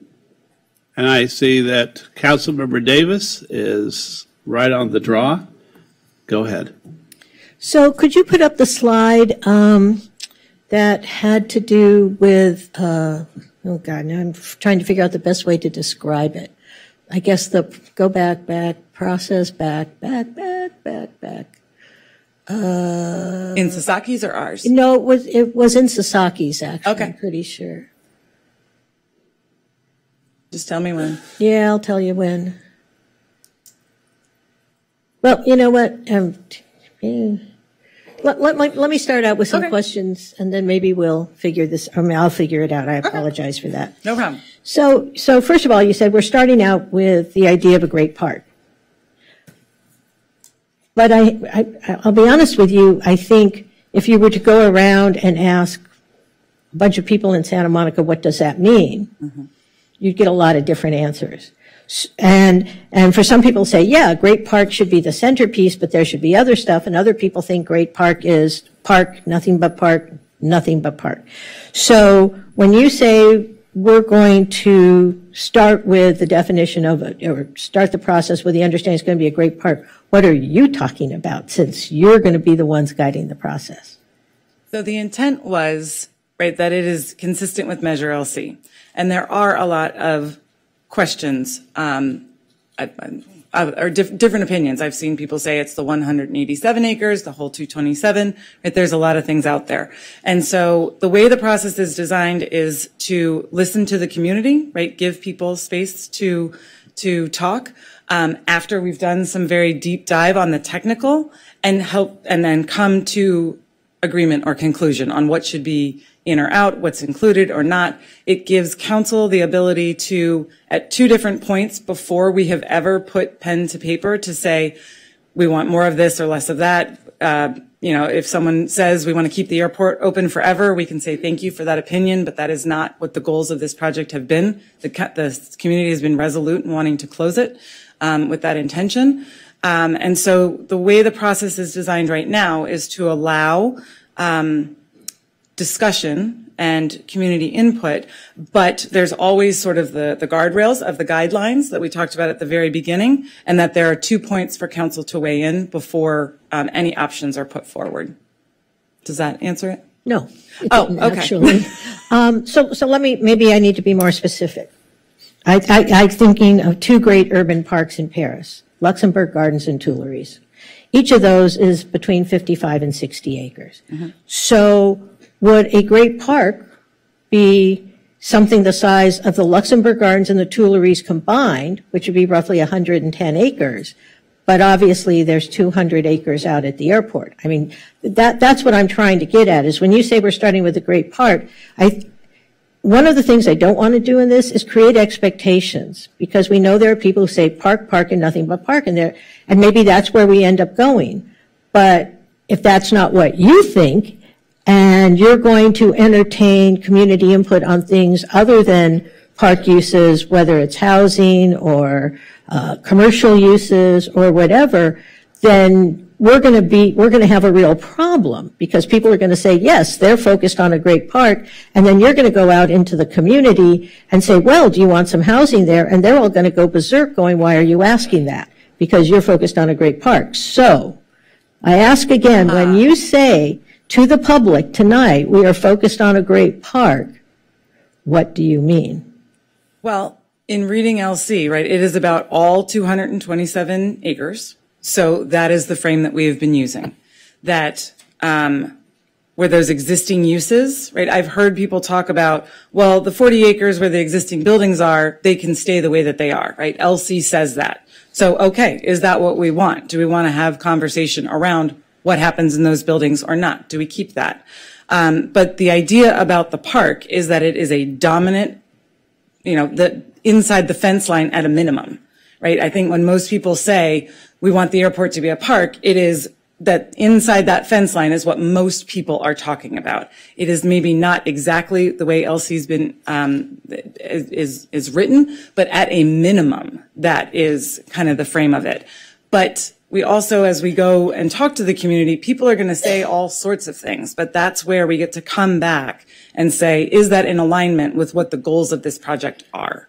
And so I, I don't I don't have an opinion on that, right? I, we want to listen to the community and figure out where there's consensus. Okay, so uh, and and I appreciate that. I I don't think tonight we should be prejudging what the outcome of this process will be. We're talking about the process, not the end result. But clearly, in all honesty, I'm not sure everyone agrees with that. You know, I mean, there's part of me that's going, why are we even going through this? If all we're going to do at the end is come up with 227 acres of park, why are we going to spend $2.7 million to go out in the community and ask them what they want? Why don't we just send Sasaki out to say design a 227 acre park and come back to us? I mean, that, that to me is, you know, and they could still come up with three scenarios, one that has more recreational facilities, one that's entire passive park, one that's got, you know, I don't know, urban farmland or something. But, but when we have public process, there's an expectation that people will be listened to. So just hear me out here. If we had a process and a significant portion of the community said, yeah, we want, we want park. We want 100 acres of park. We want the Tuileries and Luxembourg Gardens, but we also want some housing. Or we also want some uh, community, uh, I don't know, uh, you know, am amenities, you know, whether it's a small grocery store or something. Are we going to tell them that's nice, thank you for your input, we're ignoring it now because we're great park focused? Or are you going to come back and say, hey, we heard this and and this has to be incorporated? I'm just I'm just trying to get a sense because the one thing I don't want to do is create a situation where we go out and, and that was the slide I was looking for was the one about the public process. So at some point when you can go back to that one. Um, but create a situation where people are going out, they're giving their input, they sit around a room and they say, everyone in this room wants to put house, some housing at the park. Maybe they don't want to turn it all into housing, but they would like some housing. And then you come back and go, that's nice. A lot of people said they want housing, but we're focused on a great park. So that, that's the sort of push-pull I'm trying to get here about not creating unfair expectations because I don't want to go out in the community, find out what the community wants, and then tell them that's nice, but we're not doing that. But never mind. Yeah. Uh, that's fair. Um, from all of the feedback that we've heard, I think what really is um, the tipping point or trigger point is that ballot measure, right? And the idea that we wouldn't close the airport. Um, and so during this process, right, we, we want to be mindful that we are intending to close the airport and turn it into a park. I think some of the um, hesitancy around listening to what the full community wants to say, potentially, whatever it is, is that, well, if we do something that is outside of Measure LC, then we have to go back to a ballot. Um, and that's a real fear and concern, and I, I, we get that. Um, the idea that um, with deep understanding of the technical aspects, that we know that and understand that, um, and when that gets triggered and what it means, um, what's included and what isn't, right? The idea of a park, there are supporting uses that are allowed. Um, we'd want to spend some time on that. And I think we'd like to come back with a, with an understanding of when does LC bend and when does it break? And then that can help us focus on what do we want to say? What do we want to hear? People can say, right, in a community meeting, people can say whatever they want. Um, and, but I appreciate your, your, your concern around saying you can say anything, but we're only going to do these things over here. I, I, I, hear that, and that's that's that's that's real. Um, but I think if it is um, knowing that there is a big park and determining what size that park is, right? I, I don't know what size that is. That's why we want to go to the community in multiple iterations to say what what does this actually mean? Right now, there's a lot of ideas out there, but we don't have all of that information. And so we want to start the project, where we can start to talk about these things um, in realistic fashion around a park, and then figure out what does that actually mean. Does that help?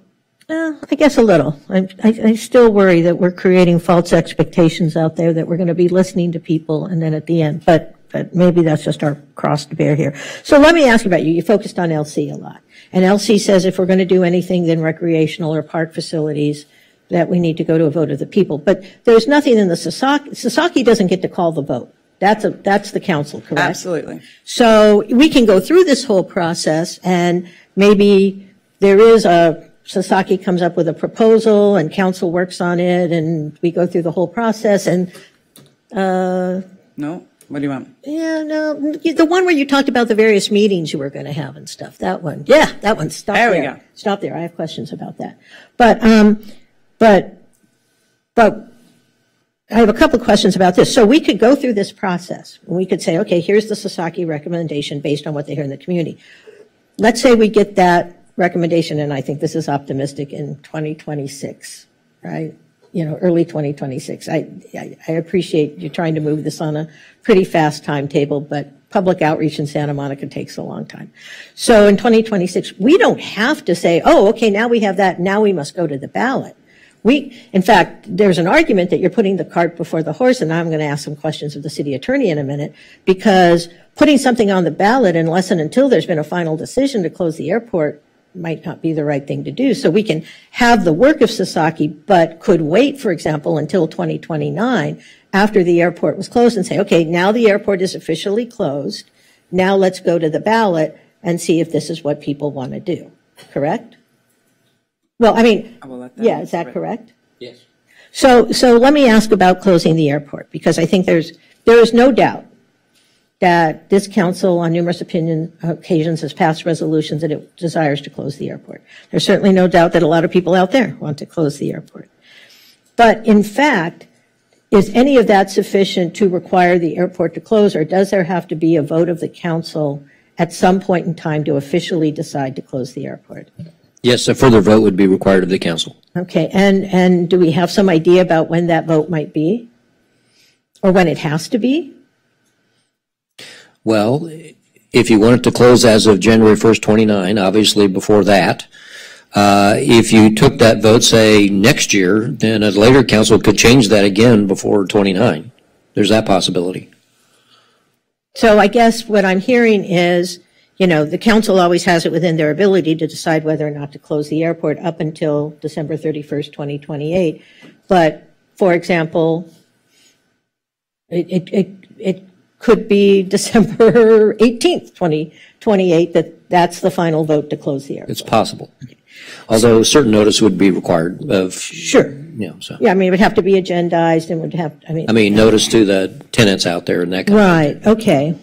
So, so I mean, that, that, that is, I mean, it seems to me that one of the things we want to be mindful of is putting the cart before the horse. It's sort of like, you know, I'm, I'm planning my retirement now. That doesn't mean I'm retiring tomorrow, right? Or some people who might want me to. But my point is, so we can go through this process, but the end of the process doesn't necessarily mandate or trigger that we have to have a vote specifically at the end of this process. Is that correct? The, the end of this planning process? Yeah, yeah, the planning process. It, it's not required, no. Okay, and it would be up to council when and if something were to be put on the ballot pursuant to Measure LC. Correct. So the council could say, thank you for the planning process. We now know what the community wants to do. But we have all these other things we need to do, as the city attorney pointed out, to close the airport. We probably have to change regulations. We have to give notice to the tenants out there. We probably have to pass enacting ordinances, all of that stuff. So we could say, now we know we have a great plan. Let's go forward and do all of that. And then, to the extent we want to enact that plan after the airport's closed, thereby not running the risk of what some people expressed, which was putting something on the ballot before the airport closed and therefore making that an electoral issue. We could do that afterwards. And in fact, it might be the way to do it because asking people to vote on a plan before there's been a final decision that the airport's going to be closed could lead to even greater disappointment if in fact, you know, the council decided, you know what, we're rethinking that, right? Okay. Um, so let's talk about the outreach before the milestone. So how are you going to notify people about all these great events?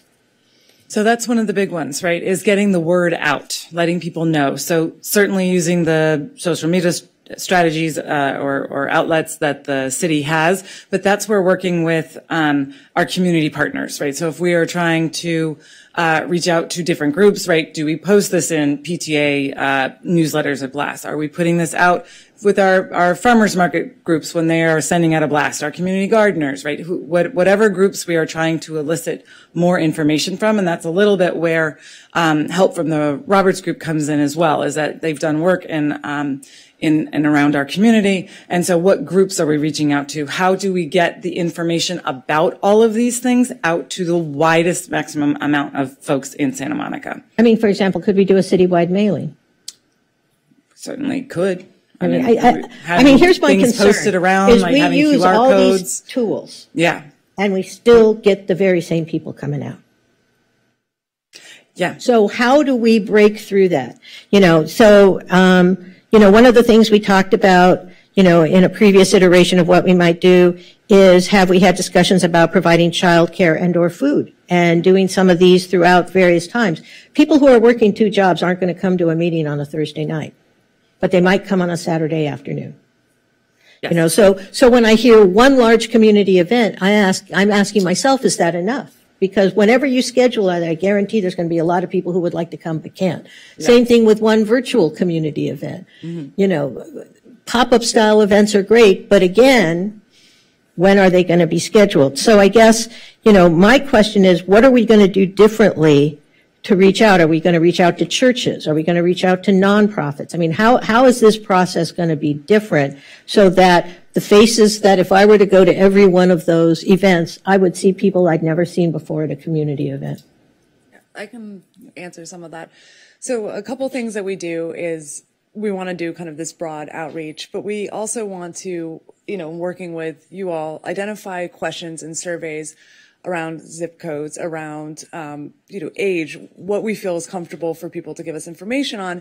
And what we can do afterwards when we get results is we can start to look at this in different ways and say, okay, we heard from this group predominantly. So we need to maybe adjust in the next phase to go out to that area, that community that we didn't hear from.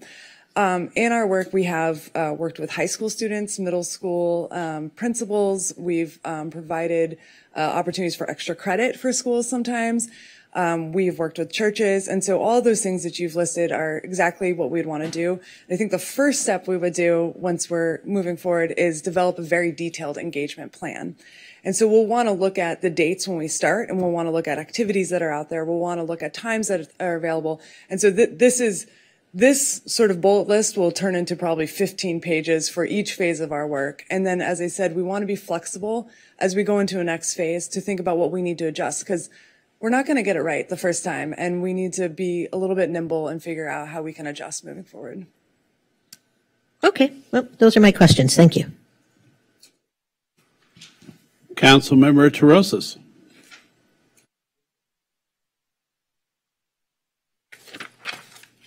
Okay, so I just wanted to, to clarify uh, along uh, Councilmember Davis's line of questioning. My understanding is that LC does not pr- prohibit the city from improving public open spaces, public recreational facilities, existing cultural arts and education uses. And so when I think of a great park, I guess to, to Gleam's point, I think how are we defining great park? I, I think grounding us in that is a great point. Um, like I think of Central Park. I used to live in St. Louis. I think about Forest Park. You know, there's obviously a museum there. Mhm. There's um, outdoor entertainment venues. There's biking paths. There's walking paths. And I think, like, I just want to confirm: is that what we are thinking of when we're talking about a great park here? And so we've had some meetings with. Obviously, we don't want to presuppose the community engagement. I get that. Right. Yes. I Yeah. mean, we, we, we want to be open to hearing what's going on or the what what we're thinking about. But the the way that park is defined in our um, our uh, municipal code allows for a lot of those things. It allows for concessions. It Right. allows for um, community centers. It allows for right those supporting excuse me supporting or ancillary um, amenities that help a park function, right? You're allowed to build restrooms. Yes, it's a building, but it's necessary for a park, right? So um, with we, we, we do have some latitude within park what that means, right? Um, and so it could include things like those uh, community centers, right? Uh, We've heard people talk about childcare centers or senior centers, right? Those sorts of things. Those seem to be we we we we again have to spend a little bit more time on it, um, and that's where you know we in that first phase that's where we can really dial this in. Um, but that's our understanding. And you know, I've s- I've stood on the runway and you look straight out to the ocean, and it's beautiful. And are we thinking about kind of like event spaces, concert spaces, cultural spaces, where people can come and also see the ocean in a beautiful show? Yeah, no, there's there's a lot of ideas about there out there about amphitheater spaces Hmm. and um, having some sort of performance spaces Hmm. because it is, you know, we're we're adjacent, we're we're near Hollywood. We've got a lot of folks in a lot of different, very creative areas. Yeah. And I would just say that, um, you know, I didn't hear a lot about who we're reaching out to. Uh, and, and I know that this, there's not consensus here around who we reach out to, but I would say that this is a community amenity, not just for Santa Monica, right? We are surrounded on our, you know, three corners, if you will, or three borders by uh, the city of LA. Um, and, and so I think it's important, I'm just vocalizing that hopefully there's some sort of plan to do outreach to stakeholder groups that are not just in Santa Monica.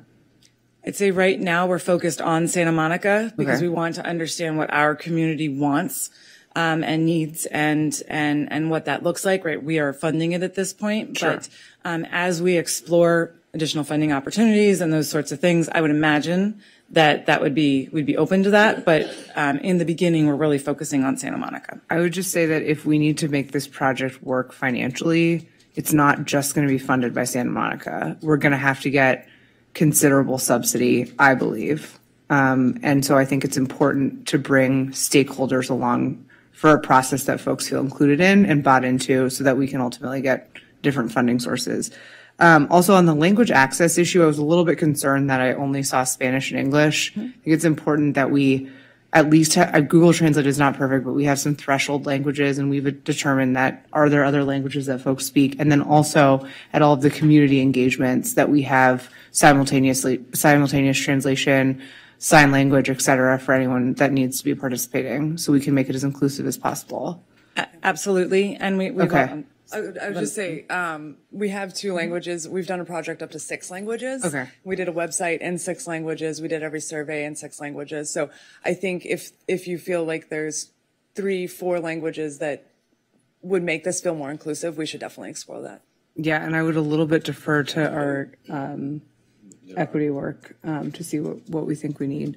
Um, also, have we conduct has Sasaki conducted research to figure out like the best times of day, the best days of the week, et cetera, to conduct these types of events? Because I am concerned about making sure that we have access for not just the same voices. Yeah, and I think again when we get into this, we'll we'll have to learn and adjust as we figure out who we're talking to, who we're missing. Um, but we definitely know that uh, in the middle of the day is not great. At the end of the day, if people have childcare, if they don't have childcare, that's not great. So we need to provide different options, and that's where a lot of these pop-ups come from.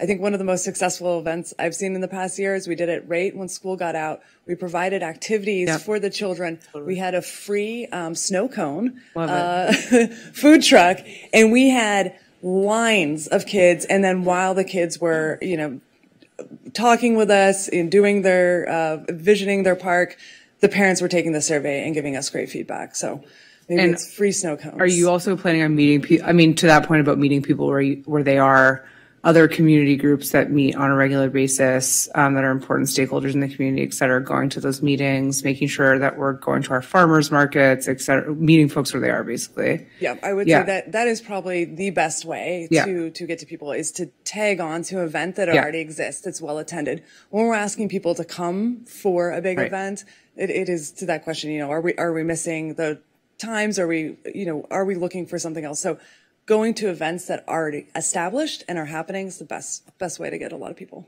And I would also just I, I know our um, rec and parks commissioner offered to serve as a resource, but hopefully we can make sure that they're engaged. Yeah. Okay. Thanks.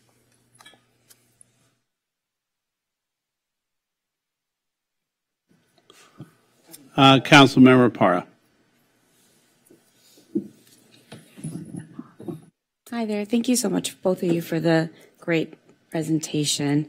Um, I just had a lot of my questions were answered, um, but I did have a couple questions regarding, um, as well, regarding the outreach. Um, can you elaborate? So, uh, milestones, the outreach milestone, going back to this. Um, so you indicated that up to one digital survey um, would be conducted, and then in parentheses it says digital via project website and in person when necessary. Can you elaborate on what this looks like? Yeah, so one best practice is whatever we offer in person, we want to offer digitally. Whatever we offer digitally, we want to offer in person. So if we have an online survey, we Mhm. also want to make sure that people can give that exact feedback to us in person. So whether if it's a paper survey that they're filling out while they're going through and, and talking to us, that they can do that. And I think the reference to the website is um, when we create a website that's kind of the clearinghouse, that that's where you can go take the survey. We, would, of course, want people to push it through social media, making those connections and having links to that survey to be taken. But you could always come to the website and find the information that's happening currently. And so when you um, when you push it out through social media or what have you, and you have it on the website, do you require some type of demographic information? Because I know, for example, when we have something that has anything to do with affordable housing, um, you know, there are like the housing advocates that'll send it out through, you know, that Action Network, and the next thing you know, we're like bombarded by, you know, emails, and we'll get like 20 emails from Santa Monica residents on affordable housing, but like 500 from people that live all through the United States. And so how do we weed out, um, you know, surveys from people that are, you know, I mean, I don't know. I mean, are we weeding out surveys from Santa Monicans um, versus people outside of Santa Monica? Or are we collecting surveys from everybody? So what is, what does that look like? Um, we would want to work, we always work with our client to identify what is um, appropriate and what they want to use in terms of collecting demographic information. I would say we always want to do zip codes to understand if people are taking the survey from across the country. Mhm. We can say, you know, maybe they visited and they have this great idea and they have family here. So we might want to look at it collectively, but we also might want to isolate that and look at just the community here too. So that that's one um, pretty good uh, collector of information. Because, you know, I would be, I would, I'd have a serious concern about, you know, the affordable housing advocates um, here, because they're a very, very strong uh, special interest group in the city. And so if there wasn't any way to kind of vet that, um, you will be bombarded, like for sure. And so, I mean, I'm, I'm not, I'm just, it is what it is. It'll, and so it will definitely skew, um, it'll definitely skew what, you know, Santa Monicans would need. I'm not saying that Santa Monicans don't want housing there, but what I'm saying, the real numbers of what they want in terms of how many people actually want housing there. And so I would be really seriously concerned about that. And so I just wanted to put that out there, kind of plant the seed to think about that, you know, when, when you're, you know, you're doing um, their surveys to be able to capture and to make sure. I mean, there's a lot of different special interest groups, you know, one way or the other. And so um, we just have to take that into consideration when we're creating, when you're creating the QR codes, the surveys, the, you know, some type of way to vet that information, just so that we make sure that we have, you know, the most accurate to be able to um, have some good information. Um, what else? Um, I, and I had a chance to look at a bunch of your projects. Um, the Wilmington Waterfront Project, the Reed Park Project, the projects that you did in China are really great. Um, I'm a city planner by education, although I never practiced, but um, it was really cool to see the work that you've done. Um, so that was really cool. Um, let's see here. I wrote some other questions down over here. Um,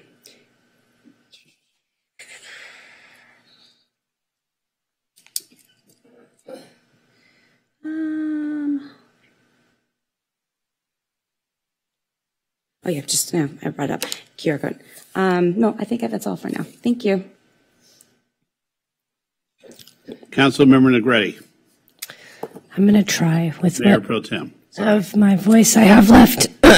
um, I have cough drops if you want. I've had so many cough drops. I have like numbing agents on my throat.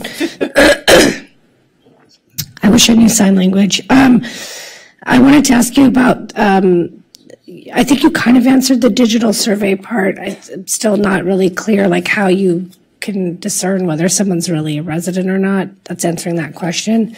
Um, and I guess we don't really know what your questions will be. I think that's kind of what maybe Mayor Davis was alluding to, right? Like you have to guide people into a conversation, and that's the concern. Are we having an open dialogue? Because you can ask a question and it can be specific, but people take it upon themselves to make it open ended.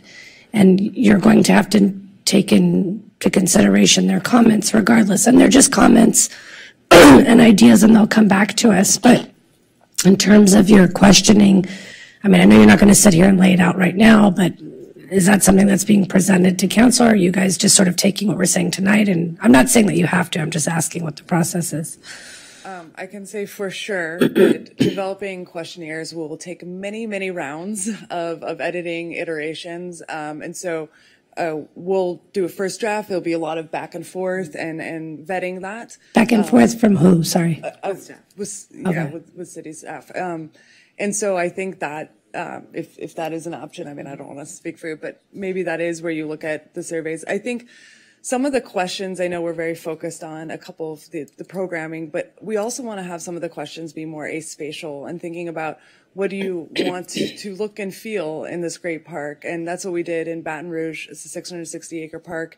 And from that, we teased out that people really wanted more of an ecology focus with friendly um, family events and, and recreation was a little less important. And so we we're able to sort of pull that out too. Okay. and then I was just, oh, go ahead. I was just going to say one other thing that I've heard Anna talk about, right? In in a survey, it's not saying what do you want to see here, right? It's more of the questions like that.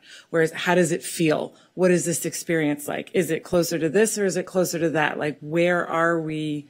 What what does this feel like, and what experiences do you want to have? Instead of like, I I want to have uh, 10 pickleball courts or whatever it is, right? Which we will still get those questions as well, but um, it's it's trying to evoke a feeling about the park um, so that we can get into those conversations. Okay. um, I was just going to say that I did a series with the elementary schools um, and Grant Elementary specifically in our project based learning schools. They built a whole diagram and I worked with them on what airport to park looks like. Was actually pretty amazing. They had regenerated, you know, food um, that they were going to give to the homeless, that they're going to grow, an amphitheater, lots of sports space, dog park. Anyways, I just thought, I hope that we can work with our schools and our teachers. I can connect you with the teachers who are actually specifically working as a group because they are the future. They are going to be using these spaces. and I hope that somehow we can tie in the future of education, using outdoor education um, as a part of it. So just putting it out there that there's teachers that are already guiding their classwork and it actually goes scaled by grade. And so it's really awesome what they've um, created so far.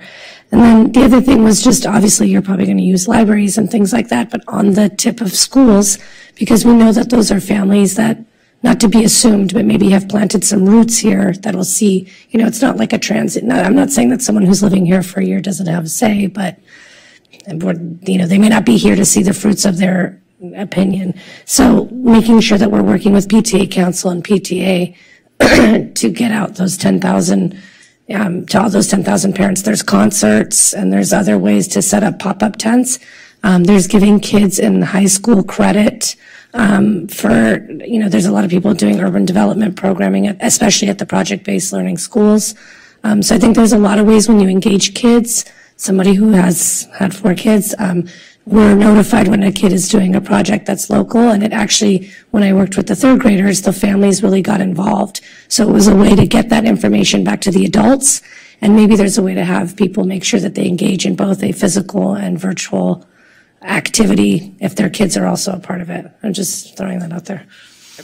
I could talk about this for hours. I have uh, four-year-old twins, and uh, kids are the most creative and passionate individuals, and so we we love that. I love all of those ideas because we want to create generational stewards. We want people to have this tie when they're kids. They want to stay here. They want to have their kids, and they want to remember what this great park is. So yeah, Yeah. love all- all those ideas. Good. Council members Zwick.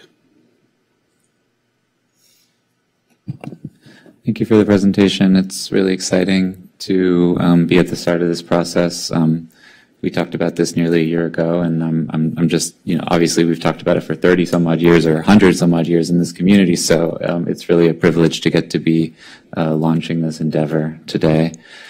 Um, all the scenarios, I know, I know we've gone back and forth on semantics. It seems like you're going to come up with multiple scenarios. All of them are going to involve a great park. We can parse what that means, but I imagine it's a park that's big um, and serves the community in a number of different ways. Is, is that right?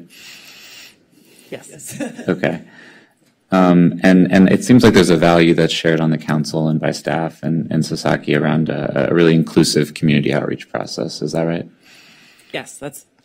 Um, I imagine um, one way that we can be inclusive is, you know, not turn people away if they don't have a very specific view of how something should go. I think, as you mentioned, the questions could be open ended. They wouldn't be very specific. They could talk about how you want to feel in a place, or, or at least give people the freedom to feel like they have the freedom to, to say. I mean, is it? I guess what I'm asking is, if we were to say we'd love to do community outreach, but you actually can't talk about X, Y, or Z in this process. I mean, isn't that inherently exclusionary in some way? It's, a- it's a fine line, right? And that's kind of, um, on one hand, right, the, the, what we heard on the 10th was that we wanted an inclusive process of everyone and as many voices as we can possibly get to. And so we heard that and we took that to heart. And the way that this is designed is to reach out to folks in the languages that they understand, right, in the places where they are already going, um, so that we can reach a lot of folks and, and have new voices uh, as well as our current voices, right, to have all of those voices included. Um, that's where in the process, it's got, we've got those two points in there to say, right at that first milestone where we can say, you know what, we're hearing these types of things. Let's work on these or those or focus on this or that. Um, and then again at those guiding principles, right? The guiding principles are really another opportunity to say, um, now we really want to focus on these things or those things because now we've had all of this community input. And so we think that the process allows for that, um, that we can, we can have both.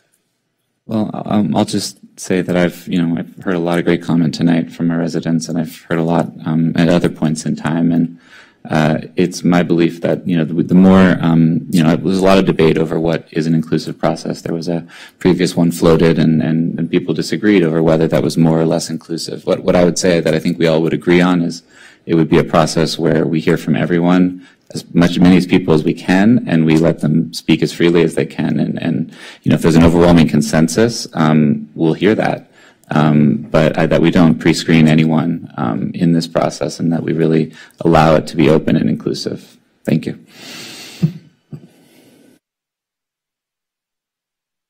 Hi, I'll take a turn.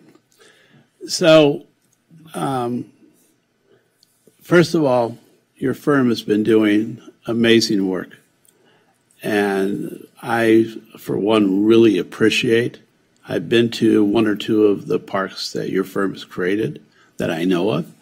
Um, but overall, I really appreciate your dedication to the process.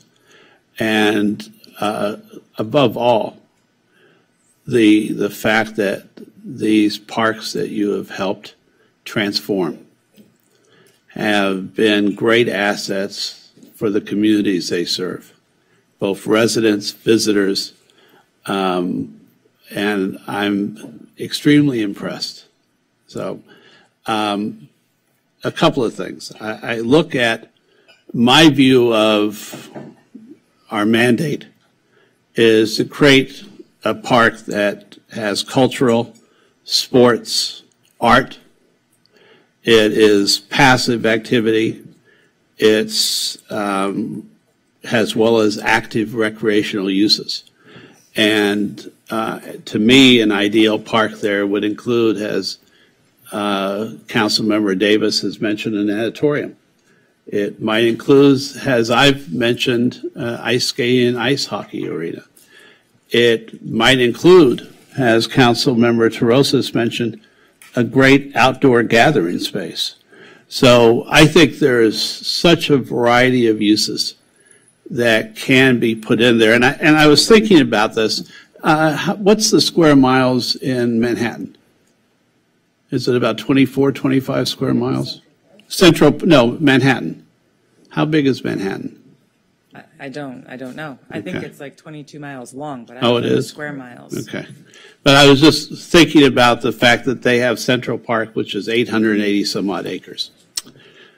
Um, if you slice and dice, our park could be 125 to 200 acres, including cultural uses, other uses, daycare, uh, a great senior facility, which we don't have in the city right now.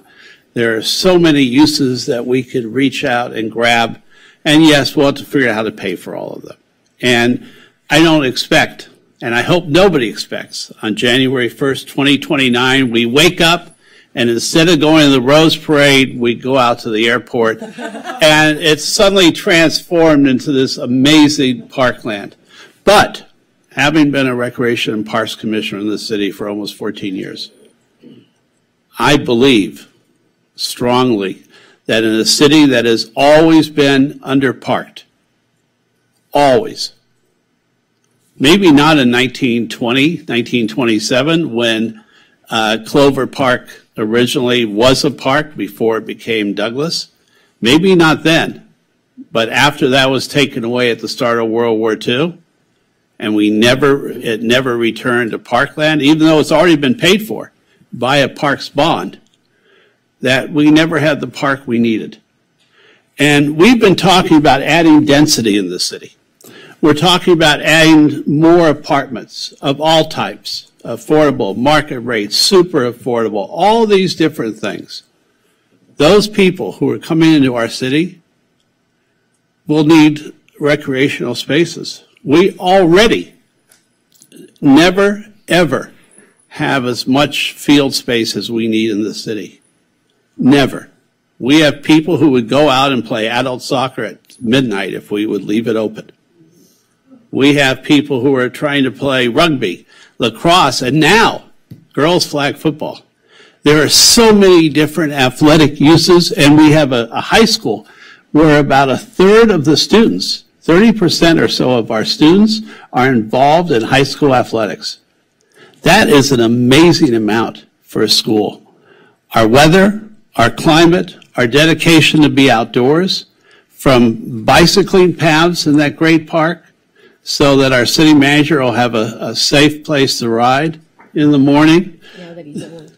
That now that he's yeah now I, I'm not going to mention that one. I, I have to be able to talk to him again, but but um, but there are all these things that I can imagine there. I take generally three to four mile walk every morning. This week, not I, I'm not making my goal right now, but you know when I look at that and say, geez, we'd have a safe place for people to commune, people to walk people to play chess, checkers, all these different things that people do and want to do. This parkland has envisioned by, first of all, council members from 100 years ago and by residents in 2014 who rose up and, yes, had a fight between uh, forces partially sponsored by the city council right? Versus the people who said, we want to keep that airport open forever and we don't care if the pollution turns your oranges black every day. Doesn't matter to us. We have a responsibility to honor the 60% of residents who voted in that election. Now, yes, it's not 100%. And we know there are many different views about the airport. There are some still who want to keep it open. There are some that believe, wow, let's imagine the housing we could build there. Imagine the high rises. Imagine the mid rises. And then the other residents, and I'm thinking about those little kids that Councilmember Negrete mentioned at Grant Elementary, at Grant, who at five, six, seven years old are excited about a park. We don't build parks for us. We build parks the same way we plant trees. We build them for the future. Building a park, planting a tree, shows that we're entirely optimistic about humanity. In this city, that park would be our cornerstone. That park would forever provide 200 years from now, 300 years from now. And even if we have a cataclysmic uh, tidal wave, that parkland would now be beachfront property. But, and we hope that never happens. I, I just have to mention that. But I think it is an admirable goal. And I believe in the goals that you've set out between staff and Sasaki. And I think our residents will want to communicate, will want to talk. Not only the residents who are west of that flight path, but residents from all through the city, because residents from all through the city voted in what they thought was to push to close the airport. This was not uh, neighborhood voting. This was people from every neighborhood in the city. They believed in the future, and they believed in a brighter, less noisy, calmer future where they had parkland to enjoy. This is not the time to discuss housing. Now, uh, Councilmember Zwick, Councilmember Davis may be absolutely correct.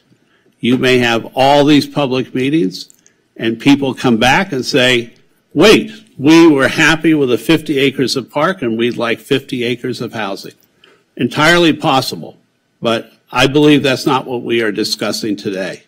We're discussing the possibility of building a park for future generations of Santa Monicans long after Councilmember Davis, I, and City Manager White, who's now joined the, are you now an AARP member?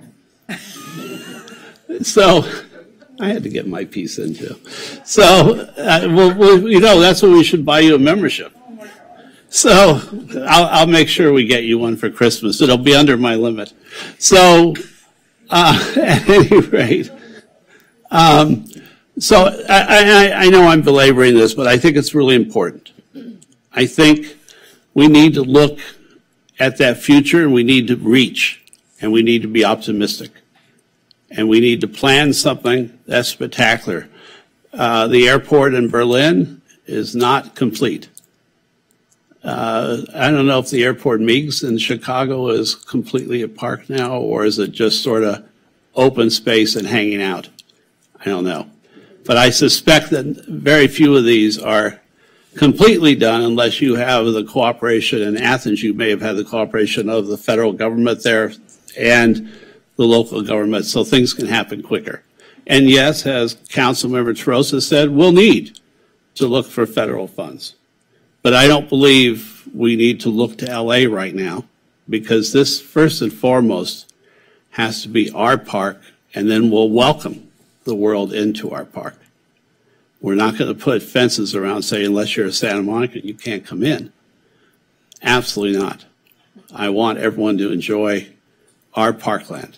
But the same thing I said in 2006 when I asked the Community and Cultural Recreation Director to put Santa Monica under the name of all of our parks. We wanted people to know that it's a Santa Monica park. And I want people know to know that this park Davis Pond, Torosis uh, Lake, uh, Zwick's. Philanthropic dollars there. we'll, we'll, put together a funding there you uh, go. opportunity for you. Uh, yeah, uh, council members Zwick's Library. Whatever it is at that park that we really enable the community to buy in, to support it, and feel it's absolutely theirs forever. Councilmember Davis. All right, I think everyone's had an opportunity to speak, so I'm going to make a motion. I would move that we, one, adopt a finding of categorical exemption pursuant to Section 15262 of the California Environmental Quality Act guidelines. Two, that we award RFP SP 2641 airport conversion to Sasaki Associates for a community outreach program visioning services and a concept design collectively the process related to the future planning of the airport land in anticipation of the airport closure.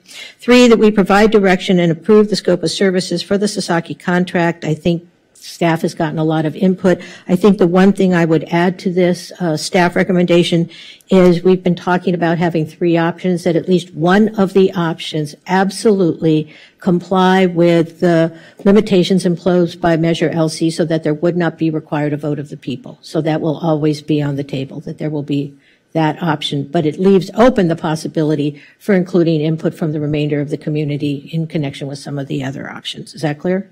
Understood. All right. Four, that we authorize the city manager to negotiate and execute an agreement with Sasaki Associates for a community outreach process, visioning services and concept design in an amount not to exceed $2,070,000, including a 12% contingency fund for 21 months with future year funding contingent on council budget approval. Um, Five, that we approve the position and classification changes necessary to dedicate a project lead for the airport conversion project as described in the funding and staffing recommendation section of this report. And six, that we authorize budget changes as outlined in the financial impacts and budget actions section of this report. Is there a second? Second. Is there a second? Yeah, Mayor, I propose that we vote for everything but the one that she made a change on. Oh, sorry. Mayor, I, I vote that we vote, I propose that we vote on everything but the one that uh, Davis made a, gave direction on. What number was that? Three.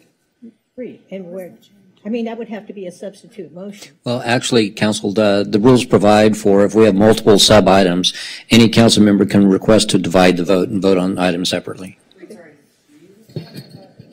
She gave direction to change. Where I said, I didn't, I didn't change it, but I said was gave specific direction that one of the three options. there- there- Yeah. Sorry. There wasn't, and there's nothing proposed in there in the staff recommendation. So I didn't change any recommendation. I just gave direction that at least at all times, one of the recommendations that would be included in the process would be one that would not invoke Measure LC. Okay. So again, I would like to say, I like for, I propose that we vote for all but three, vote for three separately. Is that a friendly amendment? Well, no, that's not, No, it's a procedural request that uh, any council member is entitled to make. So we can vote from separately. Okay, so you does want it to need a pull? second or it's just, it's just? No, it's Okay, automatic. all right. So you Okay, could so vote we on would be- everything but item three, Okay, and then vote on item three, depending upon how that shapes up. okay. Okay, so the motion is vote on number one, two, four, five, and six Yes, In one vote. in one vote. Uh, Councilmember Negrete? No. Councilmember Zwick?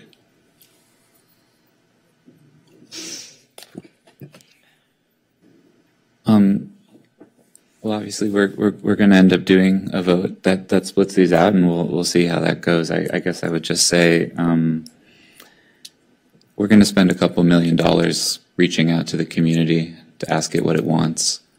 I feel like it would really deeply illegitimize the process uh, to tell people what they're allowed to tell us what they want. Um, I, for one, happen to support a really great park there. I think that's pretty unanimous um, on this council. Uh, but I'm not really in support of uh, thought policing, and I don't think it will um, make this process appear legitimate to the community. And the whole point of it is to to hear from them. So. All right, so let's, any other discussion? I'm sorry, Mayor Brock. If I may, before you vote on this item, um, at 8:13 PM, I received a uh, communication from Councilmember De La Torre Um, in accordance with Council Rule 5K, council members planning on being absent from a council meeting or a portion of a meeting may submit written statements on a topic on the agenda to the city clerk at least by noon the day of the council meeting. The city clerk shall publish the written statement prior to the beginning of the meeting, and the city clerk shall read the statement into the record at the meeting. Since this was received late, um, it would be up to council's discretion to vote to suspend that rule, uh, to allow the clerk to read that, uh, brief statement into the record, and then the clerk's office could post a statement on the website tomorrow with the item. It's fine. Stay here. All right, so we would need a voice vote to accept Councilmember De La Torre's statement into the record, To suspend the rules and to accept the suspend the rules and have that statement. Do we need a second on that, or is that just a vote? You would need a motion, second, and five votes. Okay. I mean, I'll make a motion to hear his statement. Second. Second is Parra. Motion by um, Vice Mayor, Mayor Pro Tem Princess Queen. Negrete. Voice vote, I believe. Do we need an individual vote, clerk? Yeah, so we have to. Then you need to do a roll call vote.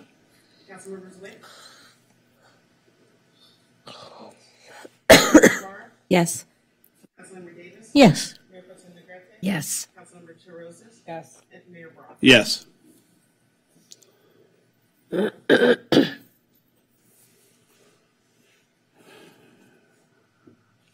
Reading into the record on behalf of Councilmember De La Torre, my comment regarding consultant Sasaki, I support the spirit of Measure LC and the right of Santa Monica voters to self-determination, more parks, open public space, recreational opportunities, botanic gardens, and urban forest. And that's the end of the statement.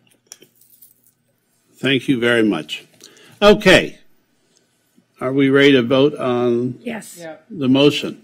Can you do a roll call? Again, this is for clarification. We're uh, uh, trying to adopt the recommendation number one, two, four, five, and six. And again, that was a motion by uh, Davis, and second by Torosis. Torosis. Okay. Councilmember Zwick? Yes. Councilmember Parra? Yes. Councilmember Davis? Yes. Mayor Pro Tem Negrete? Yes. Councilmember Torosis? Yes. Mayor Brock? Yes. Okay, Councilmember Davis. All right.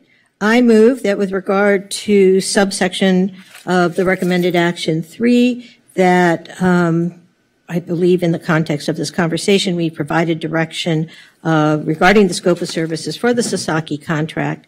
And um, clearly, I think that they've heard that, uh, you know, a great park must be included in all of the options, but that at least one of the options, you know, among the three that they propose to present at some point in time, uh, fall within the scope of not requiring a vote by Measure LC. There is a motion by Davis, a second by Torosis. I just want to clarify what you mean by that. Discussion? Uh, I'm sorry. Oh, I didn't put my name in there. There you go. Now it's official. um, I just want to clarify what you mean by that, that it doesn't require a vote. What we were talking about, that it would, in, that it would go against LC, we'd have to go back to the people on a ballot measure?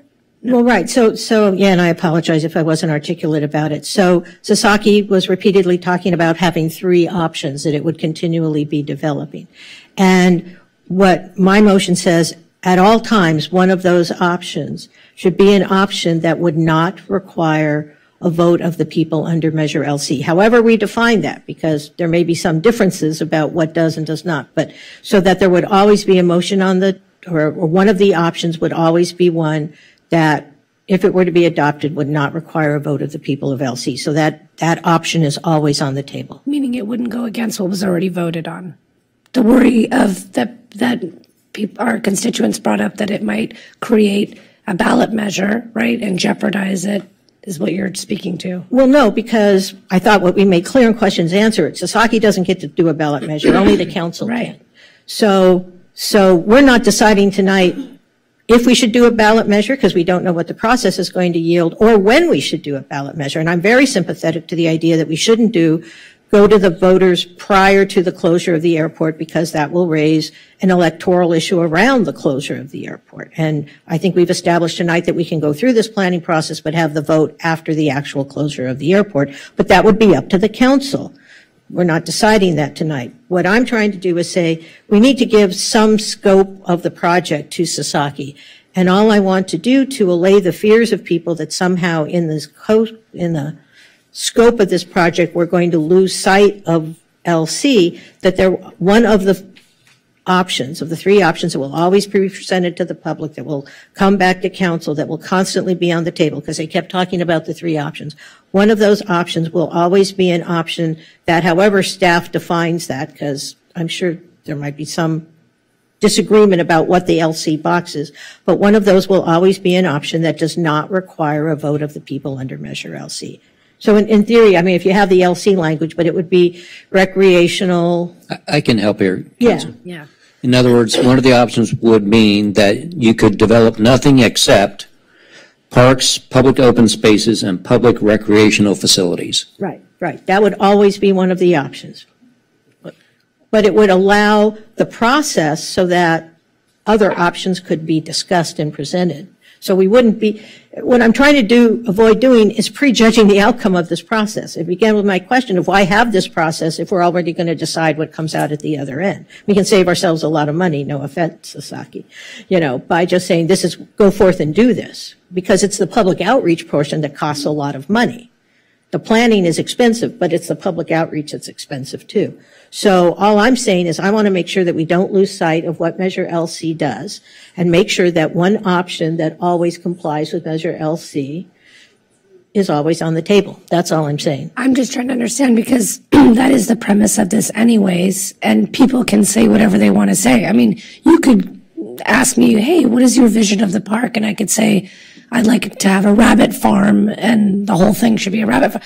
And you might say, okay, that's interesting. You're not going to tell me you can't say that, right? Or someone could say that they want it to be all housing or half housing. I mean, so anyone, we can't stop anyone from saying it. I think the goal was just not to curate the conversation in a way that strays away from the intent. People are going to share what they want to do, and you're going to, I assume, aggregate that information and come back to us and say, we were talking about a great park, but as a side note, there was a lot of conversation around other uses that don't fall under this. Is that how this works? I mean, we're just, Well, I mean- we're just reaching out to the community. I think what's worrisome is like changing it in this legal form, just, what are we doing? Not changing anything. I I'm mean, just giving in- additional direction because, look, I think, I mean, you know, we can, I can't think of anything worse than going out and spending two point some odd million dollars on a public process and having people come to meetings and say, what do you want to do at the airport? Uh-huh. And then at the end of the day said, thank you very much for that, but we're not really, we- you know, you wanted to build a smelting plant, but that's not on the table because the, the end, pro- the end of the process has already been prejudged. If the end of, this is my point, if the end of the process is nothing that would require a vote under LC, then why are we doing this? I have a question. I mean, that, that's my, that's my thing. If, if we're going to go out into the public and people are going to give input and then we're going to say, that's nice, but we're ignoring your input, I don't know why we're doing that. No, I just wanted to respond to that. I think my. We're one at a time. So I think the point is because it does say recreation, it does say whatever. And today pickleball, for example, is a very big deal. 10 years ago, we weren't talking about it. So I assume that the conversation under LC is like, do we want an amphitheater? Do we want pickleball? I don't know. By the time we get to this conversation, a new sport might erupt and we might be talking about that. That's how I understood this conversation to evolve. It's not to prohibit anyone from saying anything. People are going to talk about what they want to talk about, but it's to go in forth forward with the idea that we're talking about outdoor space, recreation, arts, whatever that may look like. And that's why there's a need for discussion. Because if we just give, turn it over to a company to design it, they might not think of all of the things that the community wants there. We might want more learning gardens than you may have presumed or whatever. Is that? Get in there. Uh, my bad. Oh, you have control. Okay. Um, The clerk we, and we alternate. absolutely want to listen to the community and all of those things that are listed, even though it's three bullets. Each one of those bullets has so many options within it. And we don't we don't know what people love in Santa Monica until we talk to them and understand them. And we can put out, you know, all these different ideas. But if we designed this in isolation, we would be missing, you know, what is that new sporting uh, opportunity or, you know, the disc golf tends to come out really strong sometimes in communities or horseshoes. Like we want to hear those because there's a lot of things that we need to understand in just those three bullets. Well, can I ask a question then? So are you saying that if you go through this public process, you're going to tell people, we're, we're, we're here to listen to about all your ideas about recreation and cultural activities and what that means, whether it's pickleball, horseshoes, tennis, natatorium, ice skating rinks, or whatever. We want to listen to all of that. But if you want to talk about things that might require a vote under LC, we don't want to hear about that. I mean, that, that, that's really the question. And if that's what you're saying the process is going to be, then we should know that. And, and our community should know that, quite honestly. Because I don't want people to take their time to come and say, I would like to see 20 acres out of the 200 acres devoted to housing. And have you all come back and say, well, we heard some people who wanted to build housing, but we don't care. Because then we might as well just tell people don't show up if that's what you're going to talk about. I'm just, I'm just trying to make sure that this is an honest process. And it's not honest to say, we want to hear what you have to say, but have prejudged that whatever the outcome is, is got to fall within the rubric of LC. And I suspect that's why you were talking about three different options.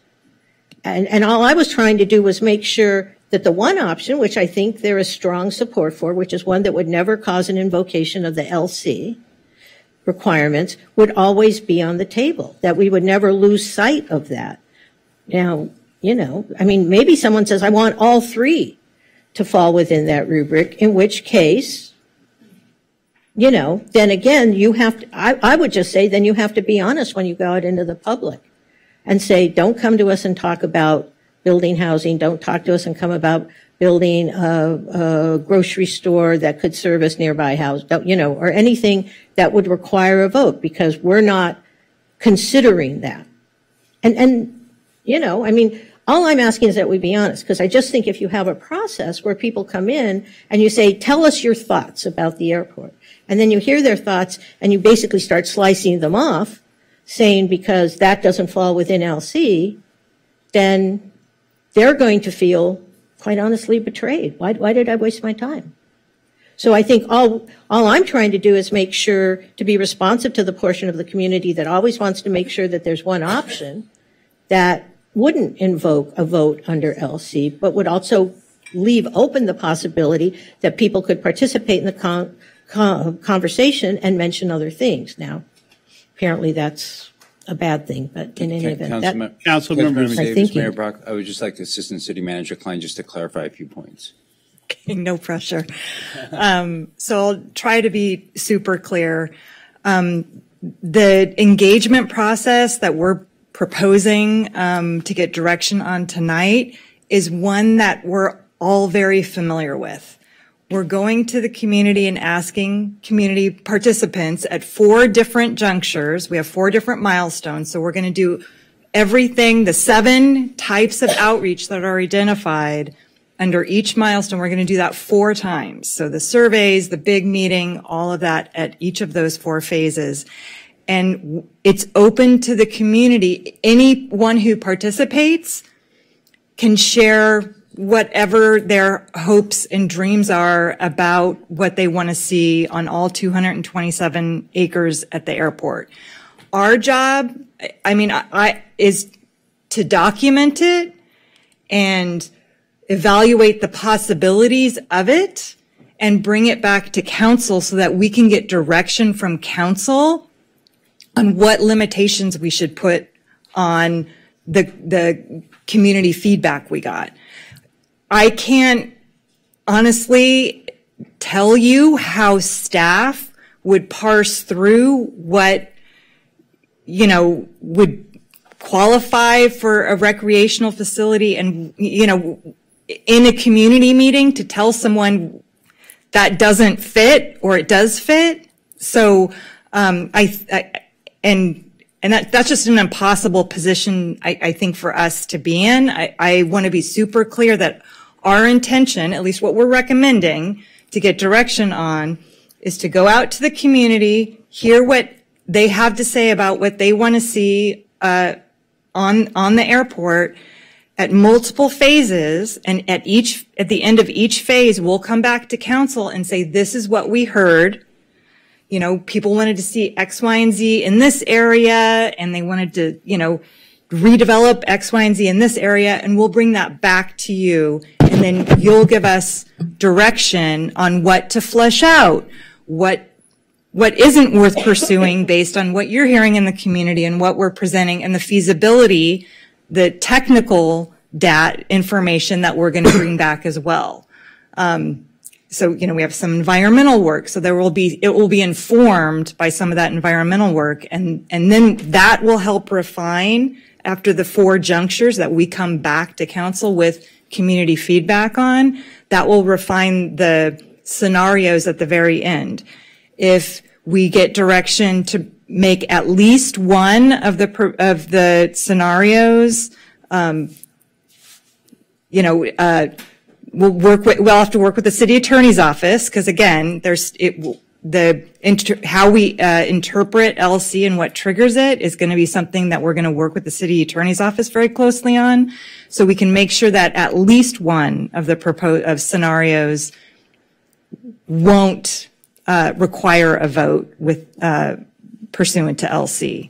It will be consistent with the recreational activities and with the reuse of existing facilities and, and with consistent uses. So I, I hope that's that's clear. All right, Yeah, guys, so, we're so going if to go in order. that's clear, then yeah. Okay. Councilmember Zwick. I was I was gonna try to clarify, but I, I, I think the assistant city manager did a good job, and if um if that's the process and we all agree on it, I, I don't see why we can't vote and approve it today. Councilmember Parra. Same, that was my understanding, was that the community was going to say what they wanted to see, and then based upon what they wanted to see and what was synthesized was brought back to us, and then based upon what we can and cannot do, that was going to be the decision. And so uh, that's why I didn't understand why we were trying to change the direction. So that's why I wanted to pull that one out.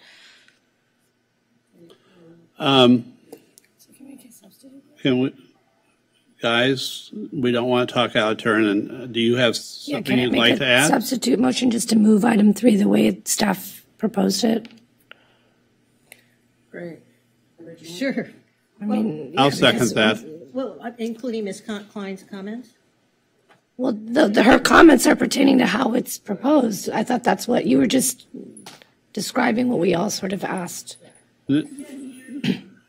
We're going to go with what the proposal is that's been motioned and seconded as a substitute motion by Councilmember Negrete and seconded by Mayor Brock, is that we uh, substitute uh, Councilmember Gleam uh, Davis's motion for the original recommended action on number three, which provides direction and approves the scope of services for the Sasaki contract related to RFP SP 24 uh, 2641, including the community outreach work. So no additional changes. It's been moved and seconded. Is there discussion on that? Okay. Uh, Can we call a roll call? Councilmember Zwick. Yes. Councilmember Parr. Yes. Councilmember Davis. Yes. Council, I'm sorry, Mayor Pro Tem Negrete. Yes. Councilmember DeRosa. Yes. And Mayor Brock. Yes. And all segments of the Sasaki contract passed. We look for great work from you. No pressure. I'm excited. And Thank we you. want the results tomorrow. Yeah. and completely done on, a, on opening day. Yes. Got it. Thank you. Thank you so much. Everyone, let's move on. Um, We're at 11.05 PM. Uh, Can we have a motion to either adjourn or go past 11? Second on that? Second. All in favor? Aye. And we'll continue to finish the city's business.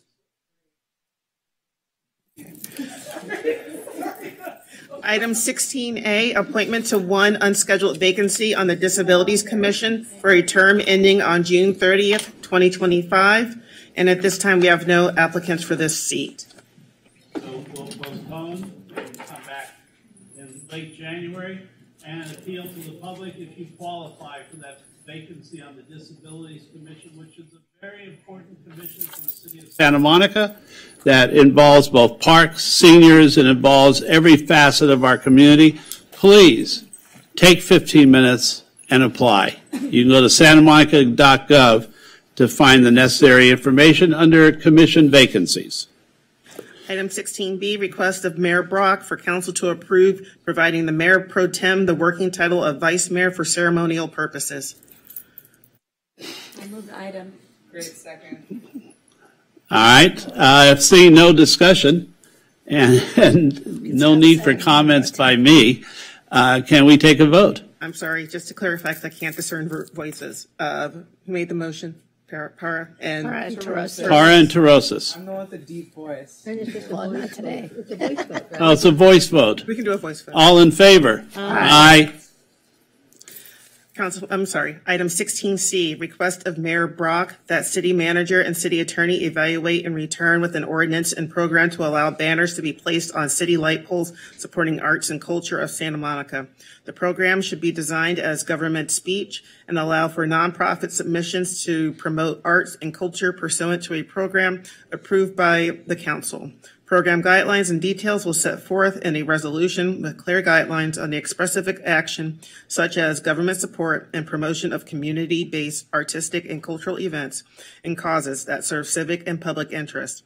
Council will adopt submissions by resolution stating they reflect the views of the council. The city will maintain control and discretion over the selections and control installation. Staff will provide estimates of cost to the city for installation and program administration. So, Can we move it? oh, okay. Um, well, should I give a quick overview then?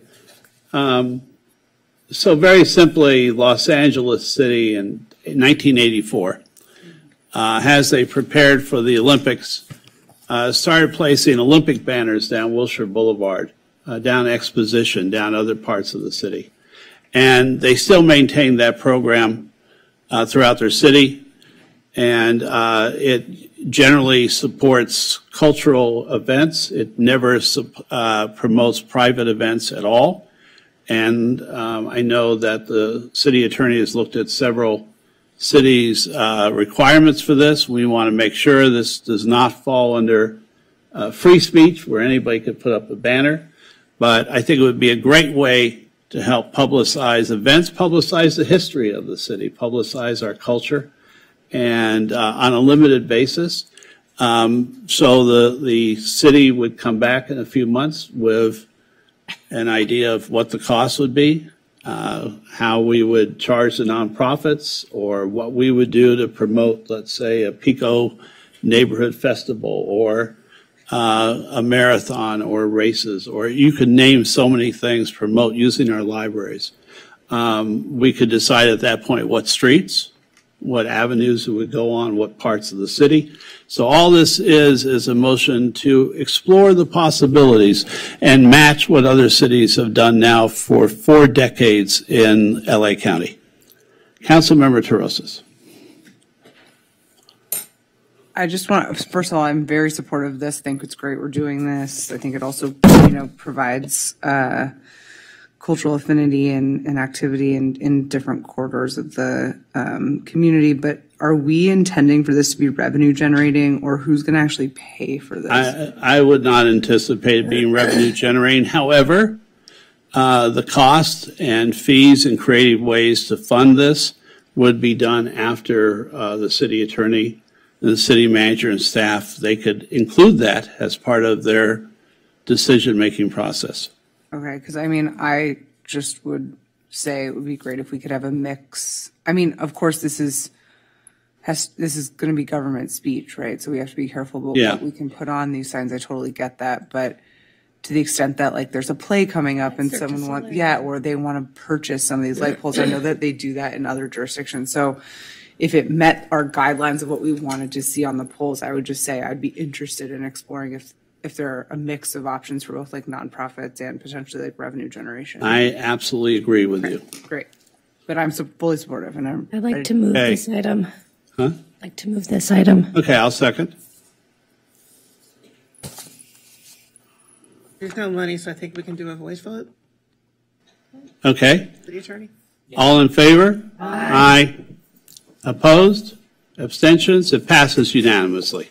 Item 16D, request of Councilmember Zwick, Councilmember Davis, and Councilmember Torosis that the city manager and city attorney evaluate the potential to place a general tax with an advisory measure on the November 24th, sorry, November 2024 ballot to increase the parking facility tax to reduce traffic congestion and the risk of traffic fatalities and serious injuries in Santa Monica while preserving free 90-minute parking in the downtown lots.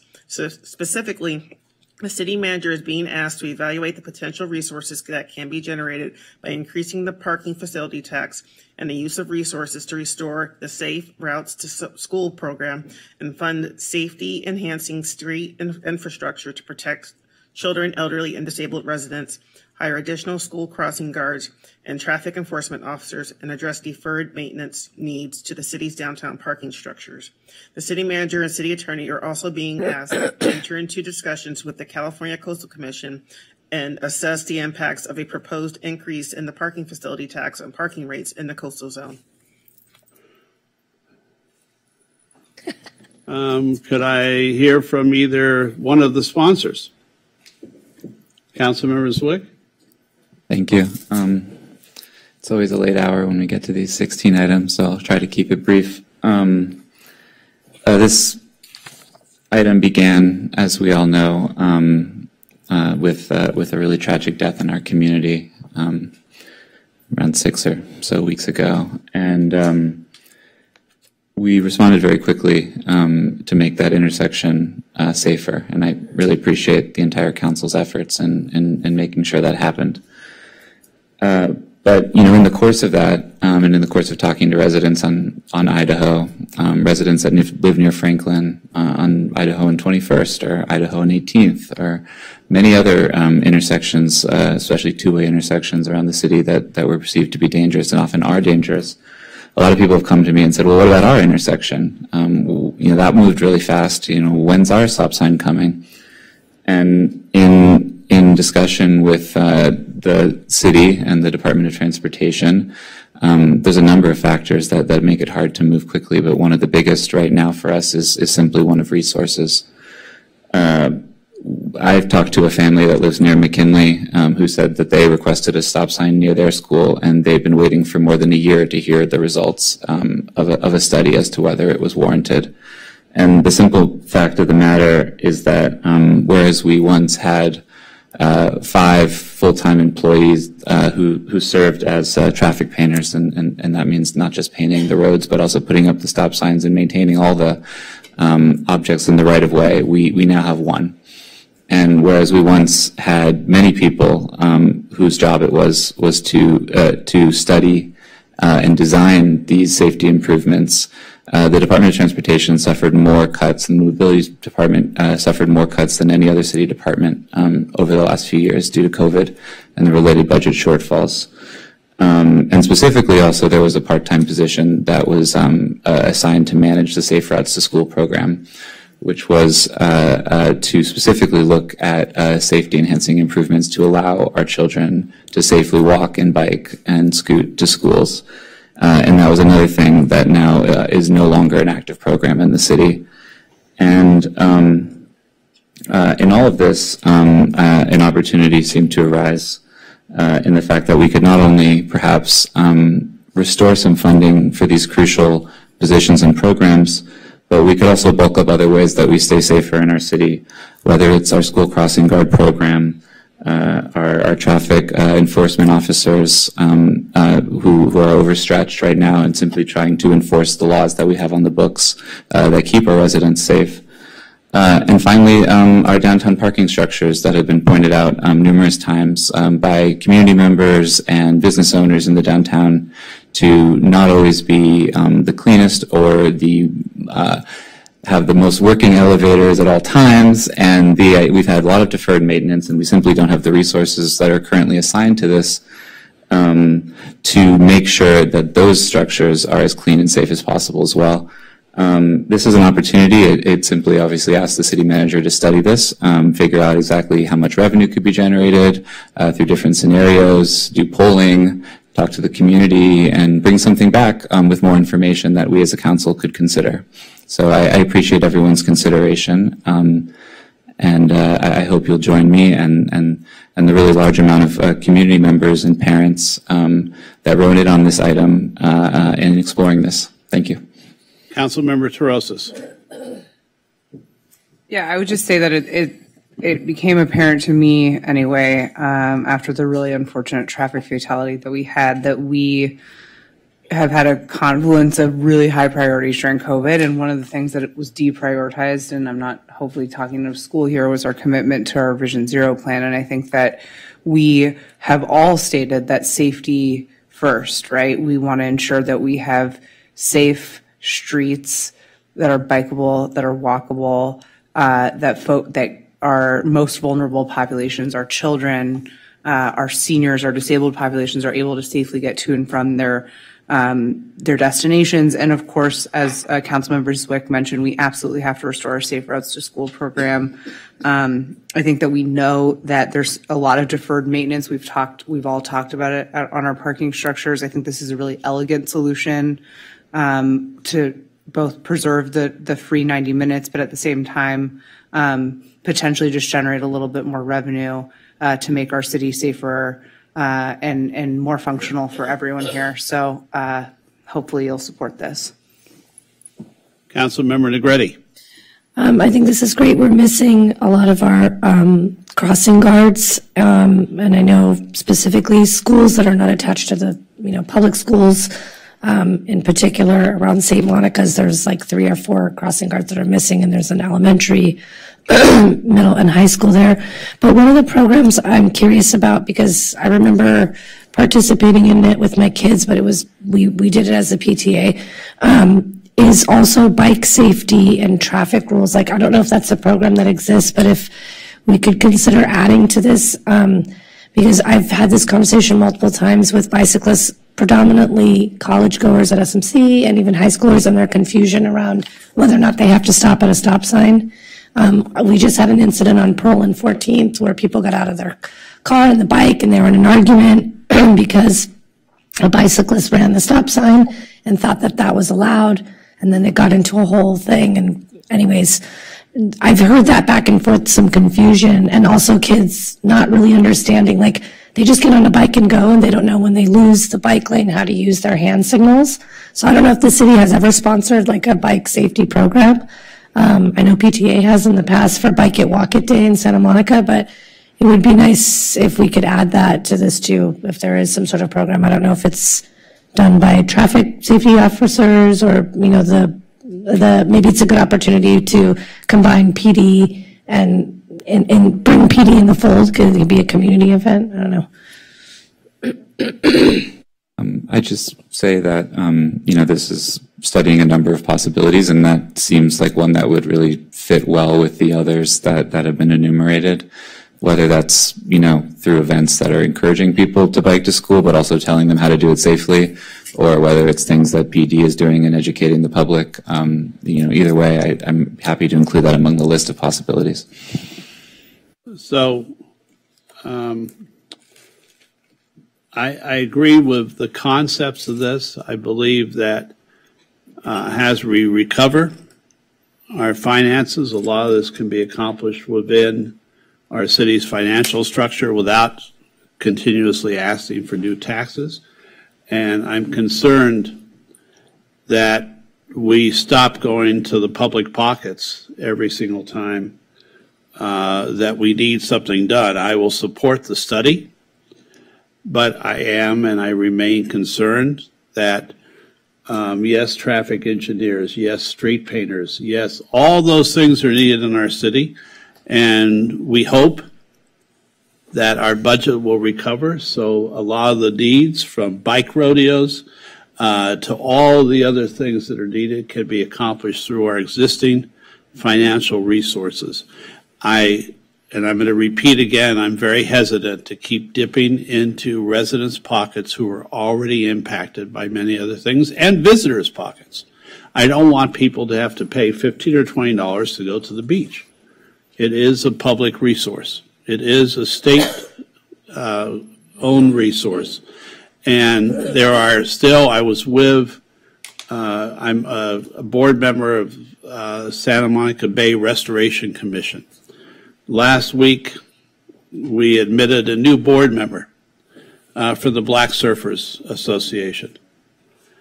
And they bring children to the beach who have never been to a beach before and they live in Los Angeles.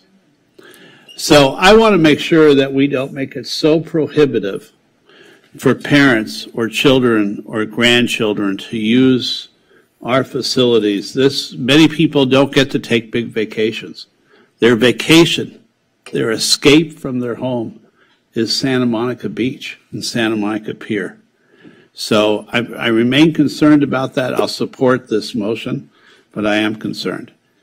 Uh, Councilmember Zwick, some last words. I, I appreciate um, your support, Mayor Brock, and I, and I hear your concerns. Um, I would just say that the, the item at the bottom, or the sentence at the bottom that, that speaks to the city speaking with uh, uh, Coastal Commission um, reflects in part that concern that very well um, the city um, is governed in a number of ways when, when it sets parking rates uh, and parking, and the Coastal Commission has a say in that, and that it likes to preserve access. And one way it does, it perceives that is in making sure that um, people can affordably park um, near the coast. And there's a quite high likelihood that the, the our rates that we set um, will not change even amidst uh, this tax, um, depending on what Coastal Commission says. It, the majority of the revenue that's generated from it is more from private operators um, that often charge higher rates um, than we do, uh, valet stands and other things like that as well. Um, so I, I, think there's a way to balance this. Um, and I also would say that, you know, if, you know, in the extreme scenario, we're talking about a 10% or something, we would look at different scenarios, obviously, but you know, which, which would mean that if you paid five dollars, this would imply paying an extra fifty cents. And I and I don't see that, you know, while it adds up to something meaningful in aggregate, I, I don't see it as a disincentive for people who want to access our city. Okay, thank you very much. Uh, can we take a vote on this? Anyone want to make a motion? Probably move, the maker. I'll move the motion. And one of the other makers. Uh, so it's Zwick and then Torosis seconded. Now that Mayor Torosis is taking over all the seconding duties. Oh. I appreciate that. No, that's fine. Okay, uh, can we call a vote? We can do a roll call. I'm Actually, sorry, we can do a voice vote, can't we? Yes. All in favor? Aye. Aye. Opposed? Abstentions? The motion passes unanimously. With that, uh, I hope I speak on behalf of the entire council when I wish everyone listening, watching, that they have a wonderful holiday season, that they have peace in their heart, whether they uh, celebrate Kwanzaa, Festivus, uh, Christmas, etc., and that all of you had a great Hanukkah. And lastly, that on New Year's Eve, all of you will go out to Palisades Park and look at the last sunset of the year, and it'll remind everyone why you, why you live in our beautiful, great city. Merry Christmas, happy holidays, and have a wonderful 2024. We'll see you next year. When's the next meeting? The next meeting is, hold on. Next meeting is January 23rd, uh, scheduled at 5:30 p.m. And we'll see you then. And on Christmas Day, you'll see me frolicking because it's my 70th birthday. That's really old.